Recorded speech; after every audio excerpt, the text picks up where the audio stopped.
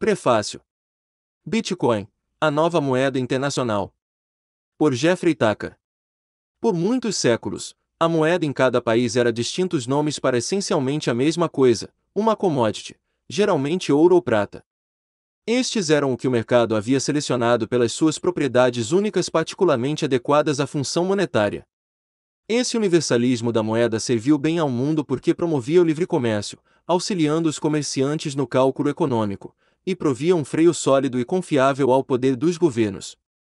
Ela limitava o impulso nacionalista. Duas formas de nacionalismo arruinaram o sistema monetário antigo. Os próprios Estados-nação descobriram que o melhor meio para o aumento do poder se dava pela depreciação do dinheiro, o que acaba sendo menos doloroso e mais opaco do que o método tradicional de tributar a população. Para escaparem imunes desse processo, governos promoviam zonas cambiais, protecionismo e controle de capitais, removendo, assim, um elemento do crescente universalismo do mundo antigo. Então, no início do século XX, os governos nacionalizaram a própria moeda, removendo-a do setor das forças competitivas de mercado. O Banco Central foi, nesse sentido, uma forma de socialismo, mas de uma variedade especial. Governos seriam o arbitrador final no destino do dinheiro, mas a sua gestão diária seria tarefa do cartel dos bancos com a garantia de proteção contra a falência à custa da população. O novo poder de criação de moeda sob o regime de bancos centrais foi imediatamente posto em prática por meio das mortes em massa da Primeira Guerra Mundial. Foi uma guerra total e absoluta a primeira guerra internacional da história que fez de toda a população parte do esforço de guerra e financiada por endividamento lastreado no novo poder mágico dos governos de usar o sistema bancário para fabricar receita com a impressora de dinheiro. Oposição intelectual a essas políticas nefastas emergiram durante o período entre guerras. Os economistas austríacos lideraram a batalha em direção à reforma. A não ser que alguma coisa fosse feita para desnacionalizar e privatizar o dinheiro, alertaram eles, o resultado seria uma série infinita de ciclos econômicos, guerras, inflações catastróficas e a contínua ascensão do Estado Leviatã. As suas previsões foram assustadoras e precisas, mas não são motivo de satisfação, pois foram impotentes para impedir o inevitável. No decorrer do século, a maior parte dos bens e serviços da sociedade estava melhorando em qualidade, mas a moeda, agora removida das forças de mercado, apenas piorava tornou-se o catalisador do despotismo. Durante todas essas décadas, lidar com esse problema foi algo que intrigou os economistas. A moeda precisava ser reformada. Mas o governo e os cartéis bancários não tinham nenhum interesse nessa empreitada. Eles beneficiavam-se desse sistema ruim. Centenas de livros e conferências foram realizados incitando uma restauração do universalismo do mundo antigo do padrão ouro. Os governos, porém, os ignoraram. O impasse tornou-se particularmente intenso depois de os últimos vestígios do padrão ouro serem eliminados na década de 70. Mentes brilhantes tinham prateleiras repletas de planos de reforma, mas eles acumularam nada além de pó. Tal era a situação até 2008, quando então Satoshi Nakamoto tomou a iniciativa incrível de reinventar a moeda na forma de código de computador. O resultado foi o Bitcoin, introduzido ao mundo na forma menos promissora possível. Nakamoto lançou com um white paper em um fórum aberto. Aqui está uma nova moeda e um sistema de pagamento. Usem se quiserem.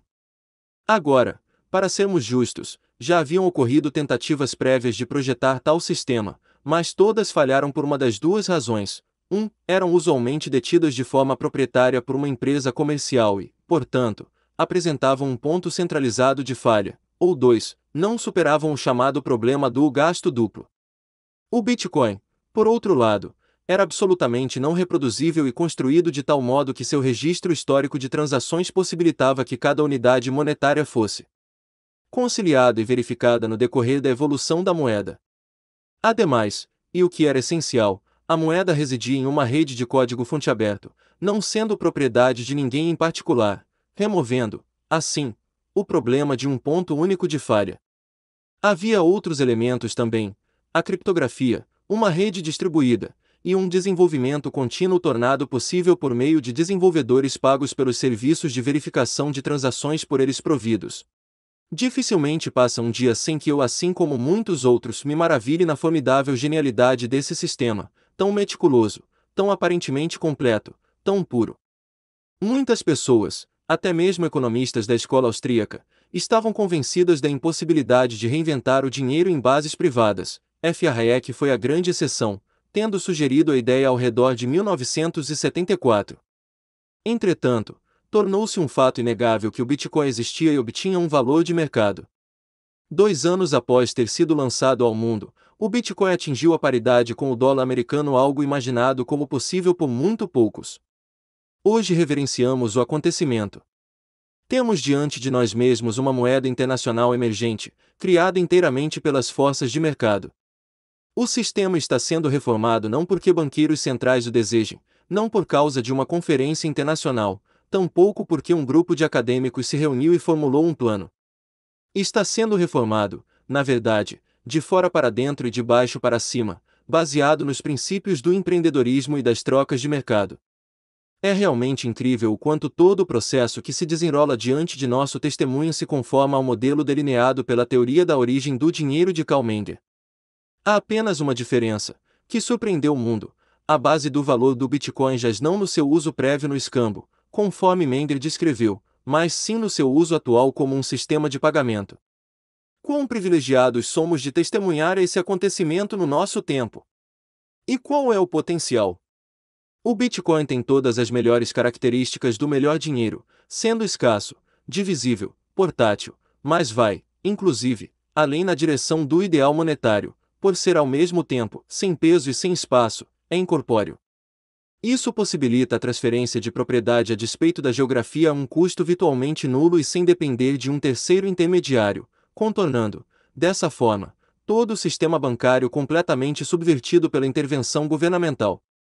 O Bitcoin, então, propicia a perspectiva de restaurar a solidez e o universalismo do padrão ouro do mundo antigo, além de aprimorá-lo por existir fora do controle direto do governo.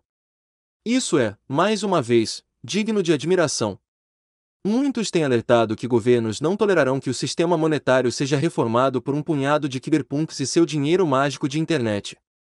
Haverá intervenções. Haverá regulações. Haverá taxações haverá também tentativas de controlar. Mas olhemos a história recente. Governos tentaram impedir e então nacionalizar os Correios.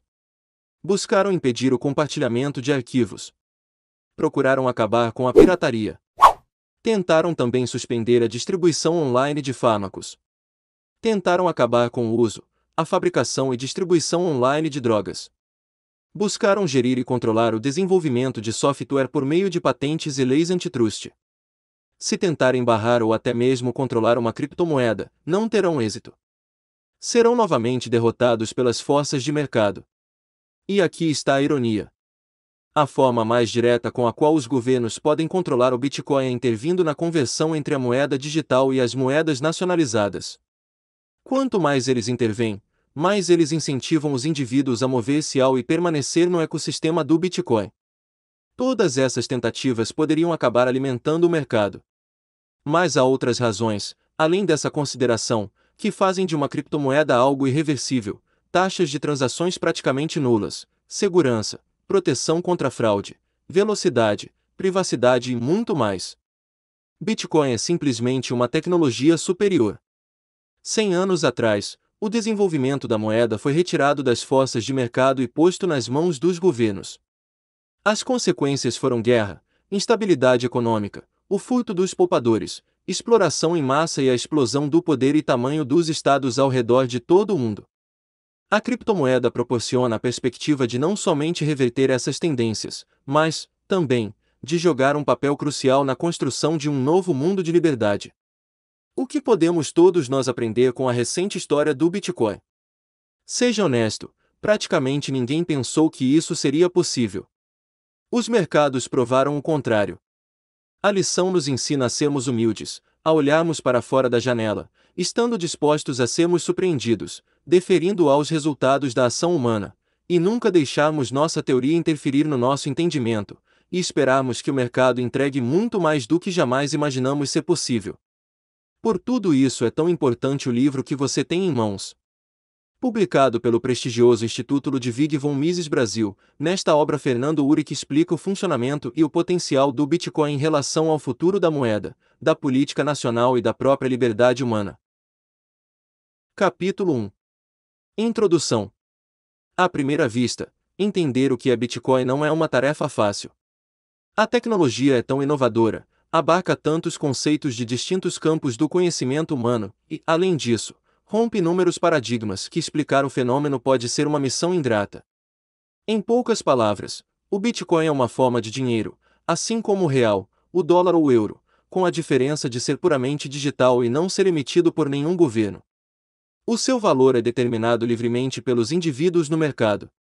Para transações online, é a forma ideal de pagamento, pois é rápido, barato e seguro.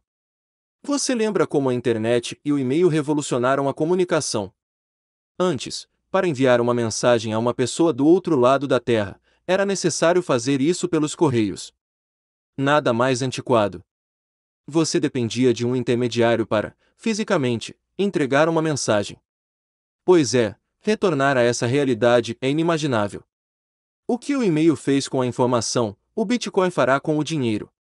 Com o Bitcoin você pode transferir fundos de A para B em qualquer parte do mundo sem jamais precisar confiar em um terceiro para essa simples tarefa. É uma tecnologia realmente inovadora. Mas como ele funciona na prática? Quais os benefícios e desafios do Bitcoin? A primeira parte desta obra é dedicada justamente a explicar o que é a tecnologia, suas principais características e como ela opera, bem como as suas vantagens e desafios será possível entender os detalhes de seu funcionamento e algumas das implicações dessa inovação tecnológica. Entendido o básico sobre o Bitcoin, partiremos ao capítulo seguinte, buscando compreender o contexto e a história do surgimento da tecnologia. Muito mais do que algo aparentemente repentino, veremos como o Bitcoin é fruto de anos de intensa pesquisa em ciência da computação procuraremos contextualizar o aparecimento do Bitcoin, abordando em detalhes a ordem monetária atual e sua evolução até o presente. Será possível entender não apenas o altíssimo nível de intervenção presente no sistema financeiro moderno, mas também como o Bitcoin é uma resposta direta a esse estado de coisas. Concluído esse capítulo, entraremos na parte mais densa desta obra, dedicada especialmente aos economistas, em que aplicaremos todo o ferramental teórico da ciência econômica alicerçado principalmente na teoria monetária desenvolvida por Ludwig von Mises para analisar o fenômeno Bitcoin sob todos os ângulos possíveis. Como veremos adiante, a compreensão do seu surgimento no mercado e das suas particularidades e vantagens comparadas às formas de moeda hoje existentes nos permitirá realizar uma análise do Bitcoin plena e fundamentada.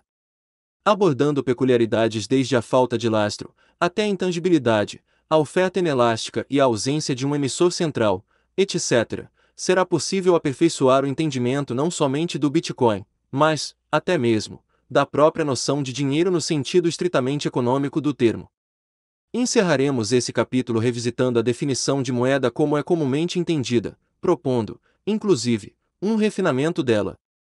Por fim, defenderemos, na última parte do livro, o ideal de liberdade monetária, demonstrando a sua imprescindibilidade a qualquer sociedade que almeja a prosperidade e a paz ideal pelo qual renomados economistas liberais lutaram durante décadas, tendo todos, igualmente, fracassado. Aproveitaremos esse momento para expor nossas conclusões sobre o porquê desses sucessivos malogros e, finalmente, compreender a essência do Bitcoin e como ele se encaixa nesse cenário. O futuro da moeda será o pano de fundo para a conclusão da obra. Embora este livro seja uma introdução do Bitcoin ao público leigo, ele é, sobretudo, uma obra de ciência econômica aplicada à mais recente inovação no âmbito monetário. Espero, portanto, que ele possa contribuir ao progresso da economia, agregando perspectivas originais e aprimorando o entendimento dos fenômenos monetários segundo a tradição da escola austríaca iniciada por Karl Mender. Em definitivo, o Bitcoin é a maior inovação tecnológica desde a internet, é revolucionário, sem precedentes e tem o potencial de mudar o mundo de uma forma jamais vista. A moeda, ele é o futuro. Ao avanço da liberdade individual, é uma esperança e uma grata novidade. Boa leitura, 10 de fevereiro de 2014. Fernando Uric. Capítulo 2 Bitcoin: O que é e como funciona? 1. O que é Bitcoin?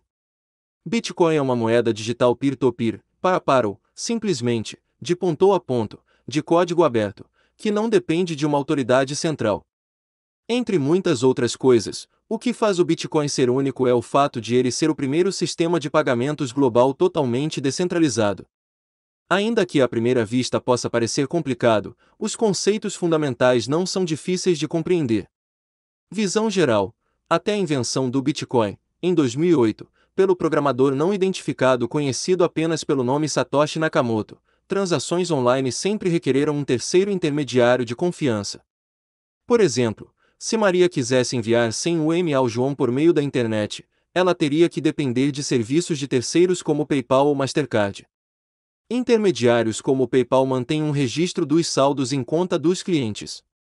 Quando Maria envia 100 UM ao João, o PayPal debita a quantia de sua conta, creditando-a na de João. Sem tais intermediários, um dinheiro digital poderia ser gasto duas vezes. Imagine que não haja intermediários com registros históricos, e que o dinheiro digital seja simplesmente um arquivo de computador, da mesma forma que documentos digitais são arquivos de computador. Maria poderia enviar ao João sem o M simplesmente anexando o arquivo de dinheiro em uma mensagem. Mas assim como ocorre com o e-mail, enviar um arquivo como anexo não o remove do computador originador da mensagem eletrônica. Maria reteria a cópia do arquivo após tê-lo enviado anexado à mensagem. Dessa forma, ela poderia facilmente enviar as mesmas sem o M ao Marcos. Em ciência da computação, isso é conhecido como problema do gasto duplo, e até o advento do Bitcoin, essa questão só poderia ser solucionada por meio de um terceiro de confiança que empregasse um registro histórico de transações. A invenção do Bitcoin é revolucionária porque, pela primeira vez, o problema do gasto duplo pode ser resolvido sem a necessidade de um terceiro, Bitcoin o faz distribuindo o imprescindível registro histórico a todos os usuários do sistema via uma rede peer-to-peer. Todas as transações que ocorrem na economia Bitcoin são registradas em uma espécie de livro-razão público e distribuído chamado de blockchain, corrente de blocos, ou simplesmente um registro público de transações, o que nada mais é do que um grande banco de dados público, contendo o histórico de todas as transações realizadas. Novas transações são verificadas contra o blockchain de modo a assegurar que os mesmos Bitcoin não tenham sido previamente gastos, eliminando assim o problema do gasto duplo. A rede global peer-to-peer, -peer, composta de milhares de usuários, torna-se o próprio intermediário. Maria e João podem transacionar sem o PayPal. É importante notar que as transações na rede Bitcoin não são denominadas em dólares, euros ou reais, como são no PayPal ou Mastercard. Em vez disso, são denominadas em Bitcoin. Isso torna o sistema Bitcoin não apenas uma rede de pagamentos descentralizada, mas também uma moeda virtual. O valor da moeda não deriva do ouro ou de algum decreto governamental, mas do valor que as pessoas lhe atribuem. O valor em reais de um Bitcoin é determinado em um mercado aberto, da mesma forma que são estabelecidas as taxas de câmbio entre diferentes moedas mundiais. Como funciona? Até aqui discutimos o que é o Bitcoin, uma rede de pagamentos peer-to-peer e uma moeda virtual que opera, essencialmente, como dinheiro online. Vejamos agora como é seu funcionamento. As transações são verificadas, e o gasto duplo é prevenido, por meio de um uso inteligente da criptografia de chave pública. Tal mecanismo exige que a cada usuário sejam atribuídas duas chaves, uma privada, que é mantida em segredo, como uma senha, e outra pública, que pode ser compartilhada com todos. Quando a Maria decide transferir Bitcoin ao João, ela cria uma mensagem, chamada de transação, que contém a chave pública do João, assinando com sua chave privada. Olhando a chave pública da Maria, qualquer um pode verificar que a transação foi de fato assinada com sua chave privada, sendo, assim, uma troca autêntica, e que João é o novo proprietário dos fundos. A transação e, portanto, uma transferência de propriedade dos Bitcoin é registrada, carimbada com data e hora exposta em um bloco, do blockchain, o grande banco de dados, ou livro-razão da rede Bitcoin. A criptografia de chave pública garante que todos os computadores na rede tenham um registro constantemente atualizado e verificado de todas as transações dentro da rede Bitcoin, o que impede o gasto duplo e qualquer tipo de fraude. Mas o que significa dizermos que a rede verifica as transações e as reconcilia com o registro público? E como exatamente são criados e introduzidos novos Bitcoin na oferta monetária? Como vimos, porque o Bitcoin é uma rede peer-to-peer, não há uma autoridade central encarregada nem de criar unidades monetárias nem de verificar as transações. Essa rede depende dos usuários que provêm a força computacional para realizar os registros e as reconciliações das transações. Esses usuários são chamados de mineradores, porque são recompensados pelo seu trabalho com Bitcoin recém-criados. Bitcoins são criados, ou minerados, à medida que milhares de computadores dispersos resolvem problemas matemáticos complexos que verificam as transações no blockchain. Como um analista afirmou, a real mineração de Bitcoin é puramente um processo matemático. Uma analogia útil é a procura de números primos. Costumava ser relativamente fácil achar os menores. Erastóstenes, na Grécia Antiga, produziu o primeiro algoritmo para encontrá-los. Mas à medida que eles eram encontrados, ficava mais difícil encontrar os maiores. Hoje em dia, pesquisadores usam computadores avançados de alto desempenho para encontrá-los, e suas façanhas são observadas pela comunidade da matemática. Por exemplo, a Universidade do Tennessee mantém uma lista dos 5 mil maiores. No caso do Bitcoin, a busca não é, na verdade, por números primos, mas por encontrar a sequência de dados, chamada de bloco, que produz certo padrão quando o algoritmo hash do Bitcoin é aplicado aos dados. Quando uma combinação ocorre, o minerador obtém um prêmio de Bitcoin, e também uma taxa de serviço, em Bitcoin, no caso de o mesmo bloco ter sido usado para verificar uma transação. O tamanho do prêmio é reduzido ao passo que bitcoins são minerados. A dificuldade da busca também aumenta, fazendo com que seja computacionalmente mais difícil encontrar uma combinação. Esses dois efeitos combinados acabam por reduzir ao longo do tempo a taxa com que bitcoins são produzidos, imitando a taxa de produção de uma commodity como ouro. Em um momento futuro, novos bitcoins não serão produzidos, e o único incentivo aos mineradores serão as taxas de serviços pela verificação de transações. O protocolo, portanto, foi projetado de tal forma que cada minerador contribui com a força de processamento de seu computador visando a sustentação da infraestrutura necessária para manter e autenticar a rede da moeda digital. Mineradores são premiados com Bitcoin recém-criados por contribuir com força de processamento para manter a rede e por verificar as transações no blockchain. E à medida que mais capacidade computacional é dedicada à mineração, o protocolo incrementa a dificuldade do problema matemático, assegurando que bitcoins sejam sempre minerados a uma taxa previsível e limitada. Esse processo de mineração de Bitcoin não continuará indefinidamente. O Bitcoin foi projetado de modo a reproduzir a extração de ouro ou outro metal precioso da Terra somente um número limitado e previamente conhecido de Bitcoin poderá ser minerado. A quantidade arbitrária escolhida como limite foi de 21 milhões de Bitcoin. Estima-se que os mineradores colherão o último Satoshi, ou 0,00000001 de um Bitcoin, no ano de 2140. Se a potência de mineração total escalar a um nível bastante elevado, a dificuldade de minerar Bitcoin aumentará tanto que encontrar o último Satoshi será uma empreitada digital consideravelmente desafiadora. Uma vez que o último Satoshi tenha sido minerado, os mineradores que direcionarem sua potência de processamento ao ato de verificação das transações serão recompensados com taxas de serviço, em vez de novos Bitcoin minerados. Isso garante que os mineradores ainda tenham um incentivo de manter a rede operando após a extração do último Bitcoin. O uso de pseudônimo, muita atenção midiática é dada ao suposto anonimato que a moeda digital permite aos seus usuários. Essa ideia, no entanto, deriva de um errôneo entendimento do Bitcoin. Por que as transações online até hoje necessitaram de um terceiro intermediário, elas não foram anônimas. O PayPal, por exemplo, tem um registro de todas as vezes em que a Maria enviou dinheiro ao João. E porque as contas no PayPal da Maria e do João são amarradas às suas contas bancárias, suas identidades são provavelmente sabidas. Em contraste, se a Maria entrega ao João 100 reais em dinheiro, não há intermediário nem registro da transação.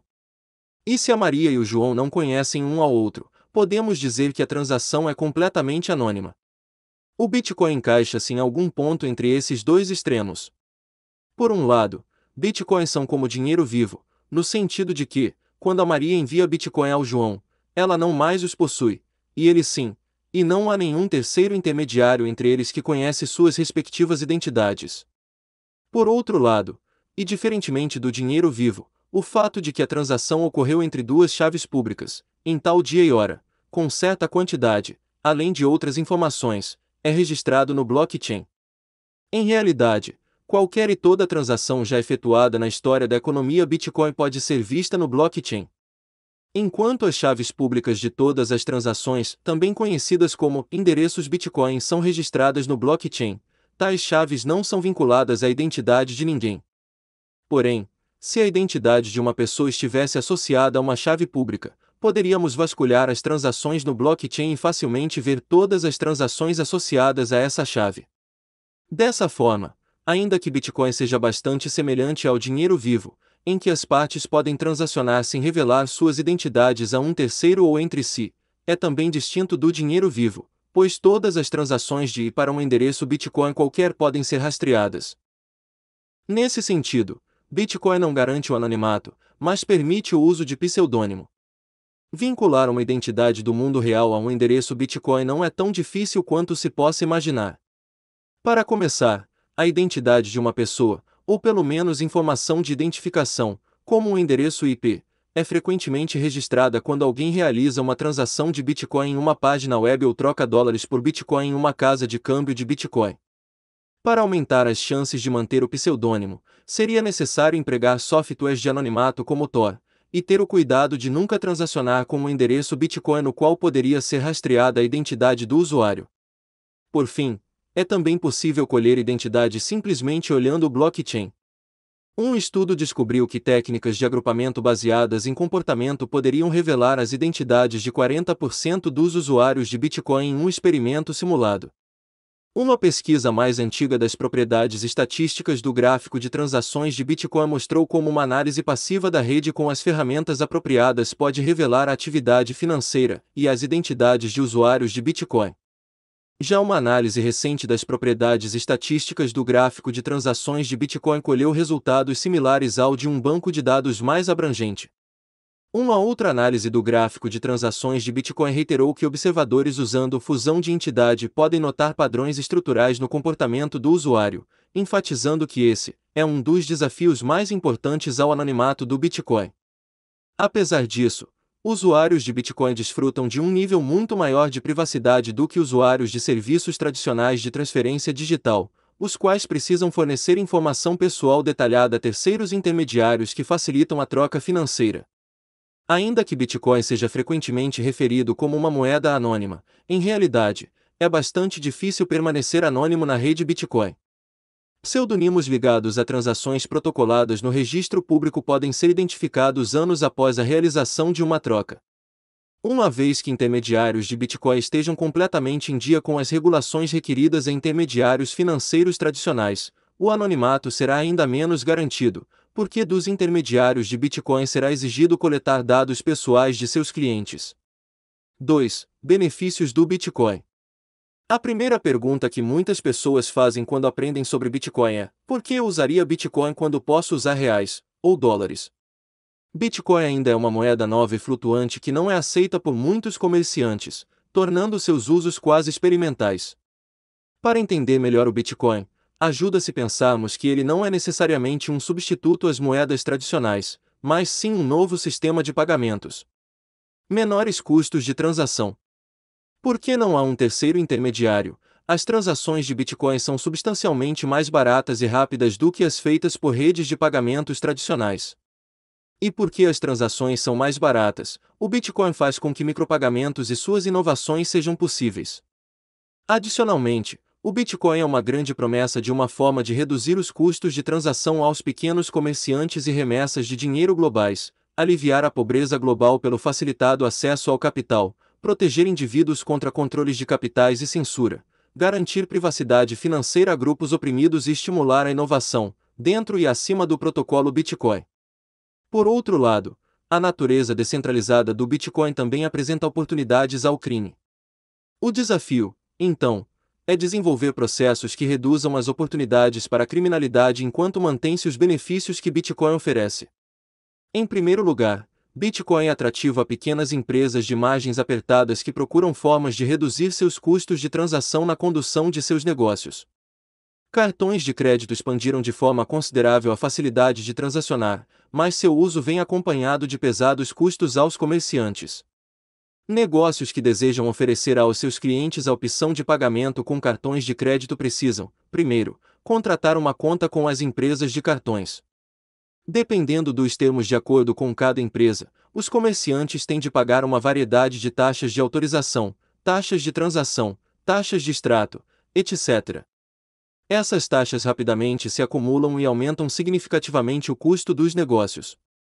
Entretanto, se um comerciante rejeita aceitar pagamentos com cartões de crédito, pode perder um número considerável de suas vendas a clientes que preferem o uso de tal comodidade. Como o Bitcoin facilita transações diretas sem um terceiro, ele remove cobranças custosas que acompanham as transações com cartões de crédito. O Founders Fund, um fundo de venture capital encabeçado por Peter Thiel, do PayPal e Facebook, recentemente investiu 3 milhões de dólares na companhia de processamento de pagamentos BitPay, por causa da habilidade do serviço em reduzir os custos no comércio online internacional.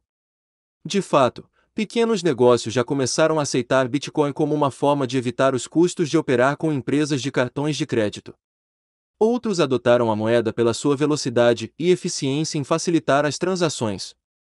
O Bitcoin provavelmente continuará a reduzir os custos de transações das empresas que o aceitam à medida que mais e mais pessoas o adotem. Aceitar pagamentos com cartões de crédito também sujeita as empresas ao risco de fraude de estorno de pagamentos, chargeback fraud. Há muito que comerciantes têm sido infestados por estornos fraudulentos ou reversões de pagamentos iniciadas por clientes, baseados no falso pretexto de que o produto não foi entregue. Comerciantes, portanto, podem perder o pagamento pelo item vendido, além do próprio item, e ainda terão de pagar uma taxa pelo estorno. Como um sistema de pagamentos não reversível, o Bitcoin elimina a fraude amigável acarretada pelo mau uso de estornos de consumidores. Aos pequenos negócios, isso pode ser fundamental. Consumidores gostam dos estornos, no entanto, porque o sistema os protege de erros de comerciantes, inescrupulosos ou não. Consumidores podem também gozar dos outros benefícios que os cartões de crédito oferecem. E muitos consumidores e comerciantes provavelmente preferiram ater-se aos serviços tradicionais de cartões de crédito, mesmo com a disponibilidade dos pagamentos pela rede Bitcoin. Ainda assim, a ampliação do leque de escolhas de opções de pagamento beneficiária a todos os gostos. Aqueles que querem a proteção e as regalias do uso do cartão de crédito podem continuar a operar assim, mesmo que isso signifique pagar um pouco mais. Aqueles mais sensíveis ao preço ou à privacidade podem usar Bitcoin. Não ter de pagar taxas às companhias de cartões de crédito significa que os comerciantes podem repassar as economias aos preços finais ao consumidor. Exatamente nesse modelo de negócios trabalha a loja Bitcoin Store, que vende milhares de eletrônicos com grandes descontos, aceitando como pagamento somente Bitcoin. Como um acessível sistema de transferência de fundos, Bitcoin também é uma grande promessa ao futuro das remessas de dinheiro de baixo custo.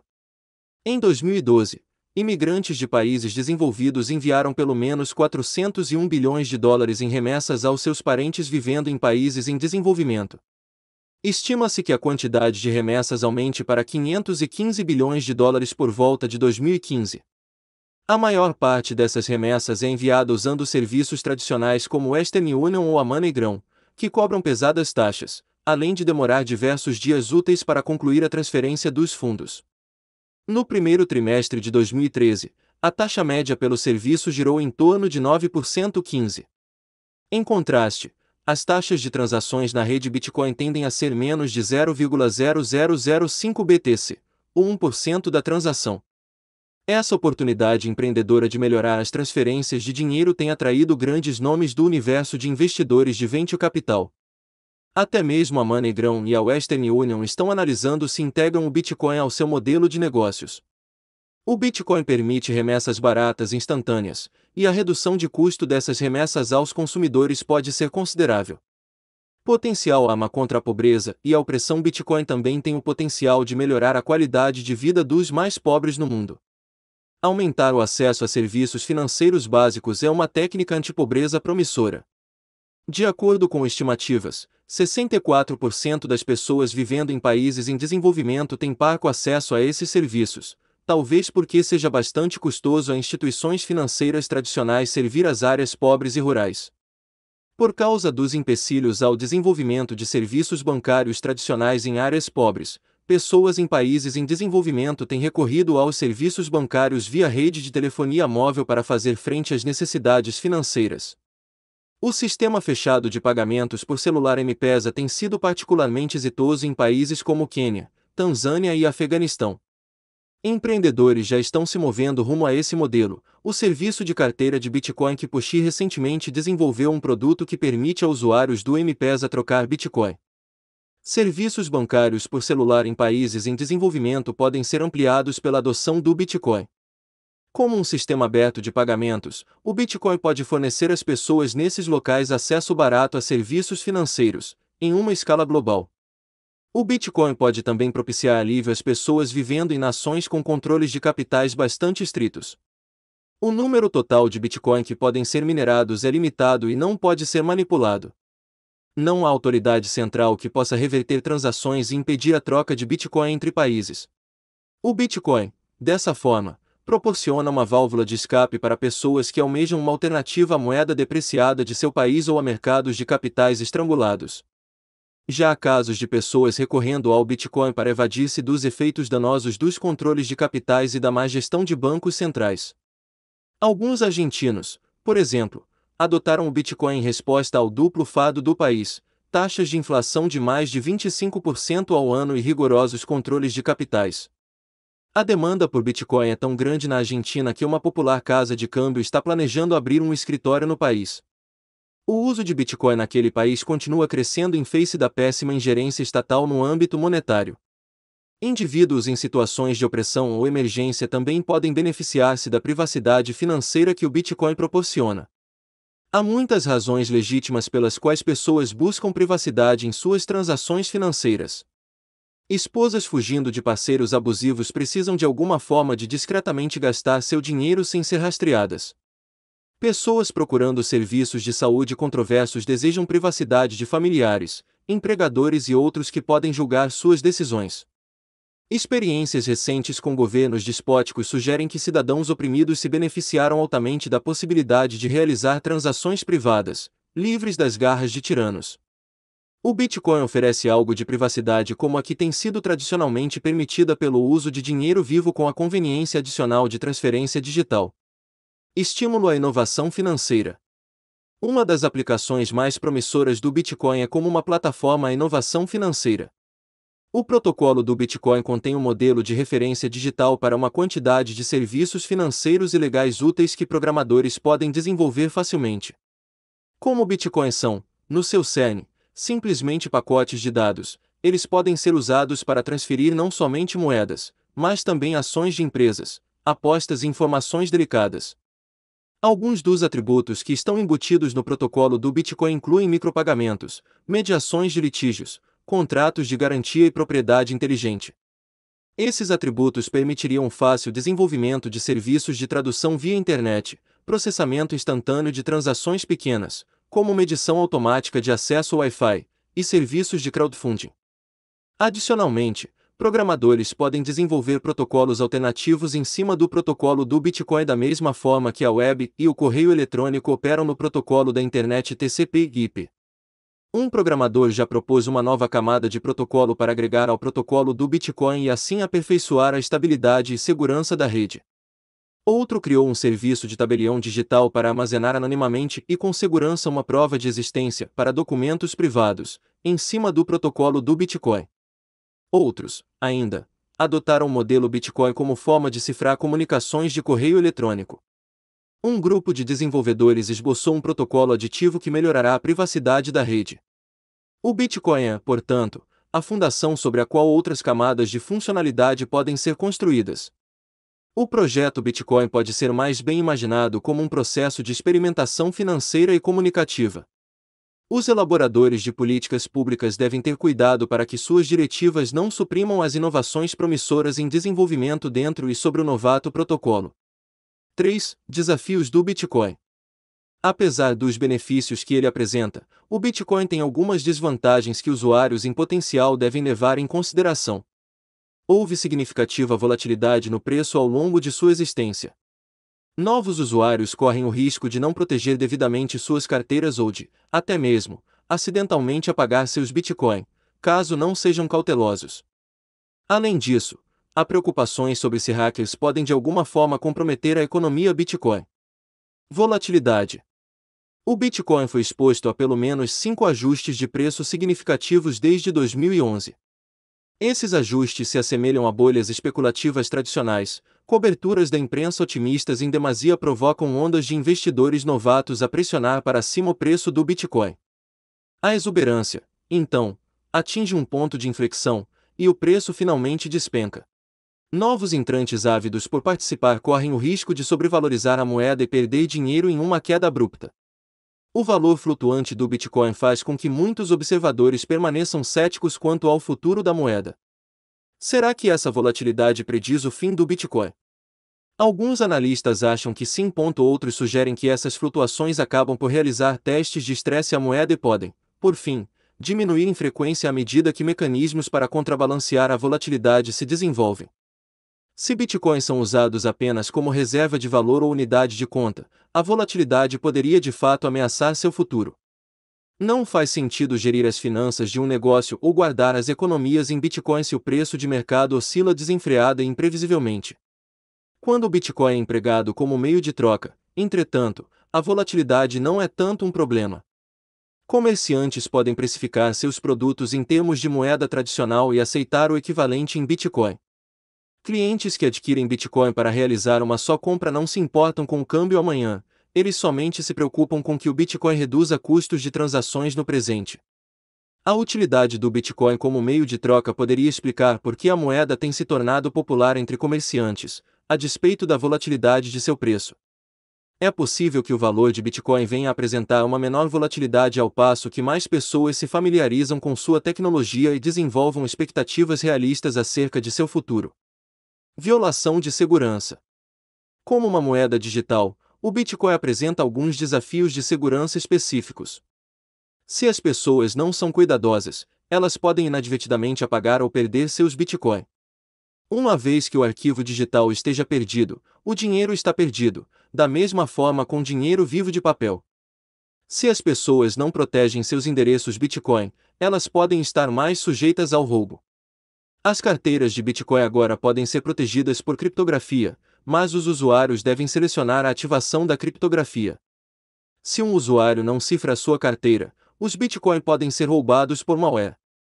As casas de câmbio de Bitcoin também enfrentaram complicações de segurança. Hackers furtaram 24 mil BTC, então valorados em 250 mil dólares, de um casa de câmbio chamada Bitfloor em 2012, e houve em uma série de ataques dudos, Distributed Denial of Service, contra a mais popular casa de câmbio, MT.gox, em 2013.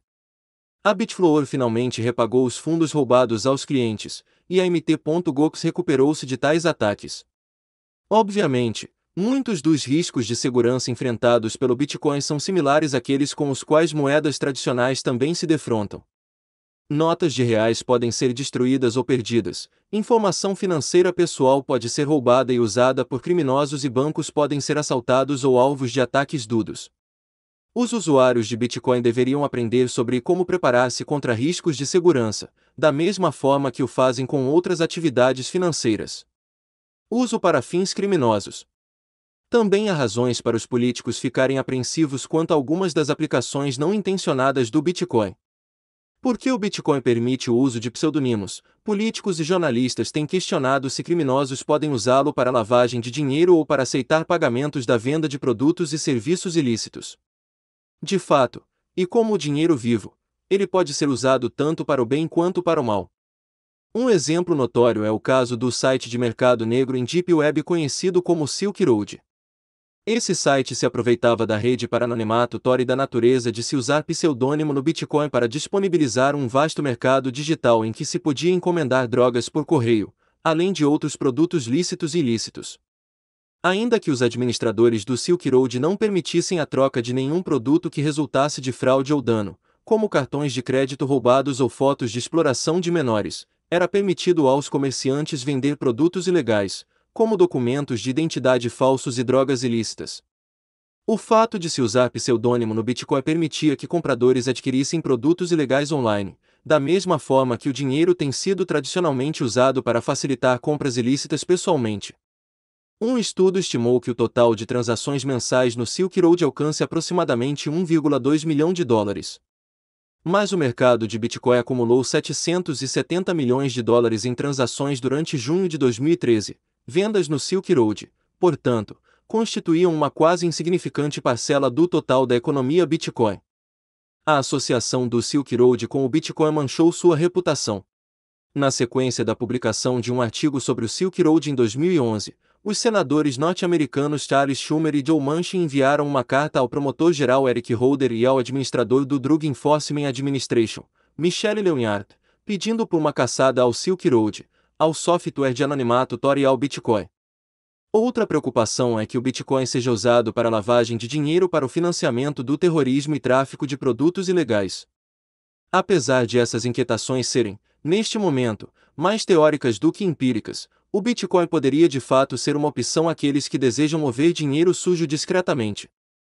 Preocupações com o potencial de o Bitcoin ser usado para lavagem de dinheiro foram atiçadas após o Liberty Reserve, um serviço privado e centralizado de moeda digital com sede na Costa Rica, ter sido encerrado pelas autoridades sob alegações de lavagem de dinheiro. Embora o Liberty Reserve e o Bitcoin pareçam similares porque ambos oferecem moedas digitais, há diferenças importantes entre os dois. O Liberty Reserve era um serviço de divisas centralizado, criado e pertencente a uma empresa privada, supostamente com o expresso propósito de facilitar a lavagem de dinheiro. O Bitcoin, não. As transações dentro da economia do Liberty Reserve não eram transparentes. O Bitcoin, por outro lado, é uma moeda descentralizada aberta que fornece um registro público de todas as transações. Lavadores de dinheiro podem tentar proteger seus endereços de Bitcoin e suas identidades, mas seus registros de transações serão sempre públicos e acessíveis a qualquer momento pelas autoridades. Lavar dinheiro por meio do Bitcoin, então, pode ser visto como uma empreitada muito mais arriscada do que usar um sistema centralizado como o Liberty Reserve. Ademais, diversas casas de câmbio de Bitcoin têm tomado as medidas necessárias para estar em dia com as regulações e exigências das autoridades no que tange ao combate à lavagem de dinheiro. A combinação de um sistema de registro público, o livro-razão do Bitcoin, ou blockchain, com a cooperação das casas de câmbio na coleta de informações dos usuários fará do Bitcoin uma via relativamente menos atrativa aos lavadores de dinheiro. Também é importante notar que muitas das potenciais desvantagens do Bitcoin são as mesmas enfrentadas pelo tradicional dinheiro vivo. Este tem sido historicamente o veículo escolhido por traficantes e lavadores de dinheiro, mas políticos jamais seriamente considerariam banir o dinheiro vivo. À medida que os reguladores comecem a contemplar o Bitcoin, eles deveriam ser cautelosos com os perigos da regulação excessiva. No pior cenário possível, os reguladores poderiam impedir que negócios legítimos se beneficiem da rede Bitcoin sem impor nenhum empecilho ao uso do Bitcoin por traficantes ou lavadores de dinheiro. Se as casas de câmbio são sobrecarregadas pela regulação e encerram suas atividades, por exemplo, traficantes e afins ainda assim poderiam colocar dinheiro na rede, pagando uma pessoa com dinheiro vivo para que esta lhes transfira seus Bitcoin. Nesse cenário, transações benéficas são impossibilitadas por regulação excessiva, enquanto as atividades-alvo continuam a ocorrer. 4. Regulação e legislação. As leis e regulações atuais não prevêem uma tecnologia como o Bitcoin, o que resulta em algumas zonas legais cinzentas. Isso ocorre porque o Bitcoin não se encaixa em definições regulamentares existentes de moeda ou outros instrumentos financeiros ou instituições, tornando complexo saber quais leis se aplicam a ele e de que forma. O Bitcoin tem as propriedades de um sistema eletrônico de pagamentos, uma moeda e uma commodity, entre outras. Dessa forma, estará certamente sujeito ao escrutínio de diversos reguladores. Vários países estão atualmente debatendo o Bitcoin em nível governamental. Alguns já emitiram pareceres ou pronunciamentos oficiais, estabelecendo diretrizes, orientações, etc. Uns com uma postura neutra, outros de forma mais cautelosa. Embora não seja o foco deste livro averiguar qual o tratamento legal adequado, é oportuno afirmar que as questões legais certamente afetarão a forma como o Bitcoin se desenvolve ao redor do mundo. Em países desenvolvidos, as incertezas sobre como o Bitcoin será regulado pouco a pouco se dissolvem. Mas em pleno ano de 2014, ainda há questões a serem endereçadas pelas autoridades. No Brasil, nada em específico concernente ao Bitcoin foi emitido pelos órgãos reguladores. Por ser um mercado em franco e rápido crescimento, é de se esperar novidades no âmbito legal proximamente. Capítulo 3 A história e o contexto do Bitcoin. É com a análise do contexto em que o Bitcoin surgiu que podemos entender a sua razão de ser. Ainda que possa ser considerada uma mera coincidência o fato de a moeda digital ter surgido em meio à maior crise financeira desde a Grande Depressão de 1930, não podemos deixar de notar o avanço do Estado interventor, as medidas sem precedentes e arbitrárias das autoridades monetárias na primeira década do novo milênio e a constante perda de privacidade que cidadãos comuns vêm enfrentando em grande parte dos países desenvolvidos e emergentes. Esses fatores são certamente responsáveis por parte do ímpeto da criação do Bitcoin. E, enquanto os reais motivos de seu surgimento podem ser apenas intuídos, não há dúvidas quanto ao que possibilitou o seu desenvolvimento: a era da computação, a revolução digital. 1. A grande crise econômica do século XXI e a perda de privacidade financeira. A quebra do banco Lehman Brothers, em setembro de 2008, um dos grandes marcos da atual crise econômica e a maior falência da história dos Estados Unidos, ocorreu há pouco mais de cinco anos. E, até hoje, seguimos sentindo as repercussões dessa grande crise.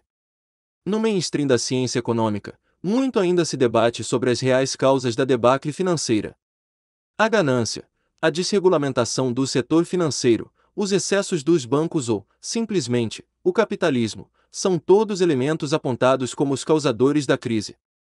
Mas é justamente o setor financeiro, aquele em que a intervenção dos governos é mais presente e marcante, seja em países desenvolvidos, seja em países em desenvolvimento. Assim, e como veremos adiante, o mais correto seria apontar o socialismo aplicado ao âmbito monetário como o real culpado e não o livre mercado. O atual arranjo monetário do Ocidente baseia-se em dois grandes pilares: um monopólio da emissão de moeda com leis de curso legal forçado. E 2. Banco Central, responsável por organizar e controlar o sistema bancário. Em grande parte dos países, a tarefa de emissão de moeda é delegada pelo Estado ao próprio Banco Central. É, portanto, patente a interferência governamental no âmbito monetário. Tal arranjo é a antítese de livre mercado, considerá-lo um exemplo de capitalismo exige uma boa dose de elasticidade intelectual. Além disso, as moedas hoje emitidas pelos governos não têm lastro algum, senão a confiança dos governos. Ao longo de centenas de anos, o arranjo monetário desenvolveu-se de tal forma que não há mais vestígios de qualquer vínculo ao ouro ou à prata, ambos metais preciosos que serviram como dinheiro por milênios. O chamado padrão ouro hoje não passa de um fato histórico com remotas possibilidades de retornar. E não porque não funcionava, mas porque impunha restrições ao ímpeto inflacionista dos governos. Quando estes emitiam moeda em demasia, acabavam testemunhando a fuga de ouro das fronteiras nacionais, sendo obrigados a depreciar a paridade cambial com o metal precioso. Desde 1971, quando o então presidente Richard Nixon suspendeu a conversibilidade do dólar em ouro, vivemos na era do papel moeda fiduciário, em que bancos centrais podem imprimir quantidades quase ilimitadas de dinheiro, salvo o risco de que os cidadãos percam toda a confiança na moeda, recusando-se a usá-la em suas transações, como costuma ocorrer em episódios de hiperinflação. A realidade é que recorrer à impressão de dinheiro é algo que os governos naturalmente fizeram ao longo da história para financiar seus déficits, para custear suas guerras ou para sustentar um Estado perdulário incapaz de sobreviver apenas com os impostos cobrados da sociedade. O poder de imprimir dinheiro é tentador demais para não ser usado. Mas, nos últimos 100 anos, o mecanismo de impressão de dinheiro foi, de certa maneira, sofisticado. Antigamente, diluía-se o conteúdo do metal precioso de uma moeda, adicionando um metal de mais baixa qualidade. Na República de Weimar, as impressoras de papel moeda operavam a todo vapor 24 horas por dia. Atualmente, entretanto, o processo inflacionário é um pouco mais indireto e envolve não somente um banco central ou um órgão de governo imprimindo cédulas de dinheiro, mas também todo o sistema bancário. Inflação é o aumento na quantidade de moeda em uma economia, e a eventual elevação dos preços é a consequência inevitável. Mas, em uma economia moderna, a oferta de moeda não é composta apenas por cédulas e moedas de metal, os depósitos bancários também fazem parte da oferta monetária, uma vez que desempenham a mesma função que a moeda física. Ainda que não existam materialmente, os depósitos constituem parte da oferta monetária total. Assim, quando se emite moeda ou se criam depósitos bancários do nada, está ocorrendo inflação. E quanto maior a quantidade de dinheiro, oferta monetária, em uma economia, menor o poder de compra de cada unidade monetária. Ou, o seu corolário, mais caros se tornam os produtos e serviços. Mas e como se multiplicam os depósitos bancários? Por meio de um mecanismo chamado reservas fracionárias. Em suma, significa que os bancos podem guardar nos seus cofres apenas uma fração do dinheiro que foi depositado e emprestar o restante ao público, daí o nome reservas fracionárias. E o impacto desse arranjo no sistema financeiro é monumental, porque esse simples mecanismo concede aos bancos o poder de criar depósitos bancários por meio da expansão do crédito. E como depósitos bancários são considerados parte da massa monetária, os bancos criam moeda de fato por isso, disse que os bancos são criadores de moeda. Além de aumentar a quantidade de moeda, a expansão do crédito pelo sistema bancário tem outro efeito nocivo na economia: a formação de ciclos econômicos. Para que haja investimento, é preciso haver poupança. É o investimento que permite o acúmulo de capital, que, por sua vez, possibilita uma maior produtividade da economia. Mas sem poupança prévia não é possível investir. A expansão do crédito pelo sistema bancário sob um regime de reservas fracionárias permite que os bancos concedam empréstimos às empresas e indivíduos como se houvesse poupança disponível, quando, na verdade, isso não ocorreu. Logo, os empresários investem como se houvesse recursos disponíveis para levar a cabo seus empreendimentos, criando um auge econômico que contém as sementes de sua própria ruína. Cedo ou tarde, alguns investimentos não poderão ser concluídos, pois simplesmente não há recursos suficientes para que sejam completados lucrativamente, devendo ser liquidados o quanto antes. Esse é o momento da recessão, quando os excessos cometidos durante o boom precisam ser sanados para que a estrutura produtiva da economia retome o seu rumo de forma sustentável. Normalmente, o sinal que antecede um ciclo de auge é a redução artificial dos juros pelo Banco Central. Por meio da manipulação da taxa de juros, o Banco Central injeta moeda no sistema bancário, propiciando uma maior expansão do crédito. As crises financeiras deste início de milênio são uma ilustração perfeita da teoria explicada, chamada de teoria austríaca dos ciclos econômicos. Foi a redução artificial dos juros pelo Federal Reserve que deu início ao boom no setor imobiliário americano logo após o estouro da bolha da internet, em 2001 que, por sua vez, foi também precedida por um período de expansão monetária orquestrada pelo Federal Reserve. Anos de crédito farto e barato levaram a um superaquecimento da economia americana, em especial no setor da construção civil, inflando uma bolha imobiliária de proporções catastróficas. E para piorar ainda mais o cenário, os principais bancos centrais do mundo seguiam a mesma receita de juros baixos para estimular a economia, formando bolhas imobiliárias em outros países também. Cegados pelos baixos índices de inflação ao consumidor enquanto os preços dos ativos imobiliários e financeiros disparavam, os banqueiros centrais acreditavam piamente terem domado os ciclos econômicos, entráramos na chamada era da grande moderação. Infelizmente, a realidade logo veio à tona, e, com ela, todas as consequências perversas de um sistema monetário e bancário sujeito à mais absoluta intervenção. Começando em 2007 com o imbróglio das hipotecas de alto risco, os subprimes, e o consequente aperto da liquidez, o liquidicrunch, o setor financeiro logo congelou, os preços dos ativos despencaram em especial os do setor imobiliário e os grandes bancos do mundo ocidental viram-se praticamente insolventes. No ano seguinte, a crise seria intensificada. Bancos e fundos de investimento buscavam desesperadamente sacar seus depósitos de instituições problemáticas. Era a versão moderna da velha corrida bancária. A interconectividade, a interdependência, a exposição mútua e os riscos de contraparte, o counterparty risk, eram de tal magnitude e complexa mensuração que o sistema financeiro estava simplesmente à beira do colapso.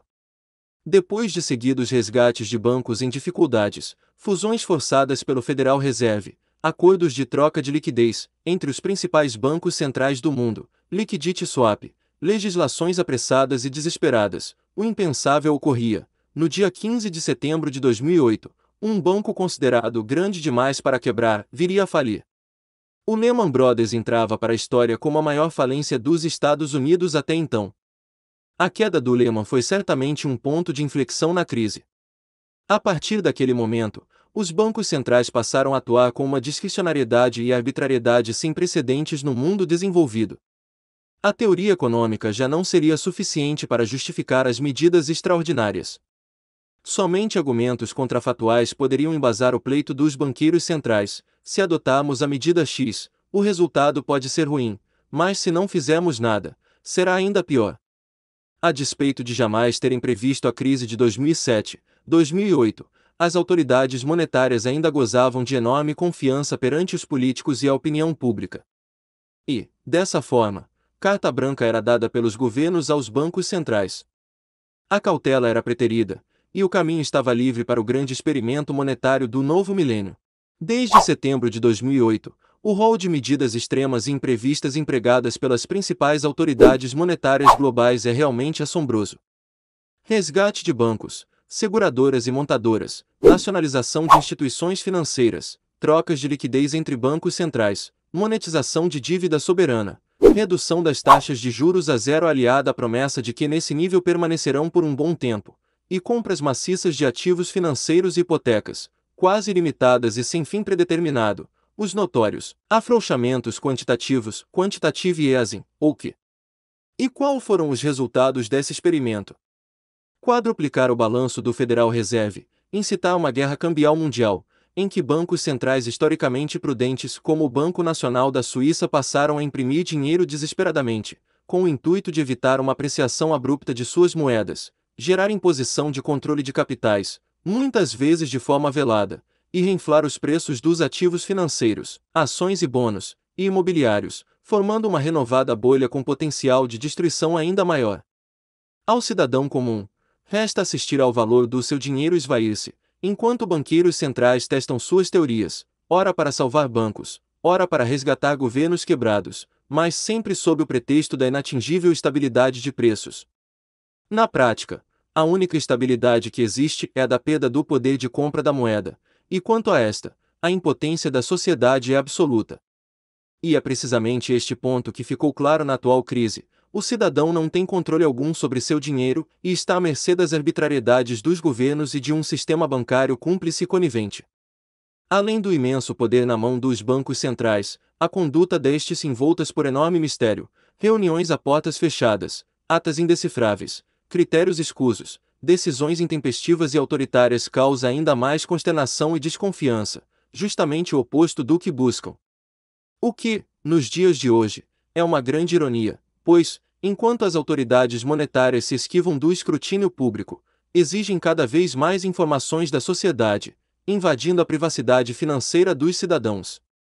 Isso nos traz a outro desdobramento do paradigma atual que vivemos, a crescente perda de privacidade financeira, frequentemente justificada pela ameaça do terrorismo, real ou imaginário, a qual foi intensificada depois dos ataques às torres gêmeas do World Trade Center em setembro de 2001. Sob a alegação de impedir o financiamento de atividades terroristas e lavagem de dinheiro, quem acaba sofrendo as consequências da supervisão e espionagem são os cidadãos de bem, que encontram cada vez mais dificuldade para proteger seus ativos e movê-los a qualquer jurisdição fora do alcance dos governos. Em países emergentes, cujo histórico de estritos controles de capitais é bastante notório, a falta de liberdade financeira não é novidade. Mas aos cidadãos de países de primeiro mundo, esse novo paradigma não é nada bem-vindo. É provável que nenhum país desenvolvido tenha avançando tanto a agenda contra a privacidade financeira como os Estados Unidos.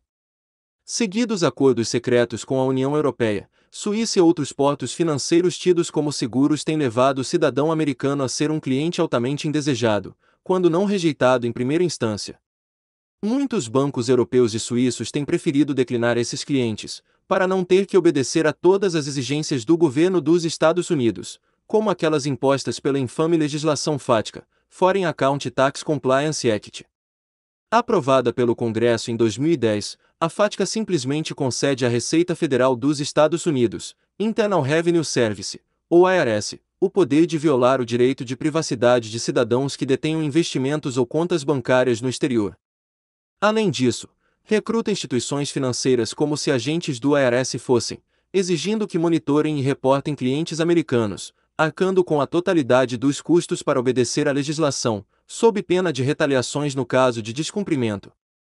Até mesmo a Suíça, cujo setor bancário tem sido historicamente um dos principais destinos para quem busca discrição e sigilo financeiro, tem sucumbido às demandas norte-americanas. As famosas contas numeradas que permitem mais privacidade ao titular, por não ser necessário vincular seu nome à conta, tampouco estão livres dessa nova realidade.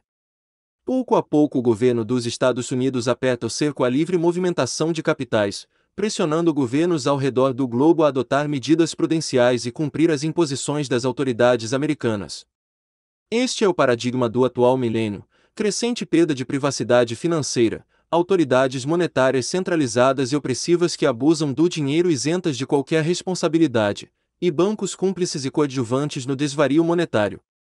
Entretanto, se por um lado o cenário é desalentador, por outro, o terreno é fértil para a busca de novas soluções. Coincidência ou não, um mês após a quebra do Lehman Brothers, era lançada a pedra fundamental de uma possível solução à instabilidade do sistema financeiro mundial. 2. O Bloco Gênese.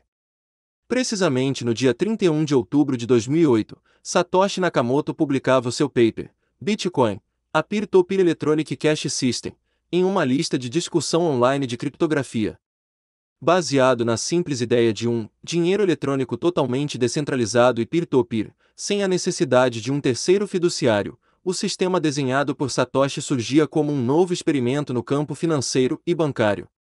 A ideia em si não era nova. Na verdade, ela já havia sido brevemente explicitada por Veidai, membro da lista de discussão Cypherpunk, em 1998. Em seu texto, Veida expunha as principais características do protocolo de uma criptomoeda e como ela poderia funcionar na prática. O próprio Satoshi, reconhecendo as origens conceituais do Bitcoin, cita o texto de Veidai como a primeira referência em seu paper. A um mero leigo no assunto, o paper de Satoshi pode ser pouco esclarecedor. Pode parecer um tanto técnico e pouco conceitual. E quase nada revela sobre as razões ideológicas por trás do Bitcoin. Por sorte, Após tornar pública a ideia do Bitcoin, Satoshi pôs-se a responder às perguntas dos demais participantes da lista de discussões, esclarecendo desde temas técnicos e conceituais até questões políticas e econômicas. É exatamente lá que encontramos os indícios do pensamento político-filosófico de Satoshi. Várias postagens suas ilustram a visão de mundo e o conhecimento econômico do criador do Bitcoin. Por exemplo, quando confrontado com a afirmação de que não seria encontrada uma solução aos problemas políticos na criptografia, Satoshi concordou, mas ressaltou que podemos vencer uma grande batalha na corrida armamentista e ganhar um novo território de liberdade por vários anos. Governos são bons em cortar a cabeça de redes centralmente controladas, como Napster, mas redes puramente P2P, como o Nutella e Tor, parecem seguir em frente na baladas. Em uma postagem posterior, um membro do grupo conclui que o protocolo do Bitcoin garante uma inflação de 35%, ao que Satoshi corrige, atentando para a regra de que a oferta de Bitcoin ao longo do tempo é sabida com antecedência por todos os participantes. Se a oferta de moeda aumenta a mesma taxa de crescimento de pessoas que a usam, os preços permanecem estáveis, destaca Satoshi, concluindo que se ela não cresce tão rápido quanto a demanda, haverá deflação, e os primeiros detentores da moeda verão seu valor aumentar. Mas talvez o vestígio mais interessante sobre a visão crítica de Satoshi acerca dos sistemas monetário e bancário vigentes esteja gravado justamente no bloco Gênese, o primeiro bloco do blockchain. Às 18 horas e 15 do dia 3 de janeiro de 2009, nascia oficialmente o Bitcoin, com a primeira transação de sua história, transmitida à rede por Satoshi, registrada no bloco Gênese e acompanhada da seguinte mensagem: The Team 03, Jan 2009 Chancellor on Brink of Second Bailout for Banks. A alusão à manchete do jornal britânico The Times daquele dia não é acidental. É, na verdade, um claro indicativo da visão crítica de Satoshi sobre o sistema bancário e a desordem financeira reinante. Nesse contexto, o projeto Bitcoin vinha a ser uma tentativa de resposta à instabilidade financeira causada por décadas de monopólio estatal da moeda e por um sistema bancário de reservas fracionárias. Poucos dias após a transmissão do bloco Gênese, era disponibilizado aberta e gratuitamente para download o cliente Bitcoin V0.1. Era o início do grande experimento monetário e bancário do novo milênio. 3. O que possibilitou a criação do Bitcoin. Os motivos fundamentais que impulsionaram a criação do Bitcoin são, portanto, evidentes. Um sistema financeiro instável e com elevado nível de intervenção estatal e a crescente perda de privacidade financeira. Mas esse estado de coisas não é novidade. A intervenção dos governos no âmbito monetário é milenar, assim como a cumplicidade e conivência do sistema bancário. A diferença entre o sistema financeiro mundial atual e o de 100 anos atrás é meramente de grau, na sua essência, a intervenção estatal prevalece tanto hoje como no início do século XX. Por que então algo como o Bitcoin não surgiu antes? Por que precisamos assistir ao sistema financeiro mundial tornar-se tão vulnerável, a ponto de quase testemunharmos o seu mais absoluto colapso em 2008? Simplesmente porque, antes, uma tecnologia como a internet não estava disponível e madura como hoje está, de fato, a rede mundial de computadores foi o que viabilizou a criação do Bitcoin. A era da informação revolucionou diversos aspectos da cooperação social, e não poderia ser diferente com uma das instituições mais importantes para o convívio em sociedade, o dinheiro. Aparentemente surgido do nada, o Bitcoin é, em realidade, resultado de mais de duas décadas de intensa pesquisa e desenvolvimento por pesquisadores praticamente anônimos. No seu âmago, o sistema é um avanço revolucionário em ciência da computação, cujo desenvolvimento foi possibilitado por 20 anos de pesquisa em moedas criptográficas e 40 anos de pesquisa em criptografia por milhares de pesquisadores ao redor do mundo. Mas para entendermos melhor como a ciência da computação e a internet possibilitaram a criação do experimento Bitcoin, é preciso ir mais além e compreender as principais tecnologias intrínsecas ao sistema. Basicamente, o Bitcoin é a junção de duas tecnologias, a distribuição de um banco de dados por meio de uma rede peer-to-peer e a criptografia. A primeira foi somente possível com o advento da internet. Já a segunda é bastante antiga, mas seu potencial não poderia ter sido devidamente explorado antes da era da computação. Ao contrário das redes usuais, em que há um servidor central e os computadores, clientes ou nós, nodes, em inglês, se conectam a ele, uma rede peer-to-peer -peer não possui um servidor centralizado. Nessa arquitetura de redes, cada um dos pontos ou nós da rede funciona tanto como cliente quanto como servidor, cada um dos nós é igual aos demais. Peer traduz-se como par ou igual, o que permite o compartilhamento de dados sem a necessidade de um servidor central. Por esse motivo, uma rede peer-to-peer -peer é considerada descentralizada, em que a força computacional é distribuída. A ideia de redes distribuídas não é nova e vem se desenvolvendo desde 1960 nos Estados Unidos. Mas foi com o surgimento da internet que as redes peer-to-peer realmente ganharam terreno e notoriedade. No final da década de 90, com a criação do Napster, essas redes se tornaram ainda mais populares, atraindo dezenas de milhões de pessoas dedicadas a trocar arquivos de áudio entre si. Desde então, diversas variantes de redes descentralizadas surgiram, frequentemente visando a troca de arquivos digitais. No caso do Bitcoin, a rede peer-to-peer -peer desempenha uma função fundamental, a de garantir a distribuição do blockchain a todos os usuários, assegurando que todos os nós da rede detenham uma cópia atual e fidedigna do histórico de transações do Bitcoin a todo instante. Dessa forma, novas transações são transmitidas a todos os nós, registradas no log de transações único e compartilhado, tornando redundante a existência de um servidor central. Em um mundo pré-digital, seria simplesmente inconcebível levar a cabo tal logística. A criptografia, entretanto, não é uma tecnologia nova. O estudo da arte de cifrar mensagens em que somente o remetente e o destinatário têm acesso ao conteúdo remonta aos tempos passados. Os primeiros registros datam ao redor de 2000 a.C., no Egito.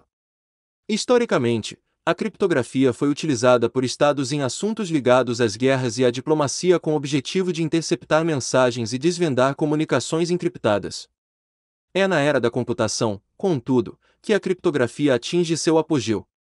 Antes do século XX, a criptografia preocupava-se principalmente com padrões linguísticos e análise de mensagens, como a própria etimologia sugere, criptografia, do grego criptos, escondido, e graphem, escrita. Hoje em dia, a criptografia é também uma ramificação da matemática, e seu uso no mundo moderno se estende a uma gama de aplicações presentes no nosso cotidiano, sem que sequer a percebamos, como em sistemas de telecomunicações, comércio online ou para proteção de sites de bancos. A criptografia moderna permite a criação de comprovações matemáticas que oferecem um altíssimo nível de segurança.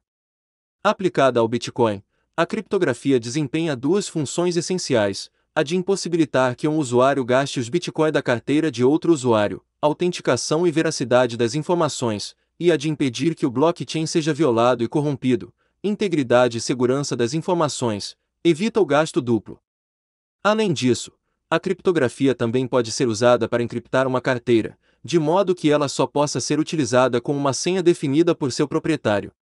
Assim, a aliança das duas tecnologias, uma rede descentralizada e a criptografia moderna, torna realidade o que há alguns anos era absolutamente inconcebível na prática e que, há alguns séculos, nem mesmo em teoria poderia ter sido imaginado. Capítulo 4 O que a teoria econômica tem a dizer sobre o Bitcoin? O maior erro que pode ser feito na investigação econômica é o de fixar atenção a meras aparências e, assim, fracassar em perceber a diferença fundamental entre coisas cujos exteriores apenas são similares, ou de discriminar entre duas coisas fundamentalmente similares cujos exteriores apenas são distintos. Ludwig von Mises, The Theory of Money and Credit. O experimento Bitcoin é, no mínimo, intrigante. Ao economista, ele impõe algumas complicações que, à primeira vista, podem levar muitos estudiosos a uma apressada rejeição o deslize este que o presente autor confessa abertamente ter cometido. Boa parte do ceticismo em relação à moeda digital reside na complexidade tecnológica intrínseca ao Bitcoin, o que intimida muitos economistas, especialmente os de idade mais avançada, e impede uma sincera apreciação do fenômeno. Outra possível razão relacionada ao que foi explicado no capítulo anterior é que a existência de um sistema como o Bitcoin era simplesmente inconcebível na prática e quase impossível de imaginar em teoria. Há muitos economistas, a própria acepção dessa realidade pode ser um desafio. Há outros, a precipitada classificação de bolha é suficiente para ignorar a moeda digital. Independentemente da justificativa, o fato é que Bitcoin existe. E uma vez que a realidade está dada, o Bitcoin foi concebido e lançado, evolui e perdura. Qual deve ser a postura do economista? Prender-se cegamente às suas teorias, negando a realidade. Creio que não, outro caminho é possível. Com honestidade e humildade, é preciso dar um passo atrás, revisitar a teoria econômica, buscando interpretar a realidade, observando os fenômenos e aplicando o conhecimento acumulado até o presente. Durante o processo, é possível que velhas teorias precisem ser revistas ou refinadas. E, como alerta Mises, sempre procurando distinguir as meras aparências da essência das coisas. Mas qual teoria monetária deve guiar a análise do Bitcoin? Mises classifica as teorias monetárias a partir da dicotomia catalática e acatalática. A teoria monetária catalática explica os fenômenos monetários por meio das leis das trocas de mercado. É por meio dos intercâmbios de mercado que o dinheiro surge, e é pela lei da oferta e demanda que seu valor ou poder de compra é determinado. Uma teoria do valor do dinheiro precisa incorporar esse enfoque, o que não garante que ela será correta. Mas uma teoria monetária que ignora a perspectiva catalática jamais será satisfatória. Dentre as teorias monetárias acataláticas, a teoria estatal da moeda, de Georg Friedrich Knapp, é a mais proeminente. Segundo ela, o valor da moeda é derivado de decreto governamental, seu poder de compra é estabelecido por lei e valor impositus, o valor da moeda depende da autoridade estatal. À luz da teoria estatal da moeda, a análise do Bitcoin acabaria sem nem sequer começar. O Estado não reconhece Bitcoin como moeda e, portanto, a moeda não tem valor algum. Logo, não nos pode servir como ferramental teórico para analisar o fenômeno. A teoria nada tem a dizer sobre Bitcoin. E isso se deve ao fato não de ser uma teoria monetária ruim, mas sim, em realidade, de não ser uma teoria monetária sequer. Assim, e como é evidente, é a partir da teoria monetária catalática de Mises que basearemos nosso estudo da moeda digital. Entretanto, antes de iniciarmos a análise econômica, é preciso definir com precisão alguns termos e conceitos, para que não haja ambiguidade e que o entendimento seja o mais claro possível. Meio de troca é um bem econômico utilizado nas trocas indiretas que soluciona o problema da dupla coincidência de desejos das trocas diretas, ou escambo. O padeiro quer leite, enquanto o leiteiro quer um sapato. Como resolver o problema? O padeiro também tem sal e sabe que o sapateiro e outros produtores também o demandam. Logo, o leiteiro, em troca de seu leite, aceita o sal, não para consumi-lo, mas para trocá-lo no futuro pelo sapato do sapateiro. À medida que mais indivíduos passam a usar o sal nas trocas indiretas, a mercadoria torna-se, consequentemente, um meio de troca. Eventualmente, um meio de troca ganha mais mercado, ampliando sua liquidez, emergindo como meio de troca universalmente aceito, tornando-se, então, dinheiro. Frequentemente, o termo moeda e dinheiro confundem-se, especialmente na língua portuguesa.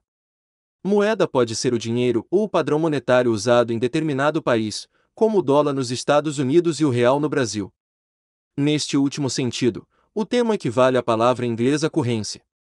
Moeda também são as moedas físicas usadas como dinheiro, sejam elas feitas de cobre, ouro ou qualquer outro material dinheiro. Em português coloquial, engloba, sobretudo, os conceitos de papel moeda e as moedas metálicas que usamos nas trocas do dia a dia, pagamento com cheque ou em dinheiro. Salvo expressamente indicado em contrário, utilizaremos o termo dinheiro no sentido de meio de troca universalmente aceito, ora intercambiando, sem prejuízo de entendimento, com o termo moeda. Juridicamente, moeda é o meio de pagamento definido em lei pelo Estado. Ao economista, a terminologia jurídica pouco interessa. E por essa razão, devem-se descartar as definições de moeda às quais muitos economistas se apegam que a qualificam como um símbolo da nação, de identidade nacional, etc. Essa noção deriva da visão do meio de troca como uma criatura do Estado e que a ele pertence.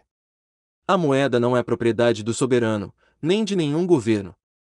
Embora tenha estado sob controle de governos em grande parte da história, sua origem é catalática, independentemente das disposições legais em certo tempo e lugar. Ao fim deste capítulo, retomaremos a definição de moeda, buscando aportar algumas matizações a essa questão fundamental, refinando assim nosso próprio entendimento sobre a instituição do dinheiro em geral e o Bitcoin em particular. Feito esse preâmbulo, podemos agora dar início a essa empreitada para compreender o fenômeno e como ele pode impactar o mundo em que vivemos. 1. O nascimento do dinheiro. Quando iniciamos a análise do Bitcoin, as dúvidas abundam. A moeda digital seria mesmo considerada dinheiro?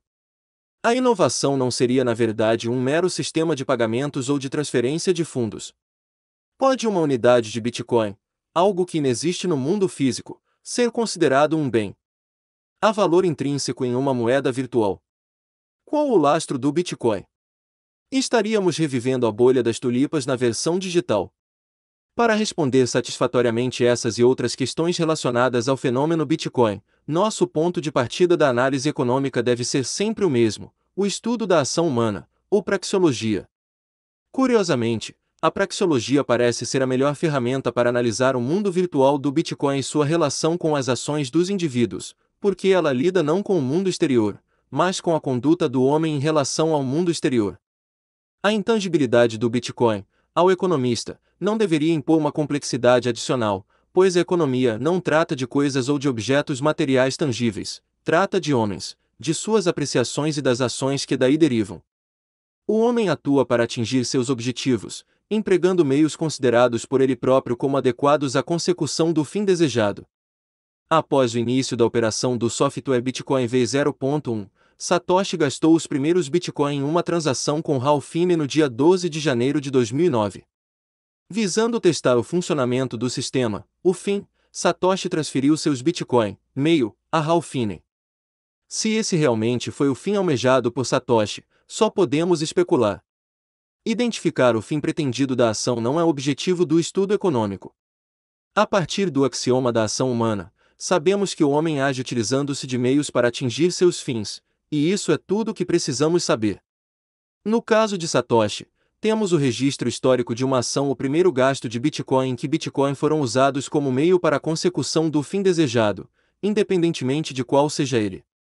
À medida que o Bitcoin foi progredindo, outros usuários passaram a utilizar Bitcoin para a consecução de seus objetivos dos mais variados, como o geek que quer ostentar as maravilhas de uma criptografia, o sujeito que compra Bitcoin como forma de protesto ao status quo, ou os entusiastas envolvidos no projeto Bitcoin que buscam testar a nova ferramenta. Como dito acima, O essencial não é identificar com precisão o objetivo de cada indivíduo, mas sim ressaltar o registro histórico de que indivíduos atuaram empregando Bitcoin como meio para a consecução de um fim. Ainda que o fim último do projeto Bitcoin seja torná-lo um meio de troca totalmente eletrônico, naquele instante, bem no início de sua vida, Bitcoin eram adquiridos não para serem empregados como um meio de troca, e sim para o próprio consumo direto, de modo a atingir o fim pretendido, e esse é precisamente o ponto de partida para que qualquer bem venha a tornar-se um meio de troca e, eventualmente, dinheiro, um meio de troca universalmente aceito. É preciso que o bem em questão proporcione um valor de uso seja ele qual for antes de ser utilizado como meio de troca. No início de 2009, aos olhos dos seus compradores, Bitcoin eram simplesmente mercadorias virtuais, bens econômicos, e nada mais além disso. A esses compradores, Bitcoin supriam uma necessidade e eram úteis, isto é, detinham uma utilidade. Por que grifar a esses compradores? Porque a utilidade aqui definida é algo subjetivo, é percebida pelo próprio ator nesse caso, os adquirentes de Bitcoin e não pode ser observada por um terceiro. É importante aprofundarmos, neste momento, no conceito de utilidade, pois muitas das críticas ao Bitcoin se baseiam em uma errônea, ou incompleta, noção de utilidade. Mises, em Ação Humana, explica que utilidade significa simplesmente relação causal para a redução de algum desconforto. O agente homem supõe que os serviços que um determinado bem podem produzir irão aumentar o seu bem-estar e a isto denomina utilidade do bem em questão. Para a praxeologia, o termo utilidade é equivalente à importância atribuída a alguma coisa em razão de sua suposta capacidade de reduzir o desconforto.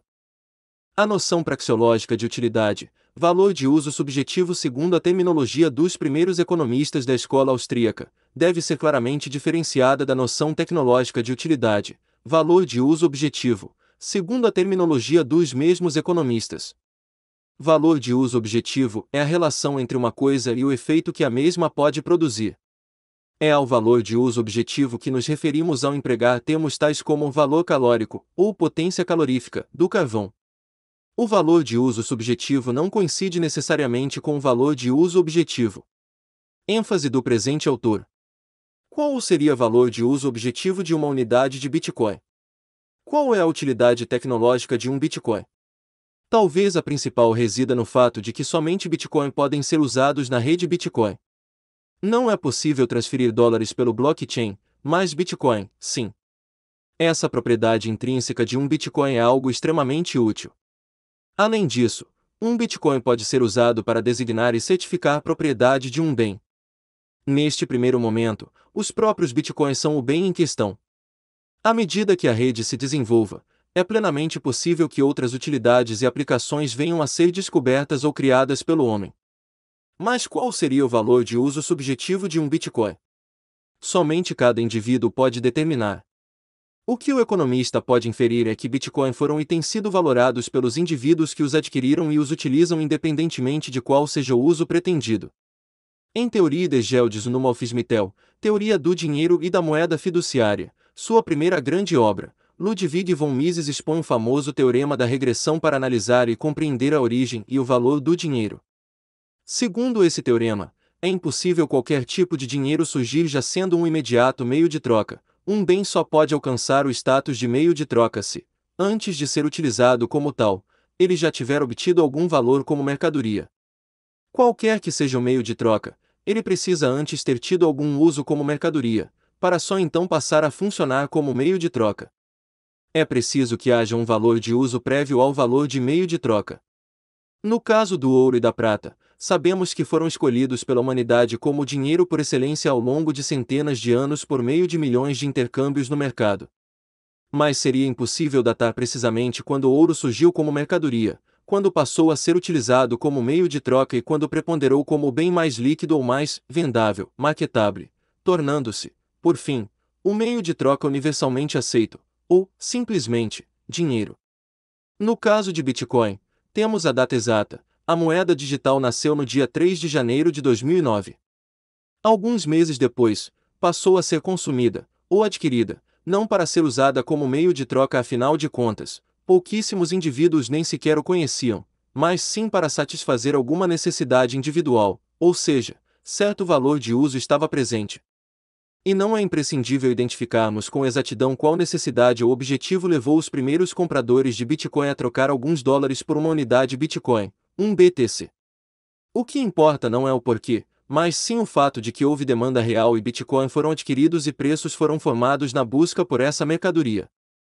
Nesse sentido, o nascimento do Bitcoin nada contraria o teorema da regressão de Mises, pois tudo o que precisamos demonstrar é que valor de uso esteve presente em algum momento, bem no início e dentro da escala de valores das pessoas envolvidas em criar e negociar com a mercadoria.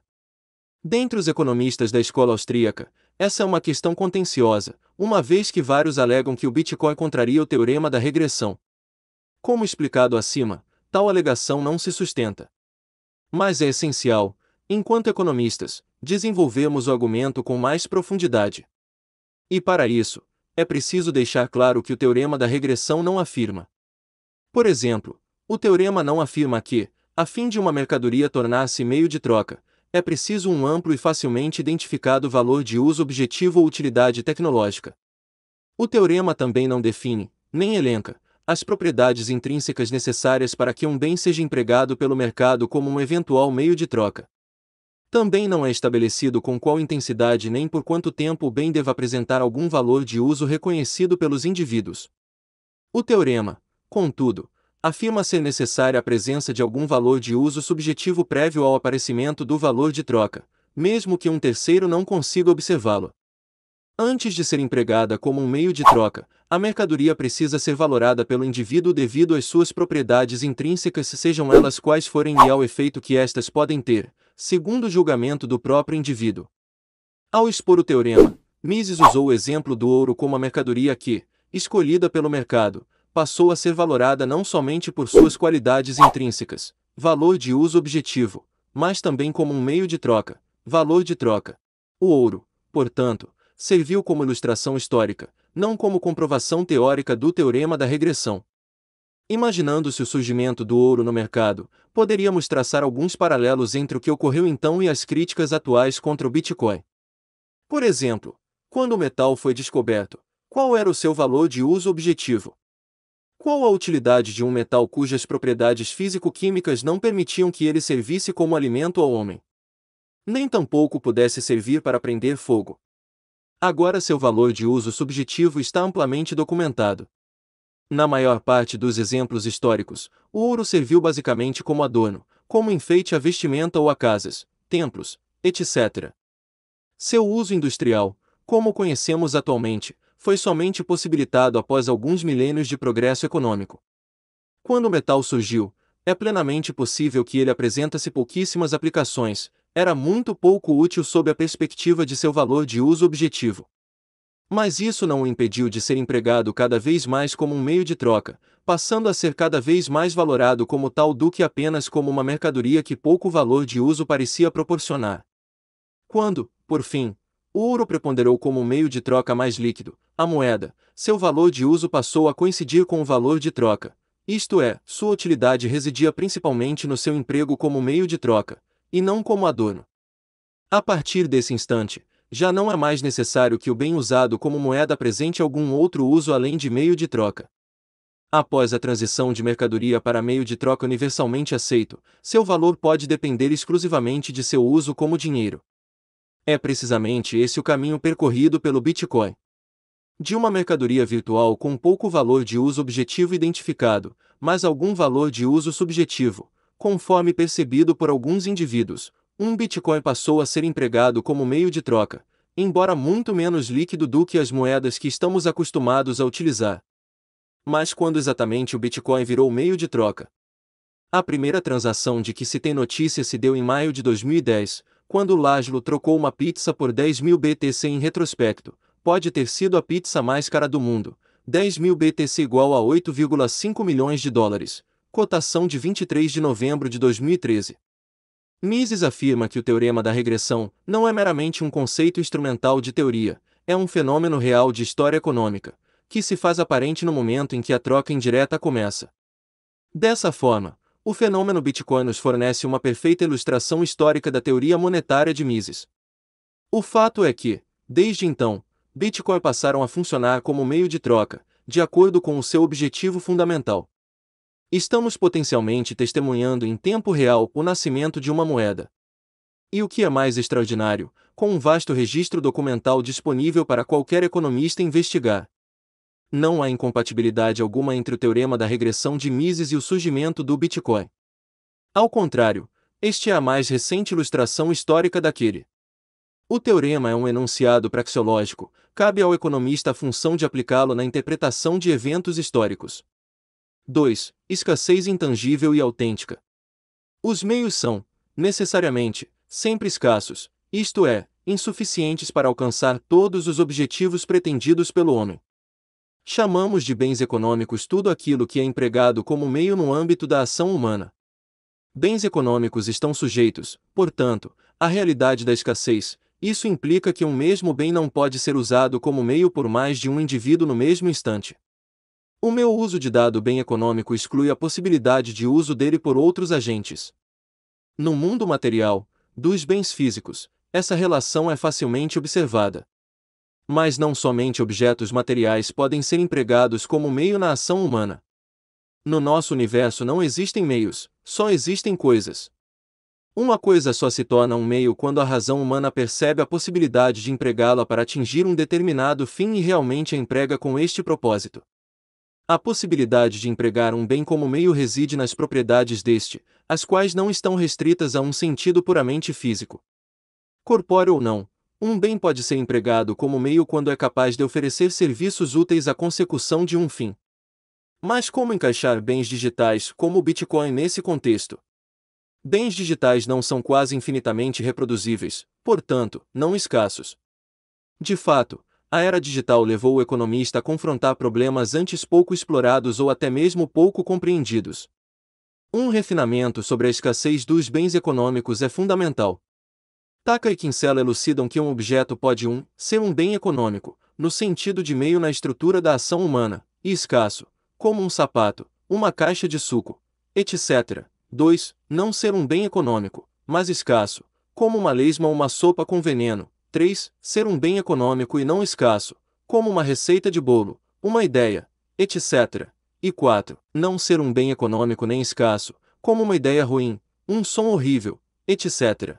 O advento da computação, e com ela, da mídia digital, expandiu a quantidade de objetos que poderiam ser classificados como bens econômicos não escassos.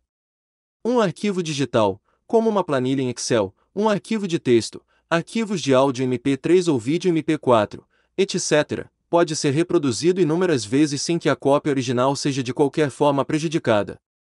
Isto é, o proprietário do arquivo original pode utilizá-lo da forma que bem entender simultaneamente com os detentores das diversas cópias. Resumidamente, um bem não escasso é um bem copiável enquanto o original permanece intacto e é utilizável por múltiplos atores simultaneamente sem interferência mútua. Aplicando essas definições ao caso do Bitcoin, verificamos que a questão é distinta. Um Bitcoin pode existir somente em uma carteira em dado momento devido ao protocolo do sistema que registra todas as transações no blockchain único e distribuído, que impede o gasto duplo. E é importante ressaltar que essa não é uma opção disponível do Bitcoin, mas sim uma característica integral e inseparável do software. A tecnologia utilizada pelo protocolo do Bitcoin, uma rede peer-to-peer, -peer, aliada ao potencial da criptografia moderna, faz com que uma unidade de Bitcoin seja um bem econômico escasso, um bem não copiável enquanto o original permanece intacto e não utilizável por múltiplos atores simultaneamente sem interferência mútua.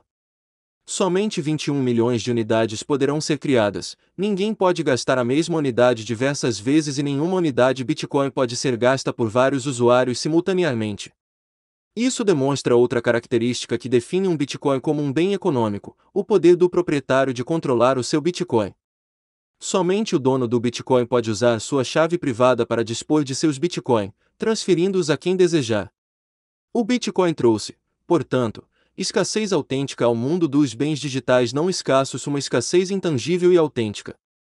3. Moeda tangível e intangível.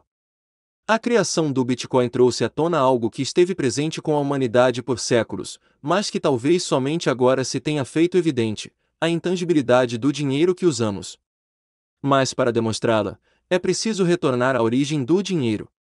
Os registros históricos documentam os mais diversos bens que desempenharam a função de meio de troca ao longo do tempo: tabaco, na Virgínia colonial, açúcar, nas Índias Ocidentais, sal, na Etiópia, na época, Abissínia, gado, na Grécia Antiga, pregos, na Escócia, cobre, no Antigo Egito, além de grãos, rosários, chás, conchas e anzóis.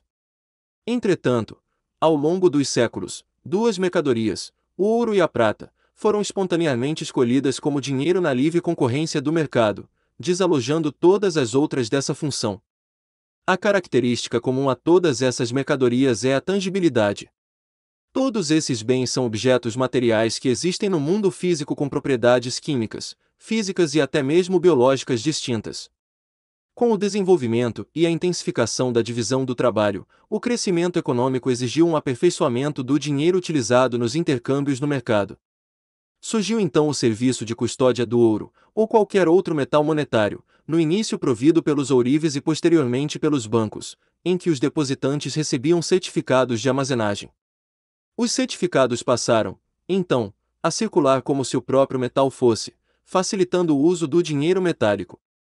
À medida que o uso do papel físico, o certificado ou cédula bancária, ou seja, um substituto de dinheiro, ampliou-se, o número de transações com ouro de verdade diminuiu. Dessa forma, os bancos cresceram e ganharam gradativamente a confiança dos clientes, até o ponto de estes julgarem que era mais conveniente abrir mão de seu direito de receber a cédula bancária, e, em vez disso, manter sua titularidade na forma de contas que podiam ser movimentadas sob demanda, o que chamamos de depósitos bancários, ou contas correntes. Com esse arranjo, o cliente não precisa transferir a cédula a quem transaciona com ele, basta escrever uma ordem para que seu banco transfira uma porção da sua conta para outra pessoa. Essa ordem por escrito é chamada de cheque. Até este momento, a oferta monetária não sofreu aumento algum em decorrência do uso de substitutos monetários. As contas correntes ou as cédulas bancárias são meros substitutos ao dinheiro físico depositado no banco, no caso, o ouro. Os substitutos de dinheiro têm 100% de lastro. Poderíamos dizer que toda a massa monetária se plasma em dinheiro material, tangível, isto é, em metal precioso depositado no banco, ainda que parte dele circule por meio de cédulas bancárias ou ordens de movimentação de conta corrente via cheque. A questão é distinta, contudo, quando os bancos, constatando que nem todos os depositantes exigem o resgate dos depósitos em espécie, passam a operar com reservas fracionárias, violando os princípios gerais do direito, mantendo em custódia apenas uma fração do dinheiro físico que lhes foi depositado e emprestando o restante. Nesse arranjo, um banco pode simplesmente criar dinheiro do nada, ao expandir o crédito por um mero registro contábil, creditando o depósito à vista do lado do passivo e debitando empréstimo do lado do ativo. Economicamente, os depósitos à vista desempenham a mesma função que um dinheiro material, esse novo depósito à vista criado do nada é o que denominamos de moeda bancária ou escritural.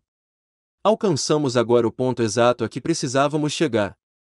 Descrevemos a evolução do dinheiro e do sistema bancário até o surgimento das reservas fracionárias e a criação do nada de depósitos à vista. Note que ainda não introduzimos o surgimento dos bancos centrais e do sistema monetário atual de papel moeda fiduciário. Trataremos do atual arranjo mais adiante.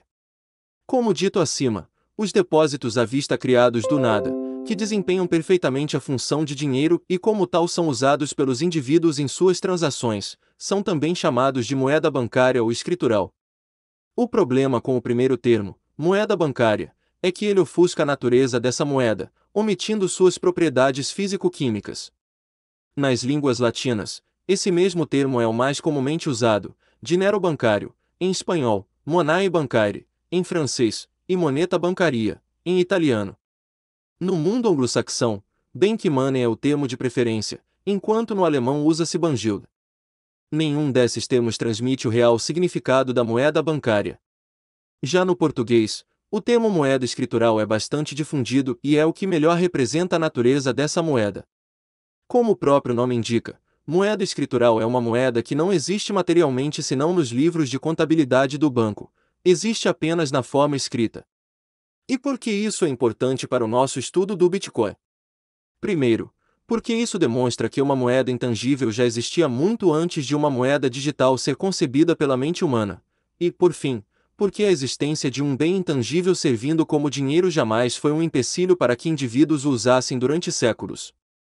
Avançando até o presente, quando pensamos em dinheiro, normalmente o relacionamos a algo físico, material, como as cédulas em papel que carregamos na carteira ou as moedas metálicas de cobre.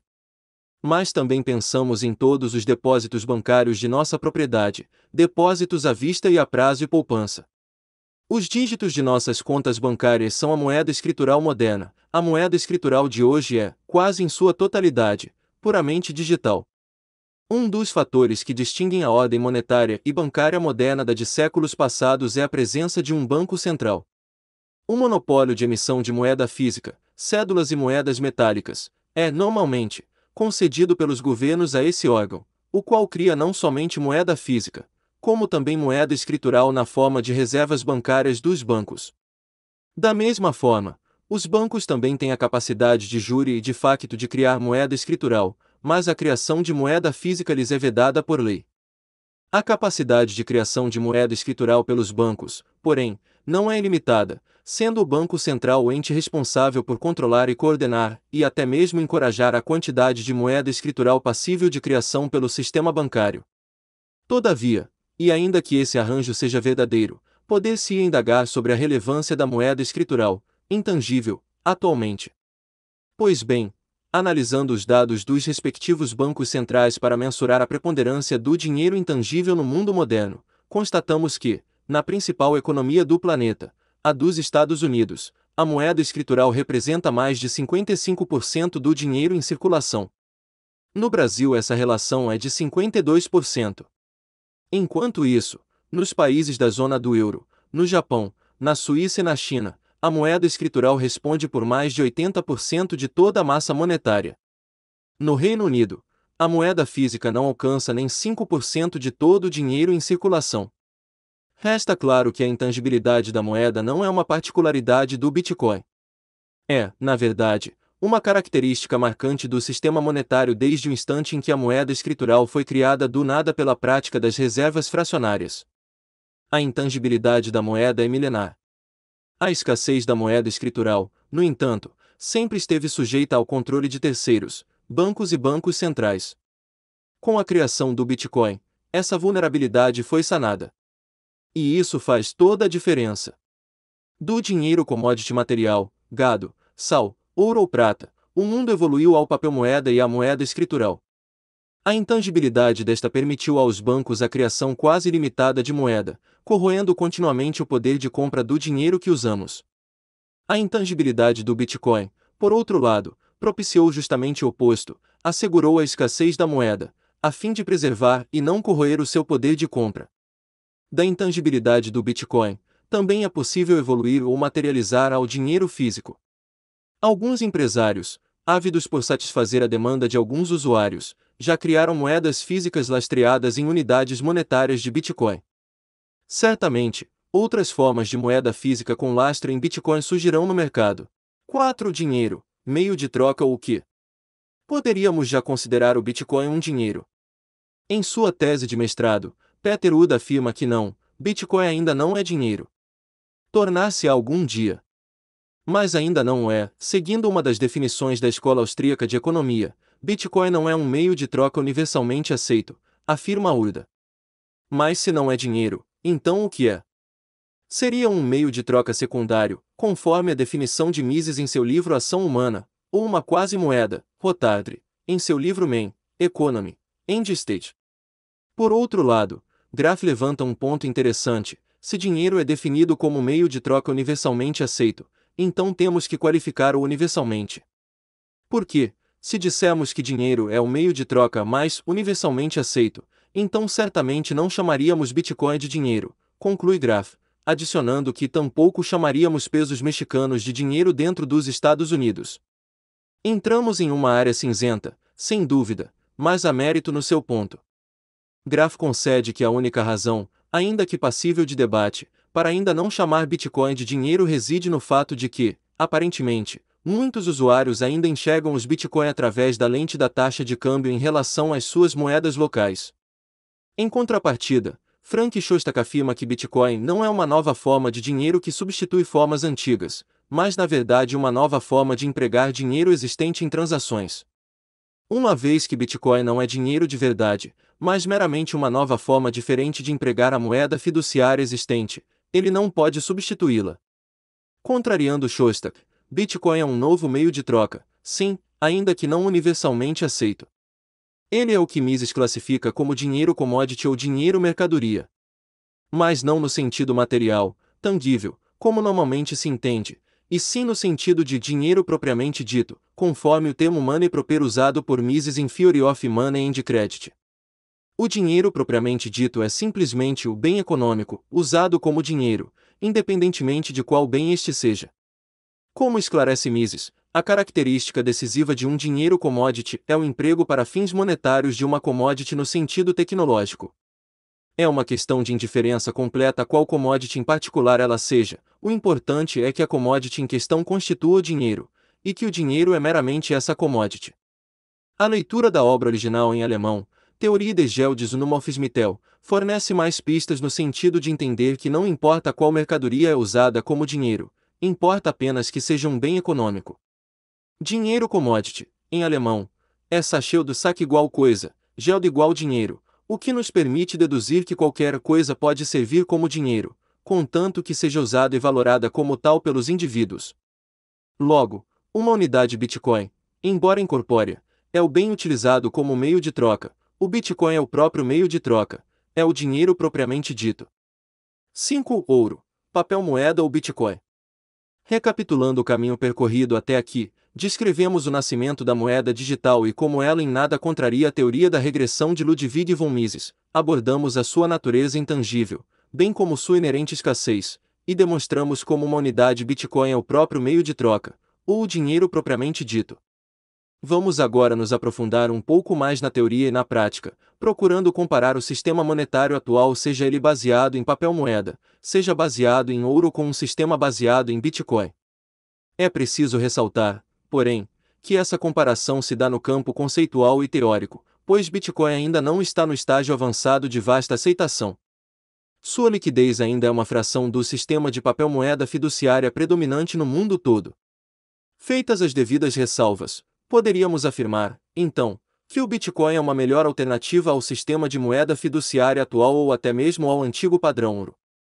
Nikolai Gerchev constata que não, alegando que não podemos ter um dinheiro que dependa de outra tecnologia, internet, e que, assim, o Bitcoin jamais atingiria o nível de universalidade e flexibilidade que o dinheiro material permite por natureza.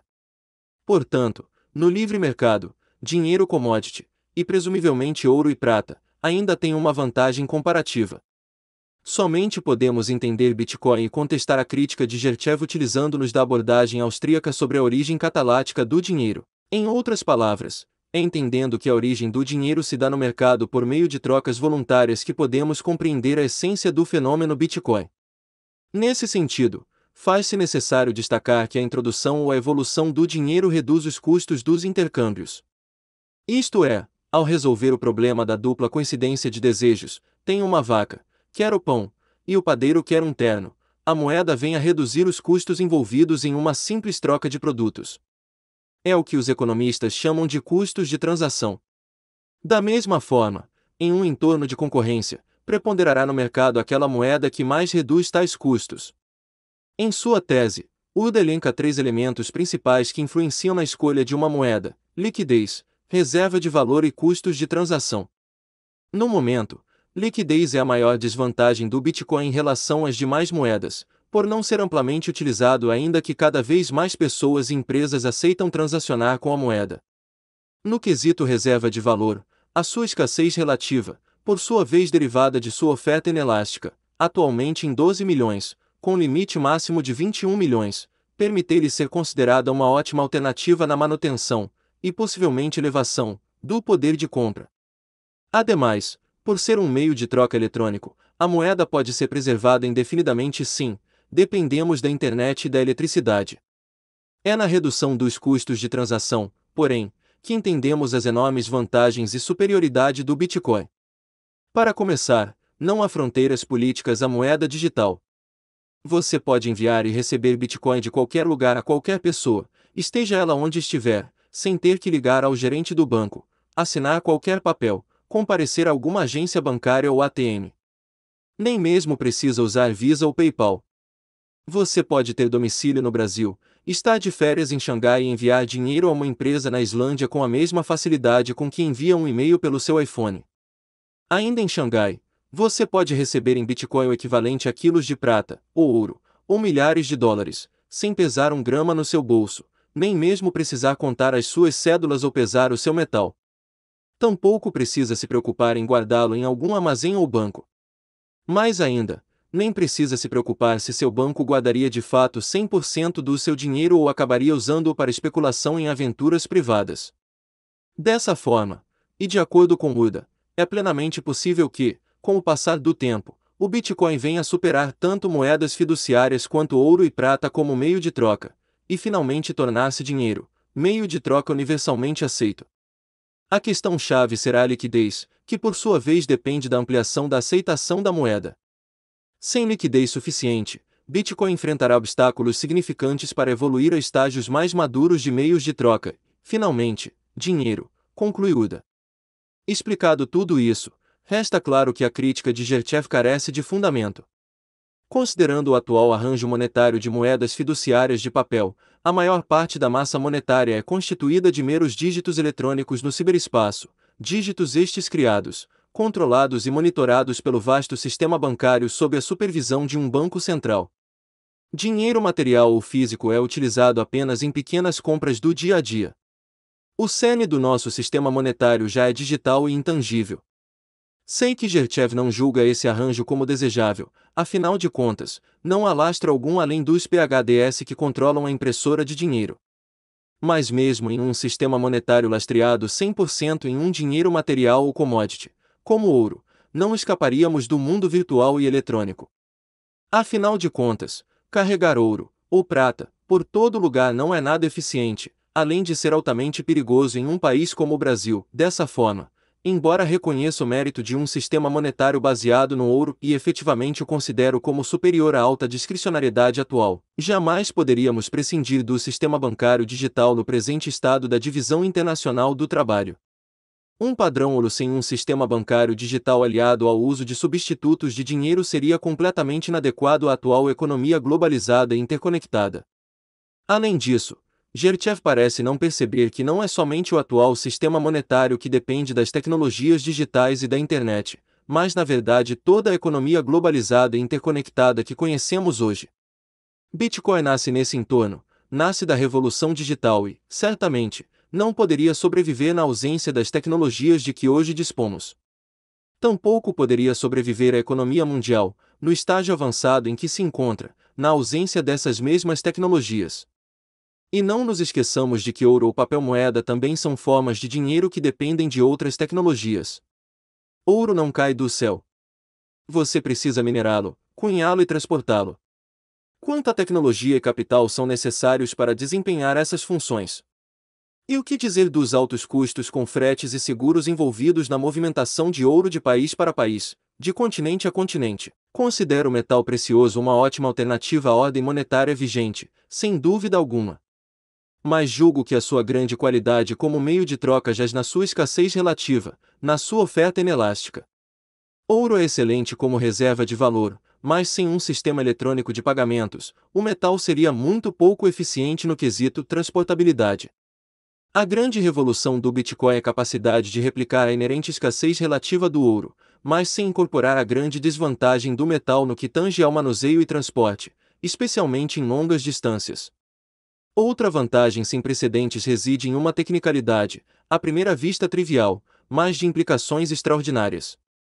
Primeiro, você não depende do sistema bancário no mundo dos Bitcoin. Você é seu próprio banco. E isso não é tudo. Devido às regras e à criptografia empregada, é impossível duas pessoas gastarem a mesma moeda digital, gasto duplo. Isso quer dizer que somente uma pessoa detém o direito de propriedade de uma unidade monetária e somente essa pessoa a controla. E isso ainda não é tudo. No mundo atual de papel-moeda fiduciária, os dígitos da sua conta bancária são substitutos de dinheiro físico, cédulas e moedas metálicas. O dinheiro propriamente dito é o papel-moeda. Ou melhor, uma fração dos seus depósitos é dinheiro físico. No caso do Bitcoin, a unidade monetária, um BTC, é o próprio equivalente ao dinheiro físico atual, ele é o próprio bem monetário. E é nesse ponto que surge algo de consequências singulares. Substitutos de dinheiro emergem somente quando oferecem uma redução nos custos de transação. Isso quer dizer que os substitutos de dinheiro serão demandados quando proporcionarem ao usuário algo que o dinheiro próprio, dinheiro commodity, não é capaz de oferecer. Pela sua natureza e propriedades digitais, os bitcoins já propiciam muitos dos serviços normalmente restritos aos substitutos de dinheiro. Seus custos de transação são suficientemente reduzidos, tornando altamente improvável o surgimento desses substitutos. Logo, e de uma só vez, o Bitcoin não só tem o potencial de tornar o sistema bancário em grande parte relevante e obsoleto, como também reduz substancialmente a probabilidade do aparecimento das reservas fracionárias e, portanto, a expansão artificial de crédito, evitando assim a formação de ciclos econômicos. A grande sacada do Bitcoin, Talvez uma de suas maiores vantagens é que a moeda digital dispensa o intermediário, o terceiro, na transação. É um sistema peer-to-peer. Não é necessário confiar em um banco que guardará seu dinheiro. Você tampouco precisa assegurar-se de que uma empresa de liquidação de pagamentos processará corretamente o seu pedido. Acima de tudo, você não precisa rezar para que um banco central não deprecie a moeda. Um ponto comum nos atributos avançados do Bitcoin é a reduzida necessidade de confiança no fator humano. Observa Uda. A confiança é substituída por comprovação matemática. É a criptografia moderna garantindo a solidez da moeda. Ademais, o caráter dual do método de pagamentos pode ser visto como a combinação das características do dinheiro, commodity, com o sistema de liquidação, serviço. Enquanto a commodity oferece uma oferta estável e controle físico, o serviço permite baixos custos de transação, serviços de liquidação e registros históricos, conclui Uda. Antes do Bitcoin, essas duas funções estavam separadas. Logicamente, ainda não estamos nesse estágio avançado do Bitcoin, porque sua liquidez ainda é baixa e ainda dependemos bastante das casas de câmbio, os pontos de contato entre a rede Bitcoin e o mundo de moedas fiduciárias mas o sistema permite que esse ideal seja alcançado. Por todos esses motivos, pode-se dizer que o Bitcoin é o arranjo monetário que mais se aproxima daquele idealizado pelos economistas da escola austríaca. Como muito bem destaca Uda, é, historicamente, a primeira oportunidade de se atingir a mudança e a manutenção de uma oferta monetária inelástica sem reformas legais e sem precisar endereçar as reservas fracionárias. Por fim, comparemos os diversos atributos monetários do ouro, do papel moeda e do Bitcoin.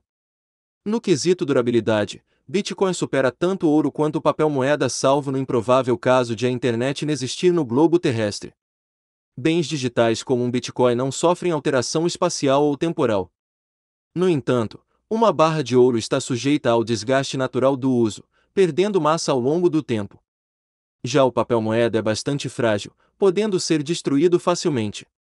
Embora seja verdade que, Enquanto na forma de substitutos de dinheiro em contas correntes eletrônicas, o papel moeda é tão durável quanto o Bitcoin.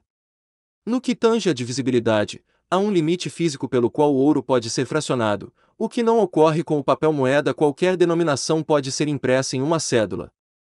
O Bitcoin, porém, é perfeitamente divisível, com oito casas decimais e possibilidade de adicionar quantas mais forem necessárias. Ambas as formas de moeda tangível, ouro e papel moeda, são bastante maleáveis, o que é irrelevante ao Bitcoin, por ser um bem essencialmente incorpóreo. O Bitcoin é, então, durável e perfeitamente divisível, embora incorpóreo. Ademais, um Bitcoin é insuperavelmente uniforme, porque sua homogeneidade é matemática, por definição, e não física, não depende de medições empíricas relativas a um padrão, sendo tecnicamente impossível falsificá-lo. O ouro, ao contrário, depende de verificações e comprovações quanto à sua pureza e massa. Já o papel moeda, embora seja bastante homogêneo, pode ser mais facilmente falsificado, dificultando a distinção de unidades monetárias genuínas das ilegítimas. É na sua escassez relativa, contudo intrínseca, autêntica e intangível, que o Bitcoin se sobressai quando contrastado com o metal precioso e com as moedas de papel assegurada por meio da criptografia e da ausência de terceiros fiduciários capazes de aumentar a oferta monetária por meio da emissão de substitutos de moeda. A oferta inelástica de Bitcoin é parte inseparável do seu protocolo. Ainda que o ouro também seja naturalmente escasso, seu emprego monetário depende em larga medida de um sistema bancário e de liquidação, tornando provável o aparecimento de substitutos de dinheiro não lastreados no metal, enfraquecendo a sua natural escassez. Não obstante, a oferta inelástica do ouro, ora contornada pela emissão de substitutos monetários, é muito superior à ilimitada capacidade de impressão de papel moeda pelos bancos centrais, capacidade essa potencializada pela introdução dos meios eletrônicos na criação de moeda escritural, seja pelos bancos, seja pela autoridade monetária, e operacionalizada de forma discricionária e, frequentemente, por decisão política. E, finalmente, o Bitcoin reúne em um mesmo sistema serviços comumente providos por uma quantidade enorme de intermediários, como bancos, casas de liquidação, bancos centrais, entidades interbancárias internacionais, etc., enquanto um sistema monetário baseado no ouro ou em papel moeda jamais poderia dispensar tais terceiros fiduciários. Na tabela abaixo, podemos visualizar de forma resumida os atributos de cada um dos sistemas monetários analisados. Atributos ouro-papel-moeda. 1. Durabilidade alta-baixa. 2. Divisibilidade média-alta. 3. Maleabilidade alta-alta. 4. Homogeneidade média-alta. 5. Oferta. Escassez, limitada pela natureza e limitada controle politicamente. 6. Dependência de terceiros fiduciários alta-alta. O Bitcoin é, simplesmente, uma forma de moeda superior a todas as demais.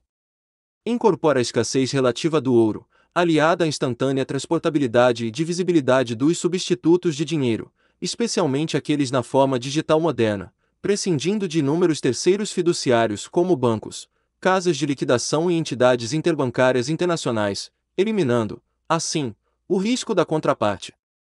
6. Deflação e aumento do poder de compra, adicionando alguns zeros.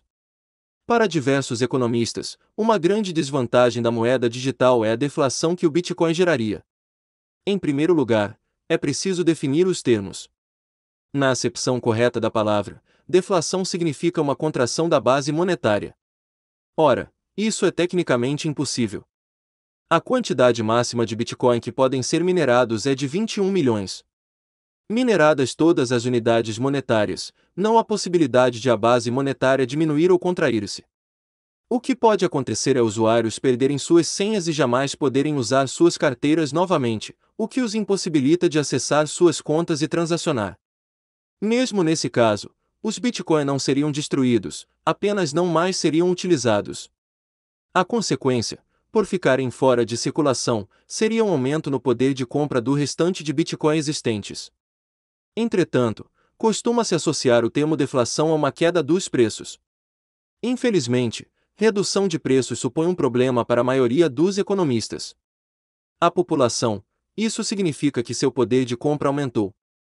Uma moeda que se aprecia ao longo do tempo com certeza não representa nenhuma ameaça à saúde de uma economia. Não é o foco deste livro discorrer sobre os problemas e consequências da inflação ou deflação. Há diversas obras dedicadas ao assunto.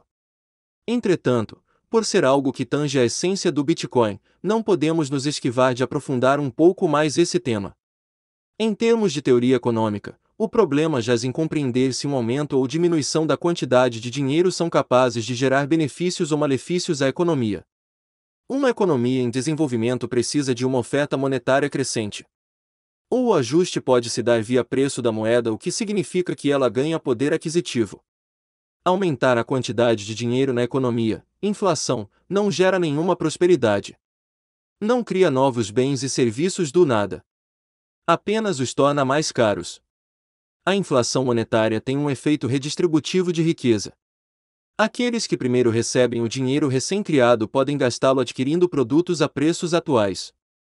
À medida que a moeda circula pela economia, aumentando os preços dos bens e serviços, os últimos a recebê-la perceberão que seus salários não podem mais comprar a mesma quantidade de produtos que antes era possível.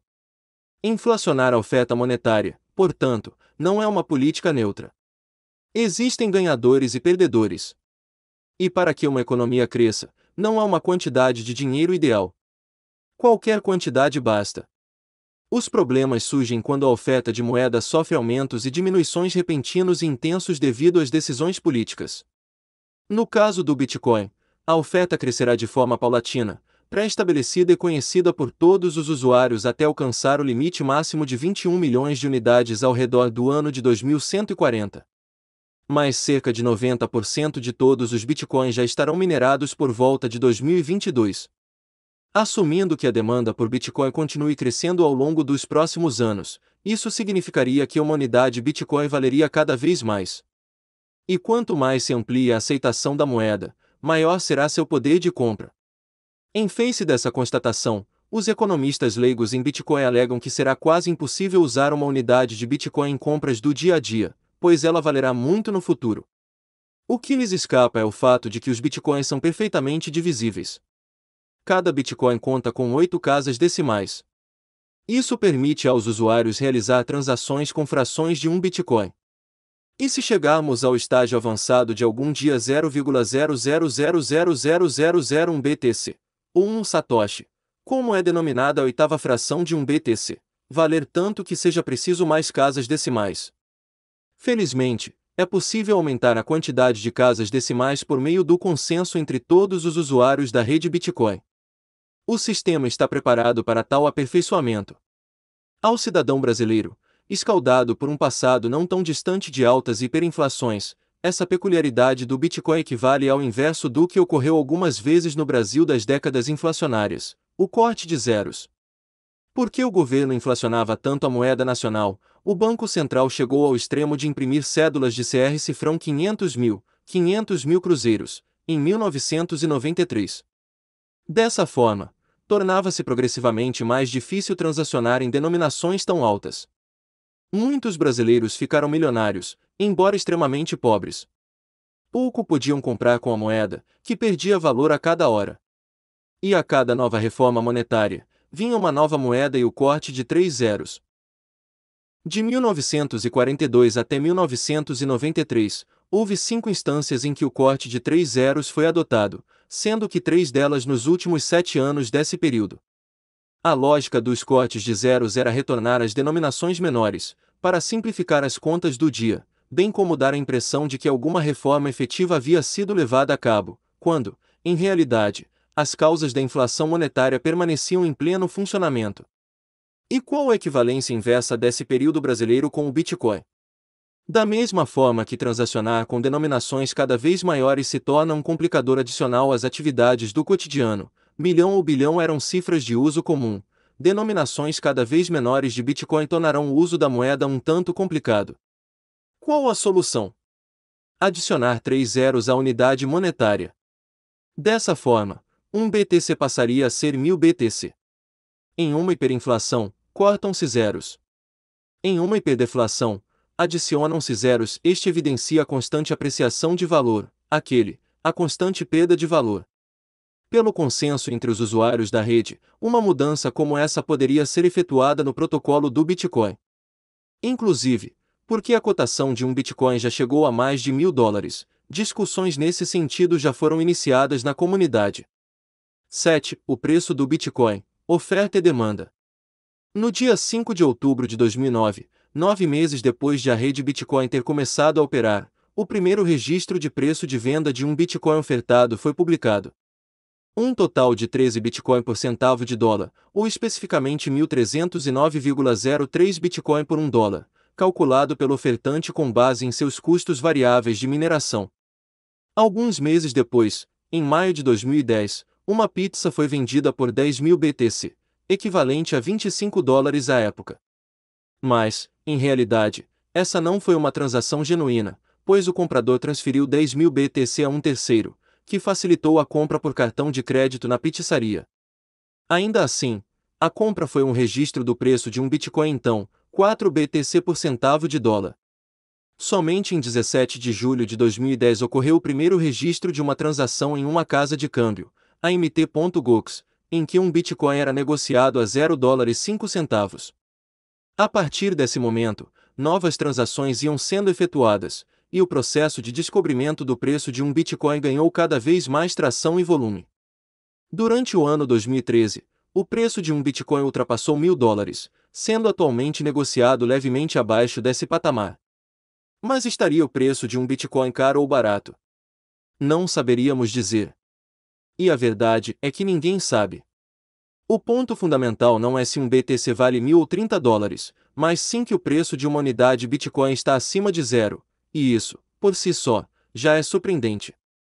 O simples fato de a moeda digital ter um preço e estar sendo utilizada por indivíduos em intercâmbios já é um feito em si. Estamos ainda na infância do experimento Bitcoin. A cotação de um Bitcoin em relação a outras moedas, ou seu preço, é algo que está sendo descoberto pelo mercado, e não podemos prever a sua evolução. E ainda que, pelo lado da demanda, não saibamos como ela evoluirá, ao menos do lado da oferta não seremos surpreendidos por súbitos aumentos na quantidade de Bitcoin em circulação. É claro que a alta volatilidade testemunhada em alguns períodos específicos ao longo dos últimos dois anos complica a vida dos usuários de Bitcoin, e talvez facilite a dos especuladores, e é por esse fator que, quanto maior o número de aderentes, mais benéfico será para o avanço da moeda digital. Mas não interpretemos esse argumento como um convite à especulação. Quanto mais indivíduos aderirem e utilizarem a moeda, maior será sua liquidez. Quanto mais liquidez, menor tende a ser a sua volatilidade e aceitação no mercado. No entanto, uma maior liquidez não necessariamente significa um preço maior. Alguns afirmam tratar-se apenas de uma nova bolha que em breve estourará levando seus usuários à ruína. Será que estamos presenciando uma bolha de fato? Pode ser que o Bitcoin, sim, esteja em uma fase de bolha. Pode ser que não. Não sabemos. Mas uma bolha especulativa em si não é um fator preponderante para o avanço e futuro do Bitcoin. A bolha da internet no início dos anos 2000 não decretou o fim da internet, e a mania das tulipas, séculos atrás, tampouco fez a lilácia desaparecer do mercado. De certa forma, o preço de uma unidade BTC é irrelevante. A questão-chave é que a moeda digital tem verdadeiras vantagens comparativas, oferecendo excelentes serviços de pagamentos e reduzindo de forma significativa os custos de transação. Como diz Tony Galipi, sócio do site de pagamentos BitPay, Bitcoin é simplesmente a maneira mais fácil até hoje inventada de enviar dinheiro de A para B. 8. Valor intrínseco ou propriedades intrínsecas. A mais frequente objeção, no entanto, é outra. E, segundo aqueles que a ela recorrem, é a questão básica e fundamental: Bitcoin não tem valor intrínseco, ele não é uma coisa. É uma unidade de uma moeda virtual não material. Não tem nenhuma condição ou formato físico, e, portanto, é descabida a noção de que possa algum dia substituir a moeda fiduciária. Esse é o núcleo do argumento de tais céticos. O que lhes parece escapar, contudo, é que não existe valor intrínseco, Existem propriedades intrínsecas, químicas e físicas. Valor é subjetivo e está na mente de cada indivíduo. Bitcoin é o ouro digital, defende John Matonis, conselheiro da Fundação Bitcoin, mas em vez de depender de propriedades químicas, ele depende de propriedades matemáticas. Isso quer dizer que as propriedades do Bitcoin resultam do design do sistema, permitindo que sejam valoradas subjetivamente pelos usuários. Essa valoração é demonstrada quando indivíduos transacionam livremente com Bitcoin. Admitindo a fragilidade de seu argumento, os céticos partem para outra crítica, a de que o Bitcoin, além do seu valor de troca, ou seu valor monetário, não apresenta nenhum valor de uso amplamente reconhecido, o uso não monetário. Por esse motivo, raciocinam eles, a moeda digital não poderia jamais adquirir o status de meio de troca universalmente aceito no comércio. Isso me faz perguntar: como o ouro conseguiu emergir como dinheiro, sendo que seu principal valor de uso séculos atrás era basicamente adorno e enfeite?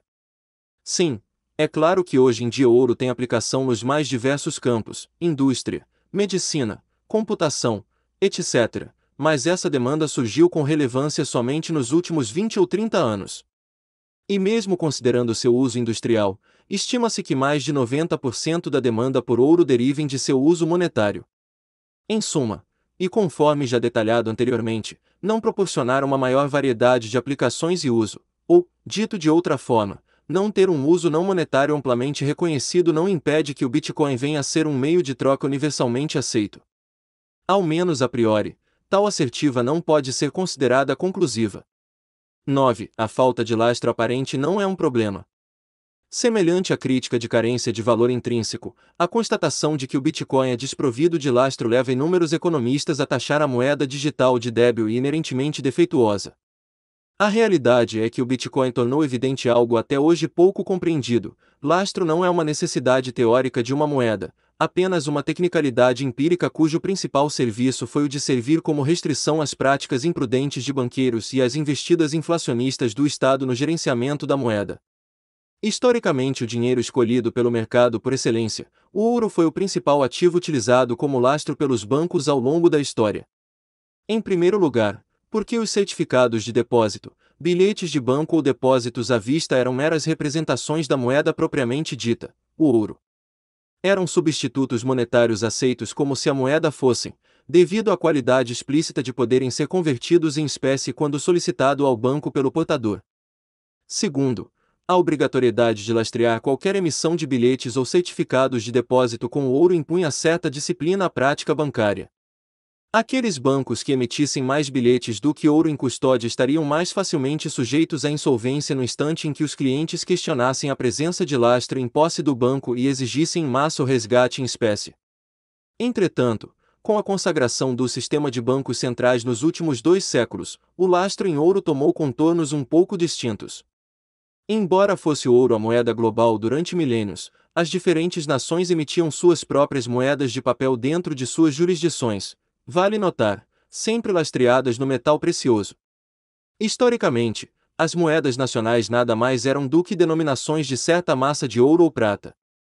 A libra esterlina inglesa, por exemplo, era a denominação originalmente dada a uma libra de prata. Quando os governos se arrogaram o monopólio de emissão da moeda, a política monetária na prática restringia-se, em certa medida, a manter a paridade entre o valor de face do bilhete de banco, emitido monopolisticamente pelo Estado, e seu valor de mercado. À medida que os governos inflacionavam a oferta de bilhetes, o valor de mercado deste se depreciava, incitando os portadores a resgatar em espécie pelo valor de face, ou resgatar ao par. Tinham início, assim, os dilemas dos monopolistas da emissão de moedas nacionais, retirar de circulação o excesso de bilhetes, buscando manter seu valor de face. Assumir a inépcia na condução das questões monetárias, desvalorizando oficialmente o valor de face dos bilhetes emitidos. Ou, o pior dos casos, suspender temporariamente a conversibilidade em espécie, em moeda propriamente dita, ouro ou prata. Especialmente a partir do fim do século XIX, o ouro pouco circulava na economia, os intercâmbios no mercado davam-se, na sua maior parte, por meio dos papéis moedas nacionais ou dos depósitos à vista com o uso de cheques. Logo, a função monetária desempenhada pelos metais preciosos nos últimos séculos foi, primordialmente, a de servir como uma âncora de valor, como um disciplinador às tentativas de inflacionar os papéis moedas nacionais. Sob o ponto de vista do governo, portanto, nada mais lógico do que buscar remover qualquer vínculo ou lastre ao metal precioso para poder emitir moeda sem qualquer tipo de restrição. Dessa forma, o ouro serviu como lastro para que tivéssemos a segurança, ou esperança, de que a oferta monetária não seria inflada pela emissão excessiva de substitutos de dinheiro, sejam cédulas, sejam depósitos à vista. Mas façamos um experimento mental. Imaginemos que, em um sistema em que os substitutos de dinheiro, cédulas e depósitos à vista, são os meios circulantes principais e supostamente lastreados 100% em dinheiro propriamente dito, ouro, por exemplo, descobríssemos um método de garantir efetivamente que haveria, a todo instante, 100% de reservas em dinheiro para os substitutos emitidos, tornando, assim, desnecessária a prática de resgatar em espécie como forma de impor disciplina aos bancos. Nesse caso, surge a pergunta: se o ouro em custódia nos cofres dos bancos serve unicamente para restringir a expansão de meios fiduciários, substitutos de moeda sem lastro, serviria ele para alguma função no momento em que descobrirmos essa maneira perfeitamente segura de impedir expansão irrestrita de meios fiduciários? No atual sistema de inconversibilidade absoluta dos papéis moedas nacionais, não há qualquer lastro em ouro. O papel moeda tornou-se a moeda propriamente dita, a experiência de mais de quase meio século comprovou que Banco Central nenhum conseguiu abster-se do poder de emissão de dinheiro, depreciando as respectivas moedas nacionais em uma espécie de corrida ao fundo do poço ao longo de todos esses anos.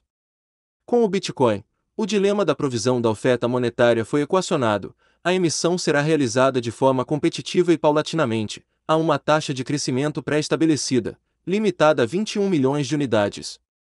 Uma legítima escassez, intangível, e matemática e criptograficamente assegurada.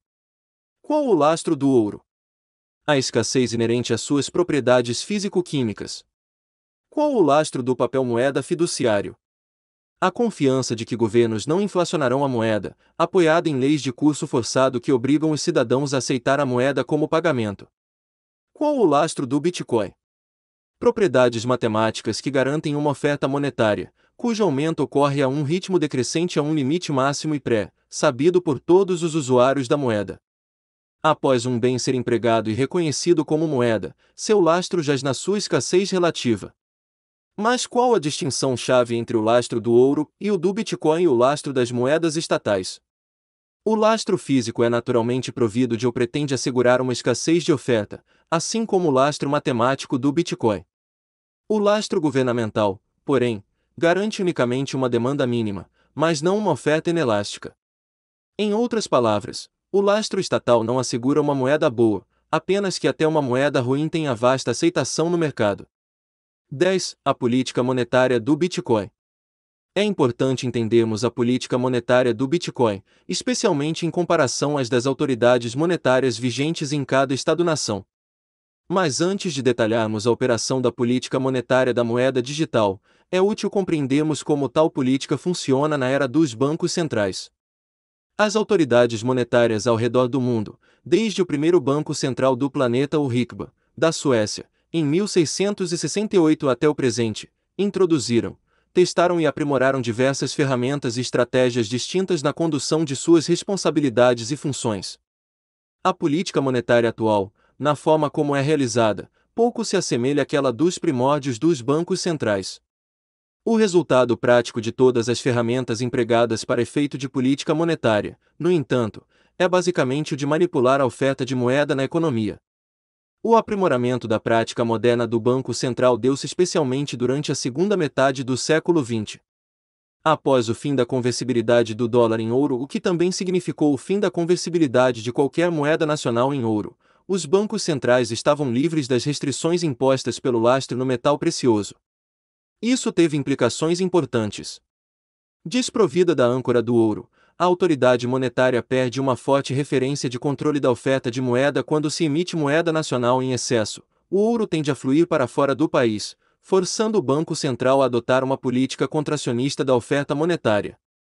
Por outro lado, a ausência da âncora significou que os bancos centrais estavam agora livres para inflar a oferta de papel moeda ilimitadamente. Mas qual aumento seria razoável? Que efeitos teria em uma economia um incremento de 5% anual na quantidade de moeda em circulação? Quais partes da oferta monetária deveriam ser alvo da política do Banco Central? Papel moeda, reservas bancárias, depósitos à vista. Como controlar a criação de moeda pelo sistema bancário? Para o bem ou para o mal, o fim do padrão ouro deu início à era da liberdade e discricionariedade dos banqueiros centrais. Diante de tantos dilemas, a era moderna dos bancos centrais é notória por estar assentada em um processo explícito de tentativa e erro. Em geral, a política monetária logo após o fim de Bretton Woods tinha como meta um crescimento específico da oferta monetária. Obviamente, o percentual definido e os agregados monetários sujeitos à meta eram decididos arbitrariamente. Nesse arranjo, a taxa de juros era consequência e não alvo da política monetária. Entretanto, a turbulenta década de 70 e as crises financeiras da de 80 obrigaram as autoridades monetárias a rever seu ferramental. O fim do século marcou, então, o período da política monetária de taxa de juros, em que a variável era alvo direto das ações do Banco Central, estabelecendo-a como meta, sendo o crescimento da oferta monetária mero produto da política de juros. O dilema atual é como calibrar a taxa de juros de modo a fomentar uma atividade econômica estável e sustentável. Para levar a cabo tal empreitada, o ferramental acessório é vasto, e vai desde o nível do compulsório e operações de mercado aberto até as diversas regulações emitidas pela autoridade monetária de cada país. Resumidamente, e o que nos interessa neste contexto, a política monetária objetiva manipular a oferta de moeda em uma economia. No passado, deu-se de forma direta, com alvos específicos para o crescimento de algum agregado monetário. Atualmente, a manipulação da oferta monetária ocorre indiretamente, pela influência direta sobre a taxa de juros. A política monetária do Bitcoin, por sua vez, foi estabelecida na sua criação e pode ser definida como uma política monetária baseada em regras, cuja independência é assegurada pela natureza distribuída da rede subjacente. Essa política monetária não discricionária pode ser mais bem descrita como meta de oferta monetária assintótica MoMA. A unidade monetária chama-se Bitcoin, e sua emissão ocorre por meio de subcontratados chamados de mineradores, os quais desempenham os cálculos de prova de esforço, POU, ou Proof of Work, que garantem a independência da política monetária e processam os pagamentos. A senhoriagem subsidia o sistema de pagamento ao invés de beneficiar exclusivamente o emissor ou o vendedor receptor de títulos negociados em operações de mercado aberto. A senhoriagem da POU e a MoMA trabalham de forma sinérgica causando três fenômenos monetários, e agentes econômicos racionais mantêm caixa em Bitcoin mesmo não tendo nenhum passivo denominado em Bitcoin. 2. O mercado estabelece as taxas de câmbio e de juros, sem exceção. E 3. É altamente improvável o aparecimento das reservas fracionárias. Os agentes econômicos decidem livremente manter saldos em Bitcoin devido a todas as vantagens da moeda digital perante outras formas de dinheiro e a expectativa de que essas vantagens conduzirão outros agentes a adotar Bitcoin no futuro, possivelmente apreciando sua taxa de câmbio. Sob a perspectiva da trindade impossível, foi estabelecido para o Bitcoin uma política monetária independente e liberdade total nos fluxos de capitais. Nenhuma entidade intervém em ciclos de alta e apreciação especulativa de modo a estabilizar a taxa de câmbio. A independência é assegurada, propiciando aos agentes econômicos uma perfeita previsibilidade da oferta monetária futura. Como explicado previamente, o limite máximo de 21 milhões é desimportante, uma vez que a perfeita divisibilidade das unidades monetárias de Bitcoin. Qualquer ajuste necessário será refletido pelo mercado na taxa de câmbio. E, finalmente, assim como o ouro, o Bitcoin não é passivo de nenhuma instituição, é um ativo sem risco de contraparte. 11. As reservas fracionárias, o Tantunden e o Bitcoin. Sob a perspectiva econômica, a probabilidade de aparecimento das reservas fracionárias no sistema Bitcoin é bastante reduzida. Porque o Bitcoin oferece aos usuários as vantagens tecnológicas tanto do dinheiro commodity propriamente dito quanto de um substituto de dinheiro, como certificados de depósitos, os precursores do papel moeda. O aparecimento de um substituto de uma unidade monetária de Bitcoin seria, até certo ponto, redundante. Historicamente, o substituto de dinheiro surgiu como uma forma de reduzir os custos de transação, permitindo um uso mais eficiente do dinheiro, usos que com o dinheiro commodity em si não seriam possíveis. O sistema Bitcoin sobressai-se justamente nesse ponto, pois a base monetária Bitcoin em si já propicia uma redução substancial dos custos de transação quando comparada aos sistemas monetários atuais. Como explicado anteriormente, o Bitcoin é ao mesmo tempo uma moeda e um sistema de pagamentos, algo sem precedentes na história monetária. Mas seria possível conceber a prática de reservas fracionárias com Bitcoin? Sim, é possível. Para entendermos como, é preciso ir ao básico ou à origem da atividade bancária, o depósito de dinheiro. Os bancos surgiram para suprir uma necessidade de mercado, o serviço de custódia de bens monetários. Com o aperfeiçoamento da prática bancária, eles passaram a oferecer não somente o serviço de custódia, mas também de intermediação financeira e de facilidade de pagamentos. É no desenvolvimento do serviço de custódia, contudo, que graves consequências se sucedem. A custódia de dinheiro requer um contrato de depósito entre banco e depositante em que este deposita bens fungíveis para que o banco os guarde, os custodie e os restitua a qualquer momento quando solicitado pelo depositante. Em troca, ao depositante é entregue um certificado de depósito que lhe dá o direito de exigir a restituição do depósito a qualquer momento. Entretanto, ao tratar-se de bens fungíveis, não é obrigatório que o banco restitua o cliente com as mesmas moedas ou barras de metal precioso que lhe foram depositadas, basta entregar ao depositante uma quantidade equivalente em gênero e qualidade, ou tantundem, em latim. Com o desenvolvimento da prática bancária, os certificados de depósitos evoluíram a bilhetes de banco, bastava o portador apresentar o bilhete no caixa para ter restituído seu dinheiro em espécie, os quais passaram a circular como se o próprio dinheiro fosse. Os bancos logo perceberam que os depositantes raramente resgatavam seus depósitos, preferindo, em vez disso, transacionar somente com os bilhetes, substitutos de dinheiro, pela praticidade e facilidade de manuseio. Diante dessa constatação, não tardou muito para que as instituições bancárias cometessem um grave delito. O de emitir bilhetes sem lastro algum em dinheiro material iniciava assim a prática das reservas fracionárias, em que havia mais bilhetes em circulação emitidos pelos bancos do que dinheiro material em custódia para pronta restituição de quem assim demandasse. Dessa forma, quando a confiança em alguma instituição depositária fosse abalada e os depositantes se dirigissem em massa para solicitar o resgate em espécie de seus bilhetes à notória corrida bancária, o banco estaria simplesmente insolvente, não poderia jamais entregar dinheiro material a todos os demandantes portadores de bilhetes. Não haveria tantundem suficiente em custódia. Os registros da prática de reservas fracionárias ao longo da história são milenares, mas seu ápice foi atingido somente no século passado, com a anuência e auxílio dos bancos centrais. Hoje em dia, a prática não somente é regra do sistema bancário em escala global, como também é respaldada por lei. E como o Bitcoin difere desse arranjo? Em primeiro lugar, quando temos o cliente Bitcoin instalado e rodando em nosso computador pessoal, não há um contrato de depósito entre proprietário de Bitcoin e um banco ou casa de custódia. Você é seu próprio banco. Você custódia o seu próprio Tantundem. Logo, a posse dos Bitcoin está a todo instante com o dono da carteira, equivalente à conta bancária tradicional. Igualmente, ao proprietário, a disponibilidade completa e restrita dos Bitcoin. Você pode transferi-los a quem desejar a todo instante sem que nenhuma entidade o impeça de fazê-lo. Mas é claro que, se dependermos exclusivamente do software em um computador pessoal, o uso do Bitcoin seria bastante reduzido. Para suprir essa necessidade, já foram criados serviços de carteira online, como o da empresa Blockchain.info, em que podemos usar um smartphone ou equipamento portátil similar para efetuar transações. Ainda que à primeira vista tenhamos a impressão de que isso constitui um serviço de custódia similar ao oferecido pelo sistema bancário tradicional, há uma grande distinção.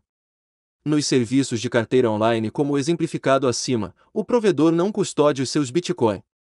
Na verdade, você permanece sendo o único agente a ter posse, controle e uso irrestrito dos seus Bitcoin.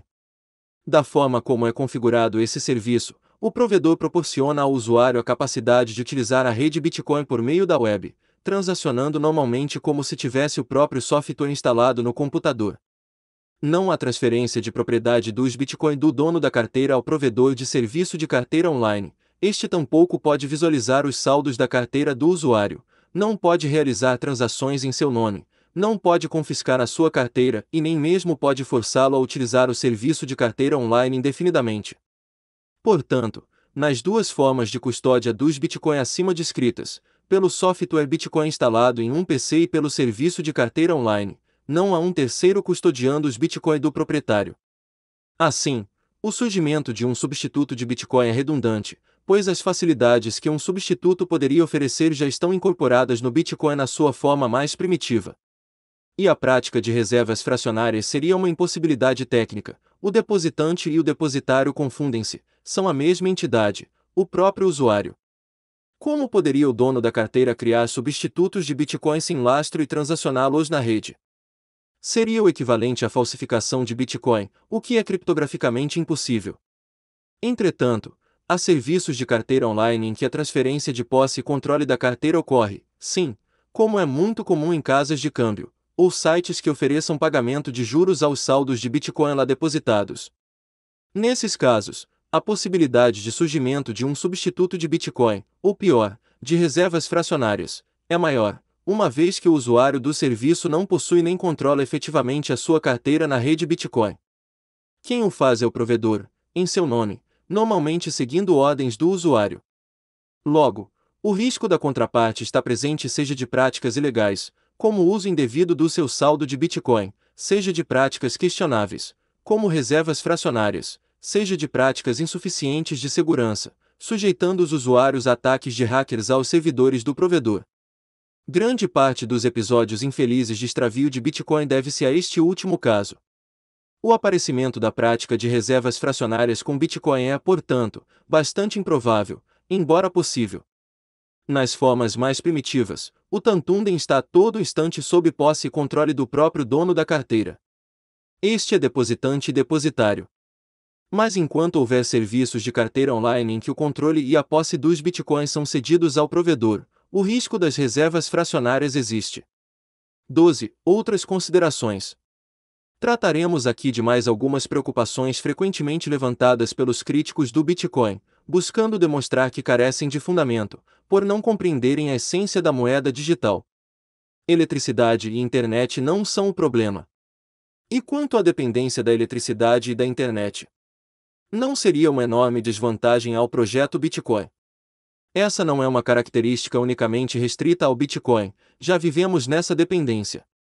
É impensável que nossa economia globalizada e interconectada, bem como o sistema bancário, possa seguir inabalada na falta de energia elétrica e internet.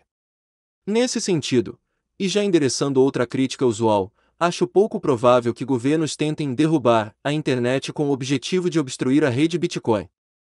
Aliás, considerando que governo nenhum até hoje logrou conter nenhuma rede BitTorrent, não me parece plausível esperar que conseguiriam causar danos irreparáveis ao maior projeto de computação distribuída do mundo. Sim, Bitcoin já ultrapassou o projeto SETI, Cert for Extraterrestrial Intelligence. Outros céticos argumentam que a rede poderia ser hackeada, corrompendo o algoritmo, alterando saldos em carteira e roubando ou falsificando Bitcoin. Essa preocupação, embora compreensível, deriva do desconhecimento acerca dos atributos da rede Bitcoin. Antes de qualquer coisa, é preciso enfatizar duas inerentes características da rede: a total abertura e a transparência do sistema. Ainda que o Bitcoin tenha sido criado por um indivíduo, ou grupo de indivíduos, com certos parâmetros e regras de funcionamento, o código-fonte é completamente aberto a qualquer um que queira verificá-lo, monitorá-lo e aprimorá-lo. Este último, com o consenso de toda a comunidade. Qualquer pessoa pode acompanhar em tempo real as transações recentes, a quantidade total de Bitcoin minerados, etc. Estaríamos sugerindo que a rede Bitcoin é a prova de falhas. É lógico que não. O Bitcoin não é perfeito, e é pouco provável que não sofra alguns solavancos ao longo do seu desenvolvimento e à medida que o seu uso seja ampliado. Ainda assim, é preciso destacar que não há registro algum de ataques à cadeia de blocos do sistema, blockchain. Sim, é verdade que alguns sites de casas de câmbio, por exemplo, foram hackeados e tiveram problemas de operação, mas isso não quer dizer que a moeda Bitcoin esteve sob ataque. A concorrência das altcoins, alternate coins. Da mesma forma, é preciso endereçar algumas das objeções mais complexas, especialmente aquelas lançadas por economistas e investidores com formidável domínio de teoria monetária. Doug Case, por exemplo, alega que uma das ameaças ao Bitcoin é que não há barreiras de entradas, dessa forma, qualquer um poderia lançar sua própria moeda digital no mercado. Acabaríamos tendo, assim, diversas moedas digitais, o que inviabilizaria que uma preponderasse e viesse a tornar-se um meio de troca universalmente aceito. Em tese, esse não é um problema exclusivo do Bitcoin. Em qualquer ambiente em que prevaleça a liberdade de escolha de moeda, qualquer um pode competir. No entanto, nessa competição, aquele meio de troca que tenha mais êxito em reduzir os custos de transação tende a sobressair-se como o mais utilizado pelos participantes. Com relação ao Bitcoin, por ter sido a primeira moeda digital, ele goza do privilégio do chamado efeito de rede Network Effect. Dentro do universo de moedas digitais, Bitcoin já é a mais utilizada e com mais aderentes, portanto, ainda que uma nova moeda possa superá-la em qualidade tecnológica, a barreira de convencer usuários de Bitcoin a trocar para um concorrente é bastante grande. Converter Bitcoin em dólar, eis a questão. Já Shostak alega que Bitcoin só funciona enquanto os indivíduos souberem que podem convertê-lo em moeda fiduciária. A priori, não podemos determinar se isso é verdade. Essa conclusão de Shostak deriva da falaciosa ideia de que o Bitcoin é nada menos que uma nova forma de empregar a moeda fiduciária existente. Mas se entendemos que a moeda digital é moeda propriamente dita, dinheiro de fato, perceberemos que os usuários, em realidade, podem utilizar Bitcoin não com o intuito de usá-los como uma mera ferramenta de meio de pagamento, mas sim para fugir, ou liberar-se, do sistema de moeda fiduciária. Uma vez dentro da rede Bitcoin, o objetivo é não ter que voltar às moedas locais. Sim, no momento ainda não estamos nesse estágio de evolução da rede, por causa da baixa liquidez e aceitação, mas à medida que se amplia a aceitação, não será sequer necessário fazer uso das moedas fiduciárias. Uma vez que ambos os produtores e consumidores aceitarão receber e pagar em Bitcoin, por que convertê-los em uma moeda fiduciária que perde poder de compra constantemente? 13. Revisitando a definição de moeda. Iniciamos este capítulo definindo os termos dinheiro e moeda como meio de troca universalmente aceito, segundo a própria definição de grande parte dos economistas da escola austríaca. Entretanto, e divergindo dessa definição, utilizamos a palavra moeda até o momento inclusive para qualificar o Bitcoin moeda digital, o que pode, com razão, suscitar questionamentos. A verdade é que a noção de moeda é vaga, é imprecisa. Especialmente no mundo moderno de moedas de papel puramente fiduciárias, a definição usual pode ser incapaz de, na prática, identificar o que seja moeda em dado tempo e lugar. Afinal de contas, moeda, hoje em dia, é o que o Estado estabelece como tal. Ao economista, a definição legal de moeda é insuficiente e precária para a investigação econômica. Mas diante da realidade, não podemos ignorar seus efeitos na economia.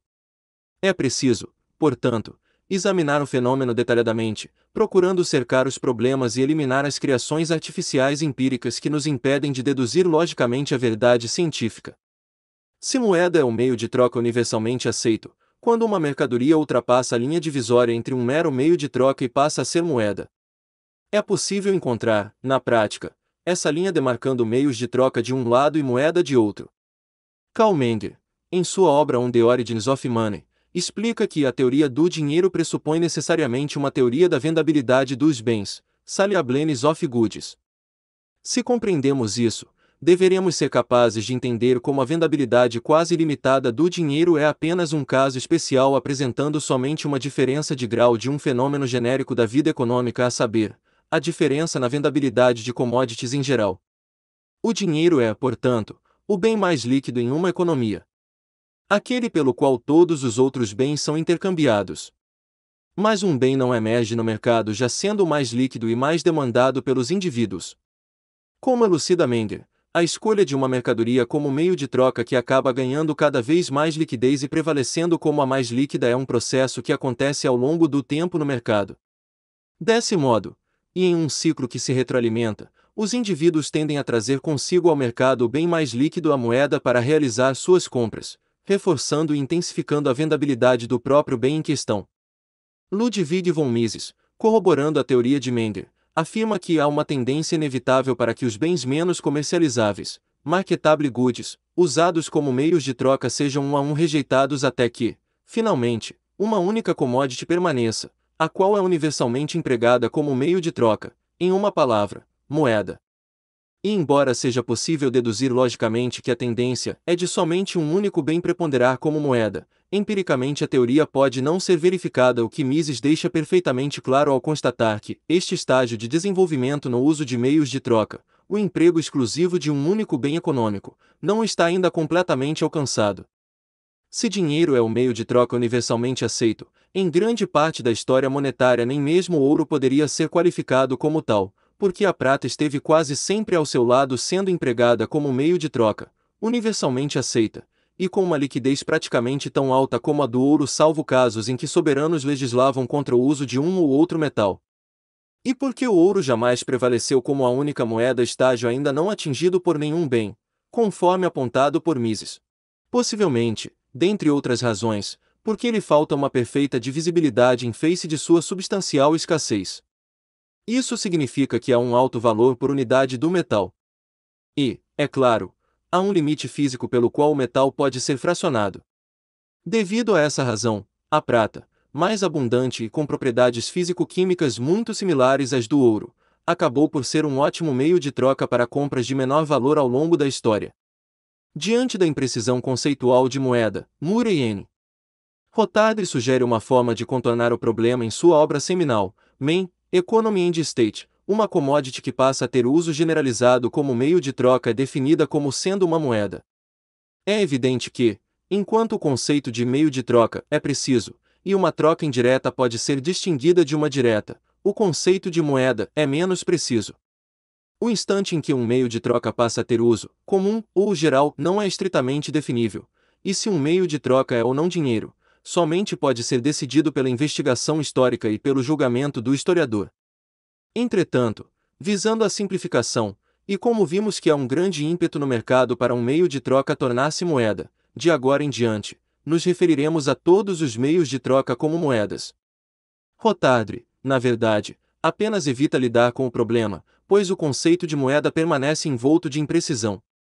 Levada ao extremo, essa definição simplificada pode conduzir-nos a conclusões claramente descabidas.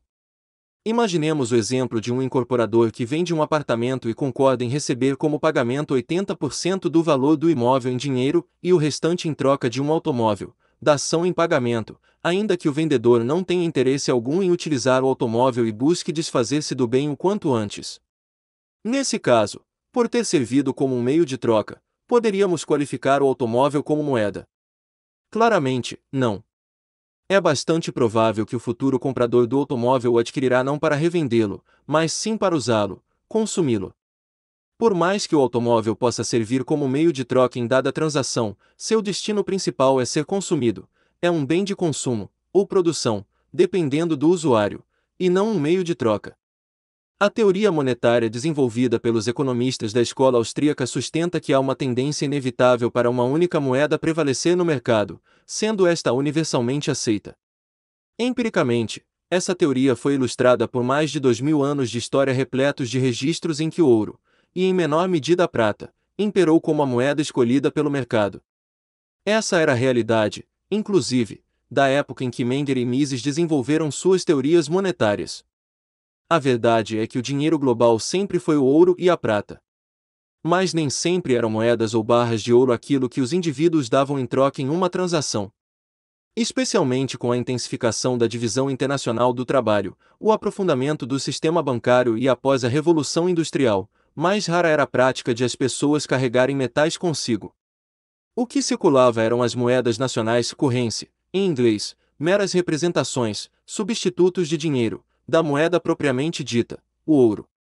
As moedas nacionais eram, historicamente, definições de massa do metal precioso, eram as unidades monetárias de cada Estado-nação. Na língua portuguesa, não temos uma tradução exata para corrência. Poderíamos traduzir como moeda corrente ou moeda nacional. Mas também se traduz simplesmente como moeda, da mesma forma que money. Posto que hoje em dia os termos realmente se confundem, é necessário ressaltar a distinção entre os dois. Uma moeda de ouro, dinheiro no sentido econômico do termo, pode receber diferentes denominações, dependendo do estado que a cunha. Tomemos o exemplo do Império Alemão. Tendo sido o Goldmark definido por lei a 2.790 marcos o quilo do ouro, no fim do século XIX, a moeda, peça metálica, de 5 Goldmark pesava aproximadamente 2 gramas e continha 1,8 grama de ouro. A corrência, a moeda nacional, era o marco alemão, o ouro, o dinheiro propriamente dito. A forma mais primitiva de depreciar a moeda consistia em misturar algum metal mais abundante e de inferior qualidade, diluindo o conteúdo do ouro, mas mantendo o peso e a denominação oficial, por ex, 5 marcos pesando 2 gramas. A corrência era assim desvalorizada. Valores maiores exigiam o uso de barras ou lingotes de ouro com maior massa e de difícil transporte, tarefa facilitada pelas cédulas de papel emitidas pelos governos e ou bancos centrais. Assim, a moeda nacional era impressa em uma cédula com certa denominação, por ex, a nota de 100 marcos no final do século XIX, equivalente a 36 gramas de ouro, a qual representava uma quantidade específica do metal precioso, podendo ser resgatada em espécie quando assim solicitado pelo portador a algum banco depositário. A moeda nacional, corrência, assim, era separada da moeda propriamente dita, o ouro. A moeda nacional era uma representação do metal que poderia ser convertida em ouro quando demandado pelo proprietário da cédula de papel. Isso nada mais é do que a definição do padrão ouro clássico, a paridade do ouro era promulgada em lei, e a moeda nacional circulava e era aceita independentemente de qualquer lei de curso forçado, pois a corrência era resgatável em ouro, e os bancos centrais de fato obedeciam à lei. Até o início da Primeira Guerra Mundial, Essa era a ordem monetária do Ocidente.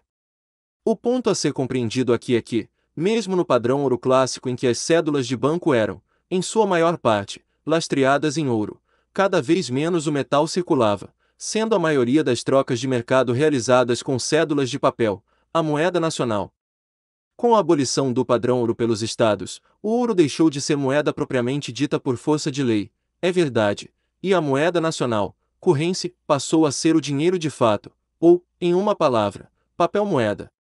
Por essa razão, os termos ingleses money e currency são hoje sinônimos, embora historicamente seja possível observar a distinção entre os dois. Quando esse processo de remoção do vínculo ao ouro estava se desenrolando, a maioria dos economistas encarava a realidade como uma condição de total anomalia monetária. Como os cidadãos transacionariam com uma moeda nacional inconversível? A moeda de fato, o ouro, estava sendo proibida. Tendo a moeda se transformado em papel moeda sem lastro, como classificá-la segundo a teoria monetária? O dólar americano seria a moeda. E francos suíços? Especialmente em cidades e mercados fronteiriços, onde duas ou mais moedas nacionais costumam circular, como determinar qual papel moeda é ou não dinheiro? Todavia seja uma situação anomala, o fato é que vivemos em um mundo onde o papel moeda é a moeda propriamente dita, e ouro, que foi moeda ao longo de milênios, foi relegado ao posto de ativo financeiro e reserva de valor, mas com pouquíssimo uso como meio de troca. No mundo de Mender e Mises, ouro era moeda global. Atualmente, temos quase 200 moedas nacionais sem qualquer lastro material circulando em diversas jurisdições. Se moeda é o meio de troca universalmente aceito, hoje o que é moeda no sentido estritamente econômico do termo? De acordo com essa definição, não há uma clara distinção entre o que é ou não moeda, ainda que a lei estabeleça claramente o que é moeda em cada jurisdição. O que encontramos é, ao contrário, um contínuo em que objetos com vários graus de liquidez, ou com valores que podem oscilar independentemente, se confundem um com o outro quanto ao grau em que funcionam como dinheiro. Em um mundo com dezenas de papéis moedas circulando, essa é incontestável realidade. Vivendo intensamente os primeiros anos de moedas nacionais puramente fiduciárias e inconversíveis a partir de 1971 com o fim da conversibilidade do dólar em ouro, F. A. Hayek percebeu nitidamente essa imprecisão na definição de moeda.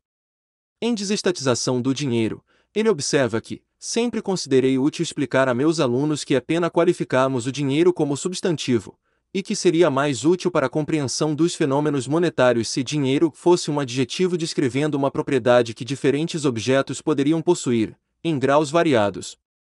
Moeda corrente e corrência é, por esse motivo, uma expressão mais adequada, uma vez que objetos podem ter curso, have corrência, em graus variáveis, e em diferentes regiões ou setores da população. Moeda, então, é mais bem entendida como uma qualidade de uma mercadoria de servir como um meio de troca, como um bem que é intercambiado no mercado e circula de mão em mão sem jamais, ou por um longo período, ser consumido de fato. Tal qualidade é potencializada ou debilitada por atributos variados intrínsecos a uma mercadoria escassez, durabilidade, homogeneidade espacial e temporal, divisibilidade, maleabilidade, transportabilidade, etc., e atributos artificiais, conferidos por influências externas e estrangeiras à natureza da mercadoria, leis estatais de curso forçado, restrições legais de uso, etc. O conjunto desses atributos, endógenos e exógenos, impacta diretamente na qualidade monetária de uma mercadoria. E embora, a priori, pressupõe-se que qualquer mercadoria poderia ser empregada como meio de troca, há uma tendência inevitável de sobressaírem-se os bens que apresentarem os melhores atributos elencados acima.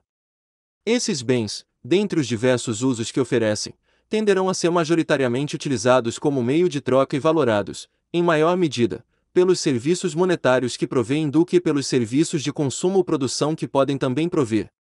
Logo, diferentes bens monetários podem se diferenciar uns dos outros em duas dimensões distintas e ora relacionadas: liquidez, aceitação, e estabilidade, volatilidade ou expectativa de valor. Em certa região e em dado momento, diferentes bens monetários podem ser empregados com graus distintos de liquidez e estabilidade, sendo possível que, na mesma região, em outras épocas, distintos bens circulem como meio de troca, ou, até mesmo, noutras regiões, mas na mesma época, ainda outros bens possam ser utilizados como meio de troca. Diante do exposto acima, definir moeda, ou dinheiro, como meio de troca universalmente aceito pode tornar o substantivo uma teoria inalcançável na prática, sendo jamais verificada empiricamente. Em virtude disso, há duas alternativas. Primeiro, nos atermos a essa definição comumente aceita, sendo obrigados, então, a matizar o conceito sempre que o empregarmos para estudar os fenômenos monetários da realidade qual o meio de troca mais líquido, em certo país, no dia de hoje. Ainda que plenamente possível, adotando essa postura permaneceremos com esse nível de imprecisão, dependendo substancialmente da investigação histórica e do julgamento do historiador a cada instante. Por essas razões, acreditamos ser apropriada uma segunda alternativa, propomos um refinamento na definição de moeda, visando remover o máximo possível de imprecisões remanescentes. Em vez de definirmos moeda como meio de troca universalmente aceito, talvez o mais razoável seja a seguinte forma: moeda é qualquer bem econômico empregado indefinidamente como meio de troca, independentemente de sua liquidez frente a outros bens monetários e de seus possíveis usos alternativos. Ressalte-se, sobretudo, que há uma tendência inevitável a que somente uma moeda prevaleça no mercado, sendo ela então a mais líquida, ou, até mesmo, a única moeda admitindo que, na prática, uma única moeda seja algo que, talvez, jamais será alcançado.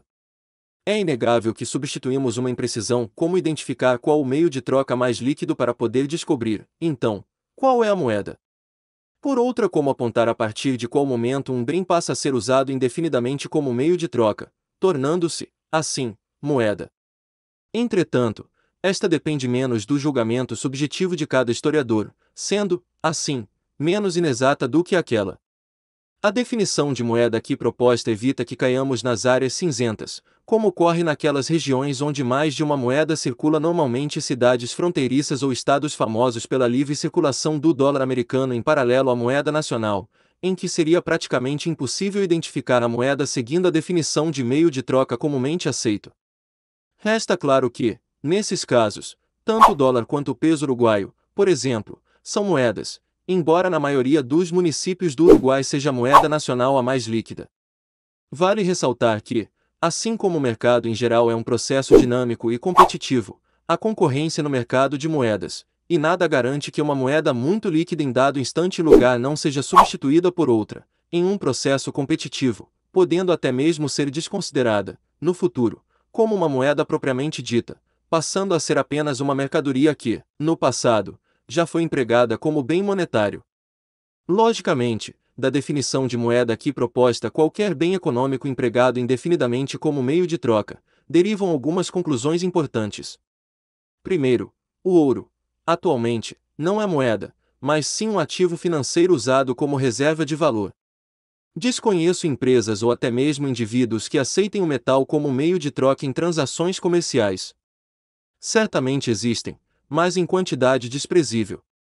Hoje em dia, o proprietário de uma barra de ouro dificilmente conseguirá usá-la como meio de troca, deverá, na realidade, converter o ouro em alguma moeda, dólar, euros, reais, etc., com grande dificuldade, dependendo da região e da forma do ouro em posse, para então poder comprar algo com moeda de fato. O ouro seria mais bem enquadrado na definição misesiana de moeda secundária, em que um bem altamente líquido precisa ser convertido em moeda antes de ser usado em alguma troca. Segundo, e por fim, seria o Bitcoin uma moeda? Sim, pois já existem diversas empresas e indivíduos transacionando com Bitcoin mundo afora, com distintos graus de liquidez dependendo da região. Vale destacar que o número dos que com a moeda digital transacionam tem crescido constantemente.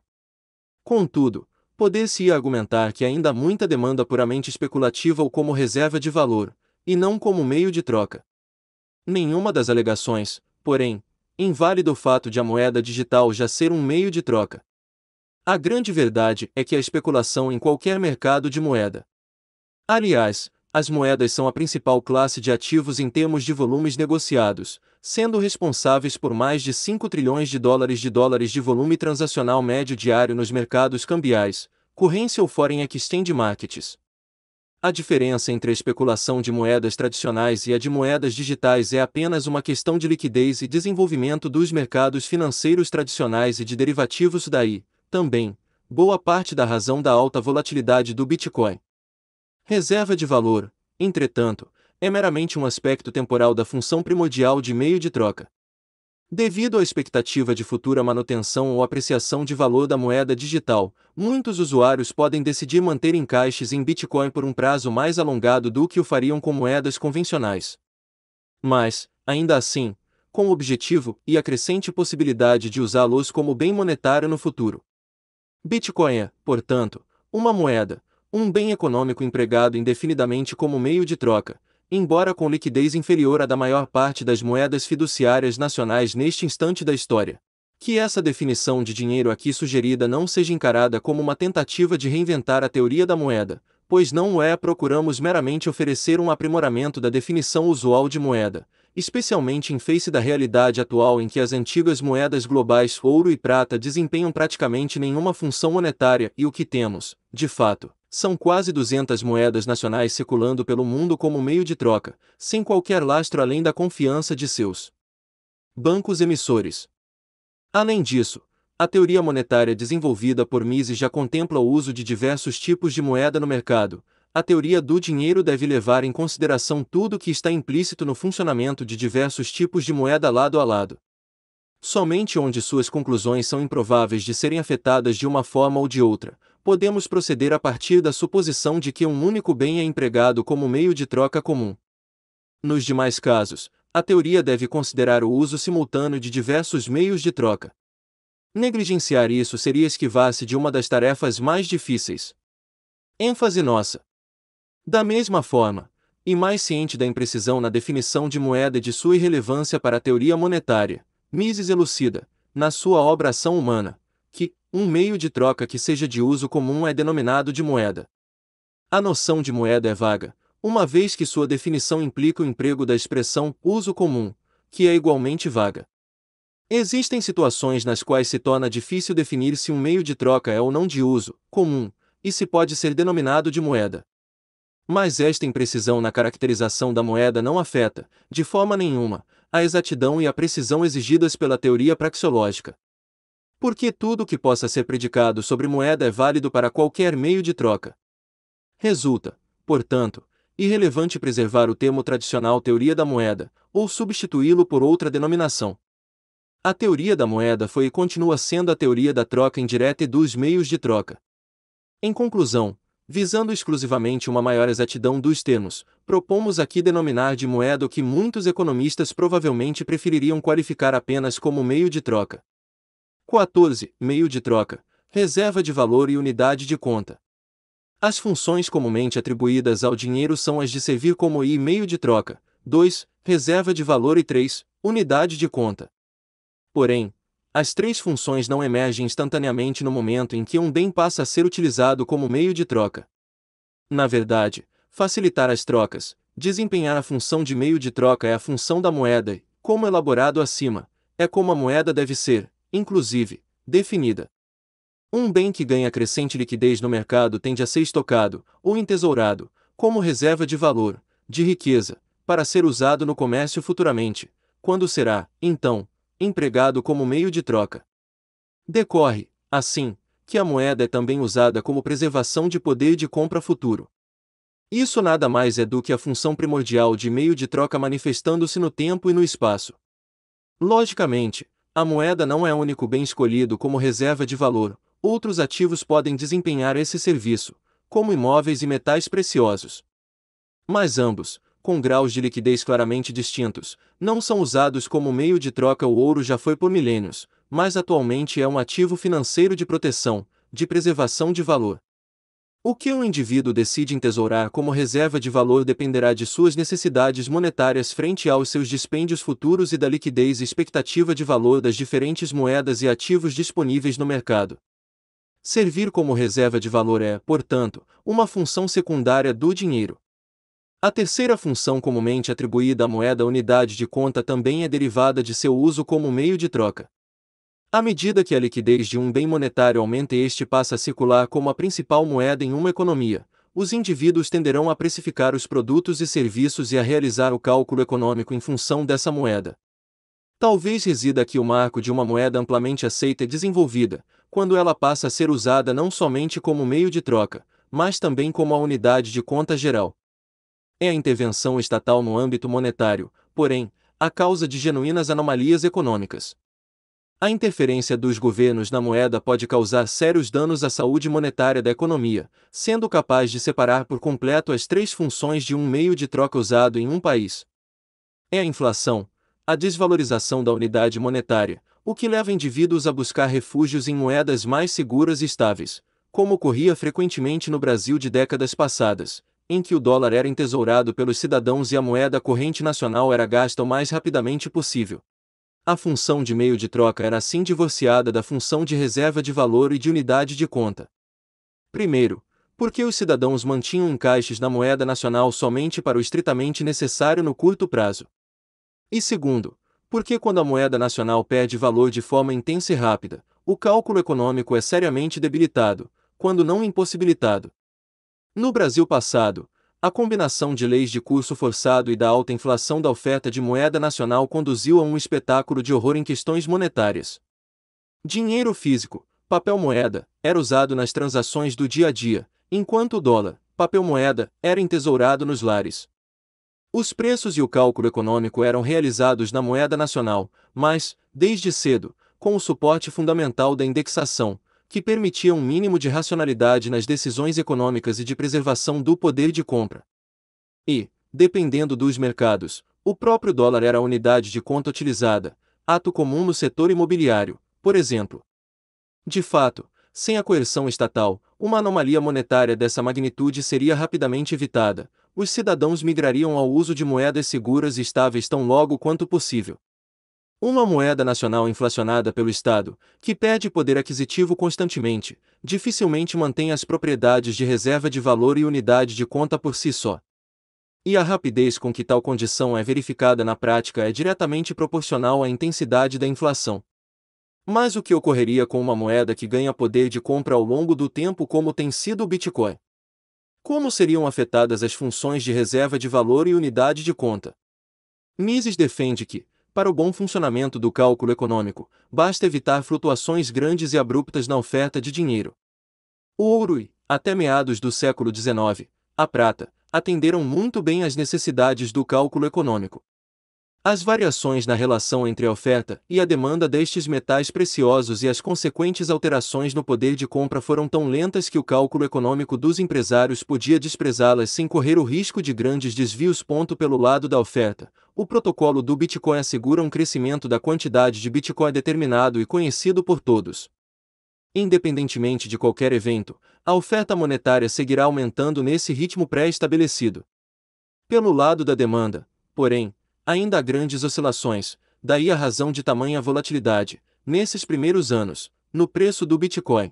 E, por isso, a precificação dos bens e serviços adquiridos por Bitcoin permanecem sendo efetuadas na moeda corrente.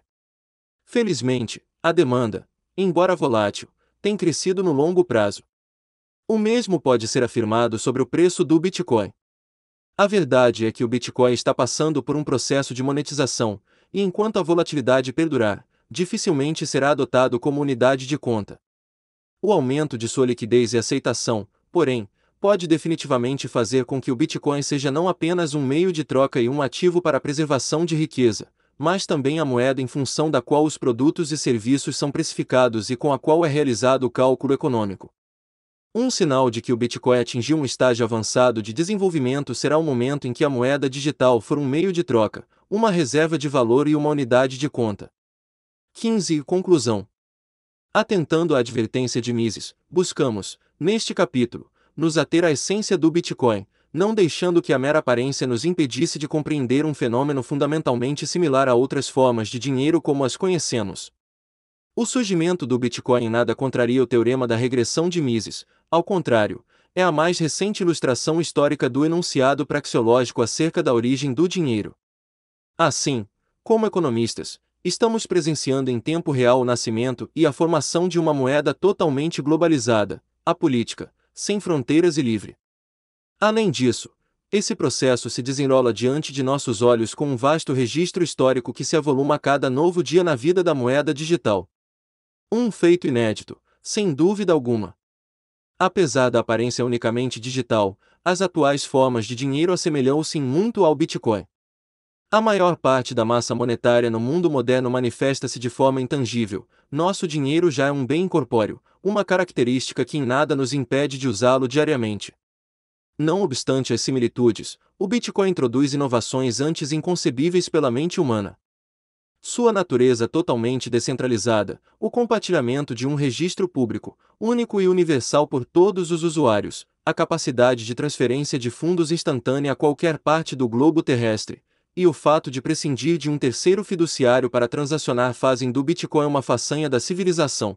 Além do mais, tais atributos fazem com que o Bitcoin, como sistema monetário, incorpore as principais qualidades das formas de moedas existentes, como a escassez relativa do ouro e a transportabilidade do papel moeda, aperfeiçoando suas principais fraquezas, como a dificuldade de transportar e estocar metais preciosos ou a ilimitada produção de papel moeda. Bitcoin é, simplesmente, uma forma de dinheiro superior a todas as demais. Como moeda, poderá o Bitcoin ampliar sua liquidez e sua relevância no comércio internacional.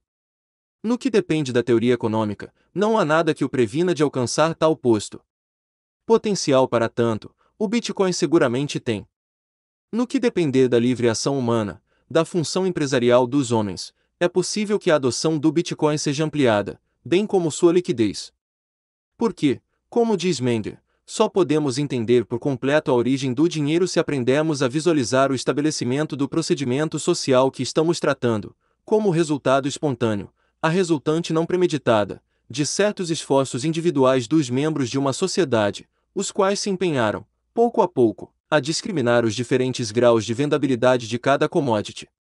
E, além de discriminar dentre as mercadorias que apresentavam a maior liquidez, a criatividade humana, identificando propriedades que tornariam um bem um melhor meio de troca, sempre tratou de aperfeiçoar tais mercadorias de modo a aumentar a liquidez de um bem já bastante comercializável. Exatamente com esse intuito, cunhavam-se barras ou moedas de ouro, porque transacionar com ouro em sua forma bruta seria muito complicado, impedindo uma maior aceitação no mercado. Estamos testemunhando esse mesmo processo com o Bitcoin. As ações espontâneas de alguns membros da sociedade criaram uma forma de moeda inovadora e superior à que hoje conhecemos. É plausível, portanto, vislumbrar a intensificação desse processo, em que o dinamismo do mercado e a inata criatividade do ser humano descobrirão formas de aumentar a liquidez do Bitcoin. Assim como ouro e prata são consideradas moedas naturais, cuja emersão como meio de troca geralmente usado foi um processo espontâneo do livre atuar dos indivíduos no mercado, podemos, igualmente, definir o Bitcoin como uma moeda natural, que passa a ser usada pela cooperação voluntária dos membros de uma sociedade, provendo apoio mútuo sem qualquer violação dos direitos de propriedade de outrem. A miúde, estados solaparão as moedas naturais em benefício próprio. Mas a natureza descentralizada da moeda digital impõe um revés ao ímpeto intervencionista estatal. Com certeza, é um ponto de inflexão na história monetária mundial, cujos desdobramentos só podemos especular. Capítulo 5 A liberdade monetária e o Bitcoin. A moeda não foi gerada pela lei. Na sua origem, ela é uma instituição social, não estatal. Carl Menger, On the Origins of Money, dinheiro é um fenômeno do mercado. O que isso significa? Significa que o dinheiro desenvolveu-se no mercado, e seu desenvolvimento e funcionamento não tem nada a ver com o governo, o Estado ou a violência exercida pelos governos. Ludwig von Mises, um Money Inflation, não poderia haver um freio melhor contra o abuso da moeda pelo governo do que se as pessoas fossem livres para recusar qualquer moeda que desconfiassem e preferir uma moeda na qual confiam, Parece-me que se conseguíssemos impedir governos de se intrometer com a moeda, faríamos um bem maior do que qualquer governo já fez a esse respeito.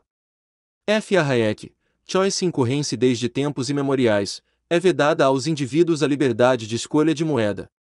Somos obrigados a usar um dinheiro estatal, constantemente abusado e depreciado. Não obstante, moeda honesta e sadia é uma precondição básica para uma sociedade próspera e livre. Mas alcançar esse ideal pela via política é algo bastante intricado. Nesta última sessão, faz-se necessário entender o valor de uma moeda livre para a prosperidade e liberdade de cada indivíduo e da sociedade como um todo. E, uma vez compreendida a noção de dinheiro livre, recordaremos sucintamente algumas das diversas tentativas e propostas de reformas do sistema monetário ao longo da história, identificando as principais causas dos seguidos malogros.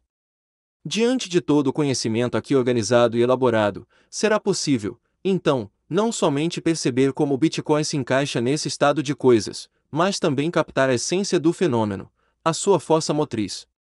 Por fim, e concluindo a obra, nos lançaremos à arriscada missão de conjecturar e prever o futuro da moeda digital. 1. A importância da liberdade monetária para uma sociedade próspera e livre. O senso comum costuma atribuir ao dinheiro a causa de todos os males. Em realidade, sem o dinheiro, a sociedade como hoje existe seria inconcebível. Dinheiro é um meio de troca, é o grande facilitador dos intercâmbios realizados no mercado. É ele que permite a divisão do trabalho, possibilitando que cada produtor se especialize naquilo que melhor produz. O aprofundamento da divisão do trabalho aumenta a produtividade da economia e a capacidade de poupança, que, por sua vez, viabilizam o investimento e o acúmulo de capital. A constante multiplicação do capital acumulado significa que a economia cresce e prospera e que, assim, a sociedade cria riqueza e é capaz de melhorar o padrão de vida dos seus cidadãos. Dinheiro não é um mal, é, na verdade, o bem fundamental em qualquer economia minimamente complexa.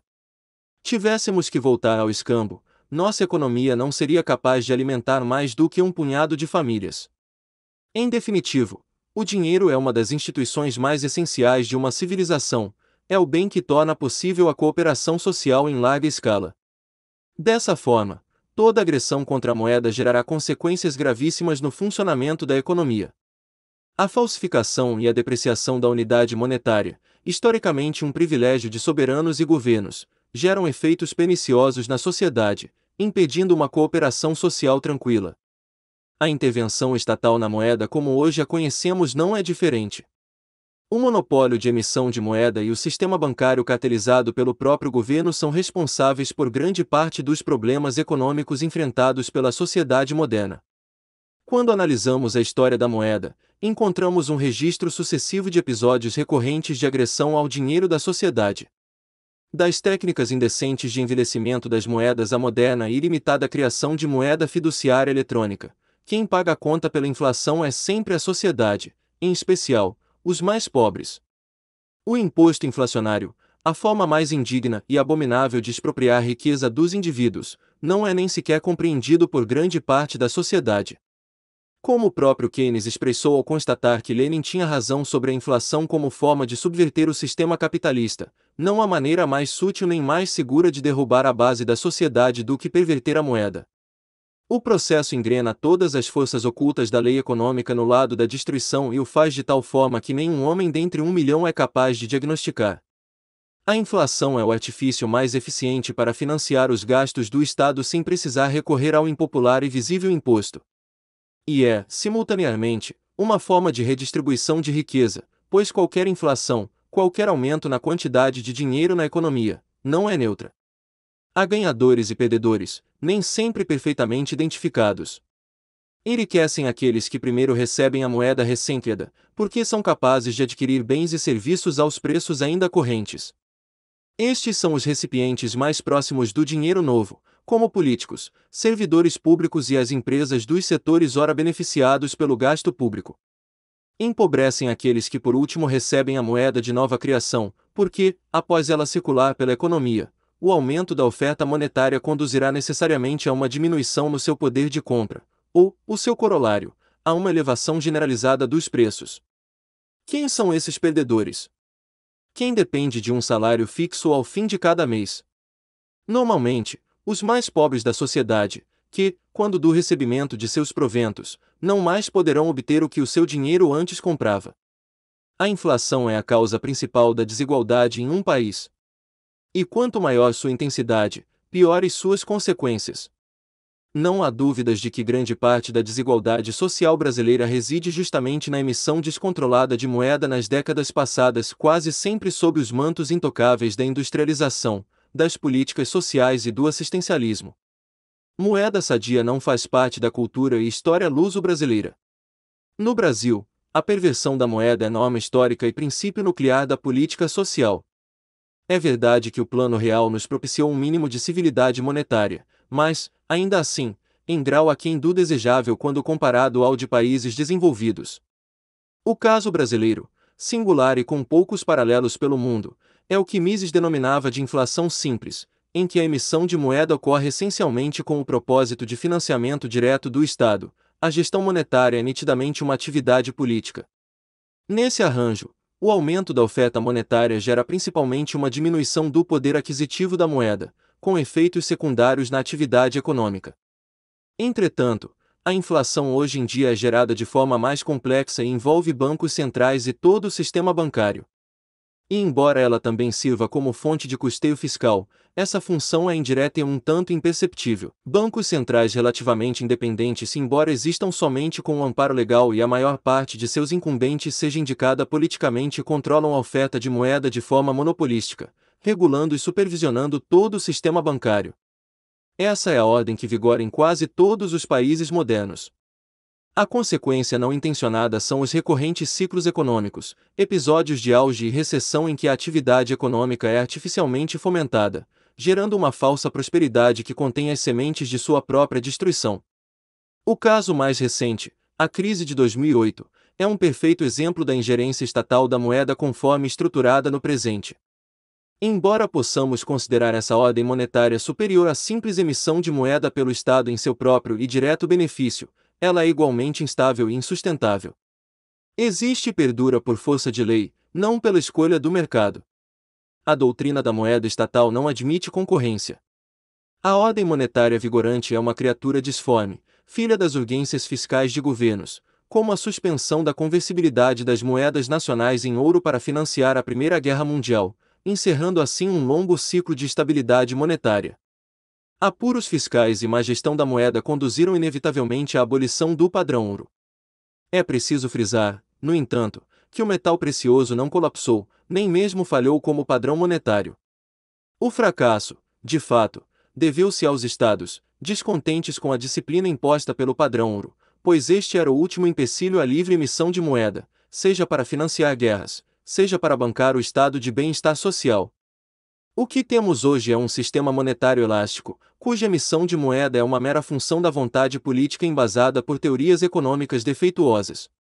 O peso dos estados modernos na economia é uma realidade preocupante, e sua sobrevida é facilitada pelo controle monopolístico da moeda.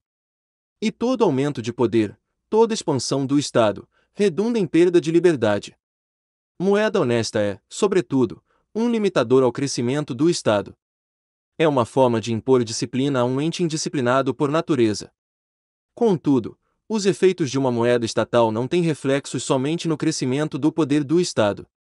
A inflação molda o comportamento dos indivíduos, provocando distúrbios na cooperação social, deixando marcas na cultura e na conduta humana em sociedade que seguem presentes por gerações. Governo hipercentralizado, ciclos de auge e recessão, o julgo da dívida à poupança é suplantada pelo crédito como motor de crescimento, a especulação financeira desenfreada, a desconfiança entre consumidores e produtores, etc., são alguns traços do legado cultural e espiritual da inflação monetária. Moeda honesta é, portanto, o ideal ao qual todo defensor da liberdade deveria aspirar. A raiz de todos os males não é o dinheiro, é, na verdade, a inflação, cuja semente germina no controle estatal da moeda. Liberdade monetária significa liberdade de escolha de moeda, significa também liberdade de produção de moeda em um ambiente de livre concorrência.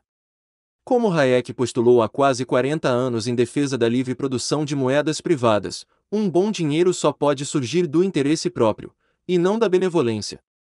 Sempre tivemos moeda ruim porque a empresa privada não teve permissão de nos fornecer uma melhor. 2. As propostas de reformas pelos liberais. Desde a tradição iniciada por Ludwig von Mises, todo economista da escola austríaca de economia buscou estudar como reformar o sistema monetário vigente.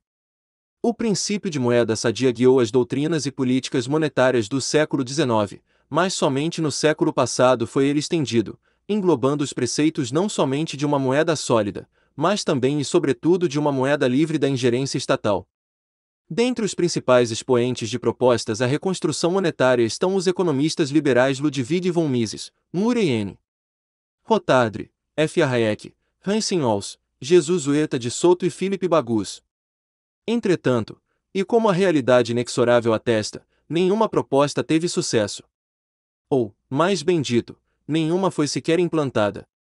Embora todas defendam o princípio de moeda sólida como fim, as propostas pecam nos meios para atingir esse ideal. Igualmente, cada uma tem suas vantagens e desvantagens, pontos meritórios, medidas intervencionistas, arbitrariedades, etc. Mas todas convergem ao mesmo problema central, para serem implantadas, dependem da decisão política. Estão subordinadas à promulgação e aplicação de leis. Nem mesmo a ideia de reforma mais radical, a de Button Pushing de Philip Bagus, escapa desse ponto nevrálgico. Em suma, são todas politicamente inviáveis. Isso não significa que sejam politicamente impossíveis, meramente que, neste instante do tempo, alcançar esse objetivo pela via política é altamente improvável. E por que é altamente improvável? Primeiro, porque uma reforma monetária e bancária liberal afronta quem mais se beneficia do status quo, o governo e os bancos.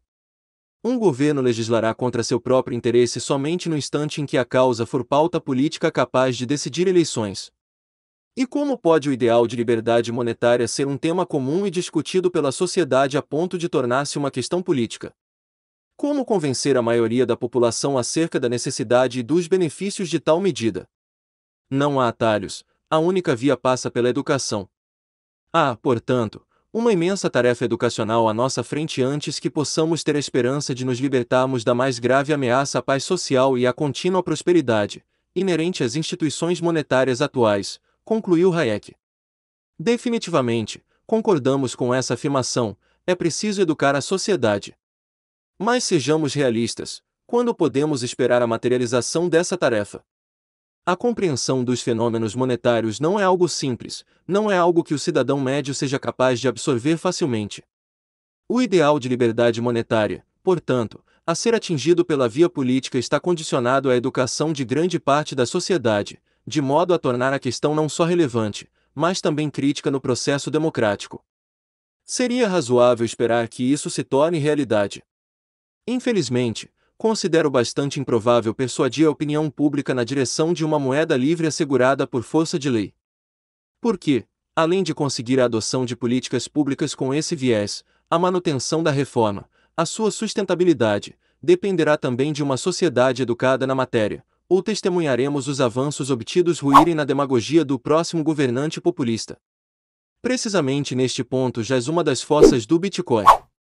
Ao invés de implorar pelo respaldo legal, ele o contorna. Ao invés de pedir permissão para operar, ele simplesmente existe. O Bitcoin não é uma criatura do Estado, é uma invenção e evolução do mercado que independe do consentimento do poder público. É claro que as decisões políticas podem influenciar a conduta dos indivíduos e das empresas, mas aquelas, por si só, são incapazes de coibir o livre funcionamento da moeda digital. Anular o poder proibidor dos governos é algo inédito na história da humanidade. 3. Bitcoin contra a tirania monetária. A moeda digital criada por Satoshi Nakamoto proporciona enormes vantagens comparativas em relação às demais moedas fiduciárias. Mas Bitcoin não é apenas uma forma de realizar transações globais com baixo ou nenhum custo. Bitcoin é, em realidade, uma forma de impedir a tirania monetária. Essa é a sua verdadeira razão de ser. O entorno do surgimento da moeda digital não foi nenhuma coincidência. Bitcoin emergiu como uma resposta natural ao colapso da atual ordem monetária, à constante redução de privacidade financeira e a uma arquitetura bancária cada vez mais prejudicial ao cidadão comum. Governos não podem inflacionar Bitcoin. Governos não podem apropriar-se da rede Bitcoin. Governos tampouco podem corromper ou desvalorizar Bitcoin. E também não podem proibir-nos de enviar Bitcoin a um comerciante no Maranhão ou no Tibete. Imaginem um mundo sem inflação, sem bancos centrais desvalorizando seu dinheiro para financiar a esbórnia fiscal dos governantes. Sem confisco de poupança. Sem manipulação da taxa de juros sem controle de capitais. Sem banqueiros centrais deificados e capazes de dobrar a base monetária a esmo e a qualquer instante para salvar banqueiros ineptos que se apropriaram dos seus depósitos em aventuras privadas. A verdade é que o Bitcoin, ou o que vier a substituí-lo no futuro, impõe uma verdadeira concorrência contra o cartel dos banqueiros e a moeda dos governos. Por isso, não esperemos nenhuma boa vontade dessa dupla simbiótica em relação ao Bitcoin. A internet nos permitiu a liberdade de comunicação. O Bitcoin tem o potencial de devolver nossa liberdade sobre nossas próprias finanças. Bitcoin é a internet aplicada ao dinheiro. Como o próprio Satoshi Nakamoto expressou em certa ocasião, o problema básico com a moeda convencional é toda a confiança necessária para fazê-la funcionar. Precisamos confiar que o Banco Central não desvalorizará o dinheiro, mas a história das moedas fiduciárias está repleta de quebras dessa confiança. Bancos têm a obrigação de guardar nosso dinheiro e transferi-lo eletronicamente, mas eles o emprestam em ondas de bolhas de crédito com uma mera fração em reserva. Temos que confiar-lhes com nossa privacidade, confiar que não deixarão ladrões de identidade drenar nossas contas. O Bitcoin dispensa a dependência de intermediários fiduciários que historicamente violaram os direitos de seus clientes. Ele impede a tirania monetária, tornando-a praticamente impossível. Para qualquer defensor da liberdade, é um feito louvável, para cidadãos de regimes autoritários, é uma necessidade imprescindível. Em definitivo, qualquer nação com histórico recorrente de agressões contra a moeda será muito beneficiada pelo uso do Bitcoin. Os brasileiros, por exemplo, tão calejados por diversos planos econômicos malfadados, têm muito a ganhar com uma moeda que os protege genuinamente das arbitrariedades de governos que, ao longo da história, abusaram do poder, infringindo impiedosamente os direitos de propriedade de seus cidadãos. A história da humanidade é um atestado de uma triste verdade: nenhum sistema político foi capaz de conter os abusos de governos no âmbito monetário. Bitcoin nasce, assim, como uma alternativa necessária, porque quando as constituições e a separação dos poderes são incapazes de assegurar uma moeda inviolável, a tecnologia se encarrega de fazê-lo. A separação do Estado e da moeda será uma questão tecnológica, não política. 4. O futuro do Bitcoin. Embora possa parecer que haja uma dicotomia entre o Bitcoin e as moedas fiduciárias, em realidade, é preciso enxergar o Bitcoin não como mutuamente excludente, mas sim como complementário às formas de dinheiro até hoje existentes. É verdade que não podemos saber se o Bitcoin irá perdurar. Não sabemos se sobreviverá outro ano, ou uma década. Mas arrisco dizer que uma moeda digital, ou criptomoeda, veio para ficar. O preço do Bitcoin pode até colapsar, e os usuários podem repentinamente migrar para outra moeda, escreveu a revista britânica The Economist em artigo sobre o Bitcoin, mas há grande probabilidade de que alguma forma de dinheiro digital deixará uma marca duradoura no ambiente financeiro. Há inúmeras vantagens que fazem de uma moeda digital um excelente complemento no meio financeiro. No seu atual estágio, o Bitcoin já representa uma substancial redução nos custos de transação. Portanto, independentemente da sua liquidez futura, ele já atua como um meio de troca, já é uma moeda, embora menos líquida do que as moedas nacionais. Dessa forma, poderíamos até considerá-lo precursor de uma nova classe de ativos, a das moedas digitais. Apesar de ser uma tecnologia inovadora com potencial de trazer inúmeros benefícios à sociedade, ainda há importantes barreiras a serem ultrapassadas. Especialmente no âmbito legal e regulatório, ainda há enormes incertezas quanto à ação dos governos diante do crescimento do Bitcoin. Muitos adeptos da moeda digital clamam pela legitimidade legal, sob a justificativa de que ela é necessária para o seu desenvolvimento. É verdade que logo as autoridades terão de se pronunciar, pois a ampliação do uso do Bitcoin obrigará os governos a esclarecerem de que forma as transações com a moeda serão tributadas. Contudo, não devemos esperar aplausos de algum órgão regulador, nem apoio ou qualquer atitude efusiva oriunda do setor público em relação às moedas digitais. Afinal de contas, como guardiões da moeda e da estabilidade financeira, bancos centrais e reguladores têm por ofício a incumbência de gritar fogo ao menor sinal de perigo. Além disso, no momento em que o Bitcoin for percebido como um concorrente genuíno à moeda estatal e ao sistema bancário, o tratamento legal dado a ele poderá ser bastante negativo. Embora a necessidade de legitimidade legal possa ser questionada, não há dúvidas de que a legitimidade de mercado é fundamental ao avanço e desenvolvimento do Bitcoin. Como os indivíduos, as empresas e o comércio em geral percebem a moeda e será fator decisivo no progresso e na ampliação de seu uso. Por essa razão, é notável o fato de grandes empresas passarem a aceitar o Bitcoin por questões mercadológicas, e não apenas como uma mera tática de marketing. O ano de 2014 será, possivelmente, repleto de notícias de novas empresas, novos comerciantes e afins adotando o Bitcoin como uma nova forma de pagamento. Arrisco dizer que o preço ficará em segundo plano.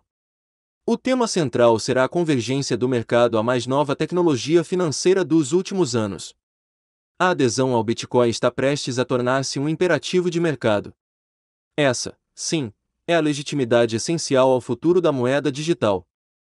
Mas, sem dúvida alguma, essa nova moeda enfrentará obstáculos ao longo do percurso. Haverá volatilidade, possíveis bolhas e quedas, casas de câmbio serão fechadas, outras quebrarão, e novas formas de usar a moeda surgirão. O livre mercado certamente saberá contornar os percalços e progredir. A inata capacidade criativa do ser humano é o motor do progresso, e nela reside meu otimismo em relação ao futuro do Bitcoin.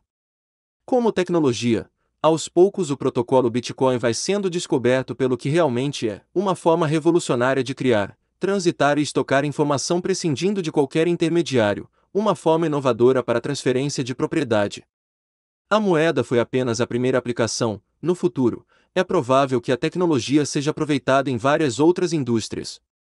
Por fim, e voltando ao Bitcoin como uma nova forma de dinheiro, deixo uma sugestão aos economistas: estudem a moeda digital a fundo. Não a desmereçam pela simples aparência virtual.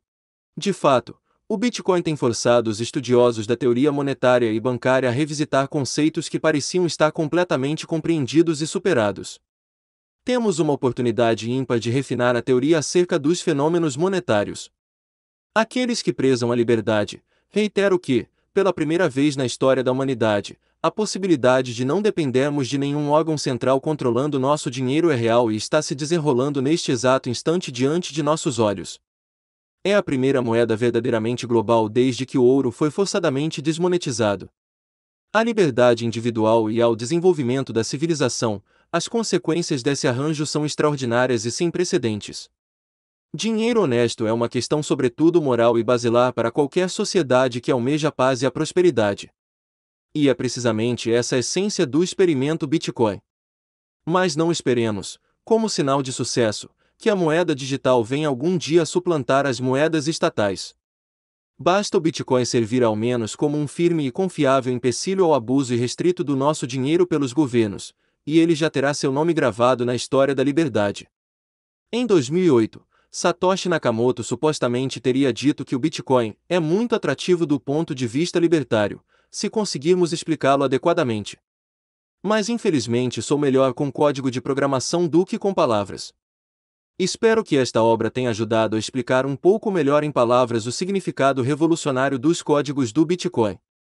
Apêndice 10 formas de explicar o que é o Bitcoin. Para aqueles que desejam uma rápida fonte de referência para explicar o que é o Bitcoin, este breve texto será de muita utilidade. Porque, à primeira vista, entender o que é Bitcoin não é uma tarefa fácil. A tecnologia é tão inovadora, abarca tantos conceitos de distintos campos do conhecimento humano e, além disso, rompe inúmeros paradigmas que explicar o fenômeno pode ser uma missão ingrata. Acredito que iniciar qualquer explicação com criptografia, rede peer-to-peer, chave pública, mineração em computador, consenso distribuído, etc. é, em geral, um péssimo começo. Mas depende muito do seu interlocutor, é claro. Explicar o que é Bitcoin é um processo gradual e progressivo. Você não começa detalhando todas as nuances do protocolo e como a criptografia moderna é empregada em uma rede de computadores totalmente distribuída. Não. Você deve iniciar do básico. E, preferencialmente, deve procurar explicá-lo relacionando-o com a realidade de cada pessoa. Curiosamente, o Bitcoin reúne duas instituições que poucos sabem descrever e interpretar, mas muitos as usam diariamente: o dinheiro e a internet. É como Nassim Taleb afirma em seu livro Antifragile, o conhecimento não exclui o uso. Dito isso, e sendo o Bitcoin uma tecnologia nascente e inovadora, muitos querem entendê-lo, para poder usá-lo. Absolutamente compreensível. Assim, não nos esquivaremos da missão de desvendá-lo. O que se segue são meras sugestões para iniciar a explicação do Bitcoin, pois além deste passo introdutório acabaríamos enredados em detalhes desimportantes para muitos, neste caso, melhor ler todo o livro de uma vez. Considerando os possíveis e distintos interlocutores, elenquei abaixo alguns importantes, aos quais recomendo as seguintes explicações quando você apresentar o Bitcoin. Ao cidadão comum, Bitcoin é uma forma de dinheiro, assim como o real, dólar ou euro, com a diferença de ser puramente digital e não ser emitido por nenhum governo. O seu valor é determinado livremente pelos indivíduos no mercado. Para transações online, é a forma ideal de pagamento, pois é rápido, barato e seguro. É uma tecnologia inovadora. A geração Y. Você lembra como a internet e o e-mail revolucionaram a comunicação?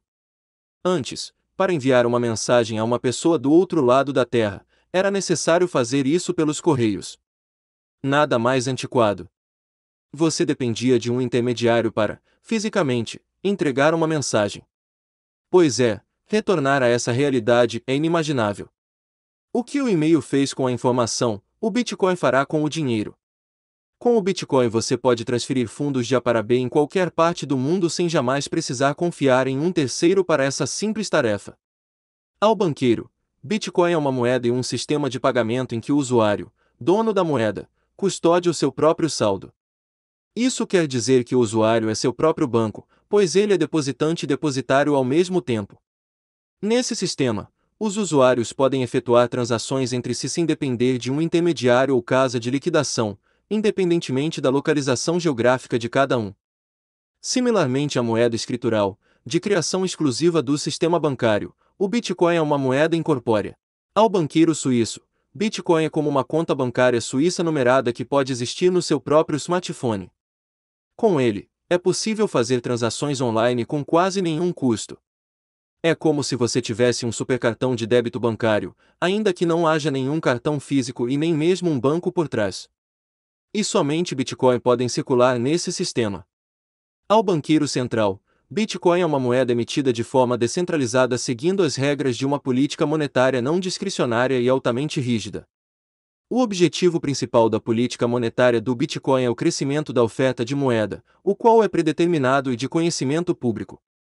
Além disso, o Bitcoin é, ao mesmo tempo, uma unidade monetária e um sistema de pagamentos e de liquidação.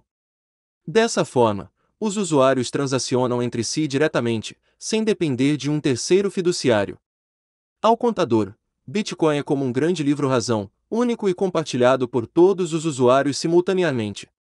Nele, todas as transações são registradas, sendo verificadas e validadas por usuários especializados, de modo a evitar o gasto duplo e que usuários gastem saldos que não possuem ou de terceiros. Esse registro público universal e único não pode ser forjado. Lá estão devidamente protocoladas todas as transações já realizadas na história do Bitcoin, bem como os saldos atualizados de cada usuário.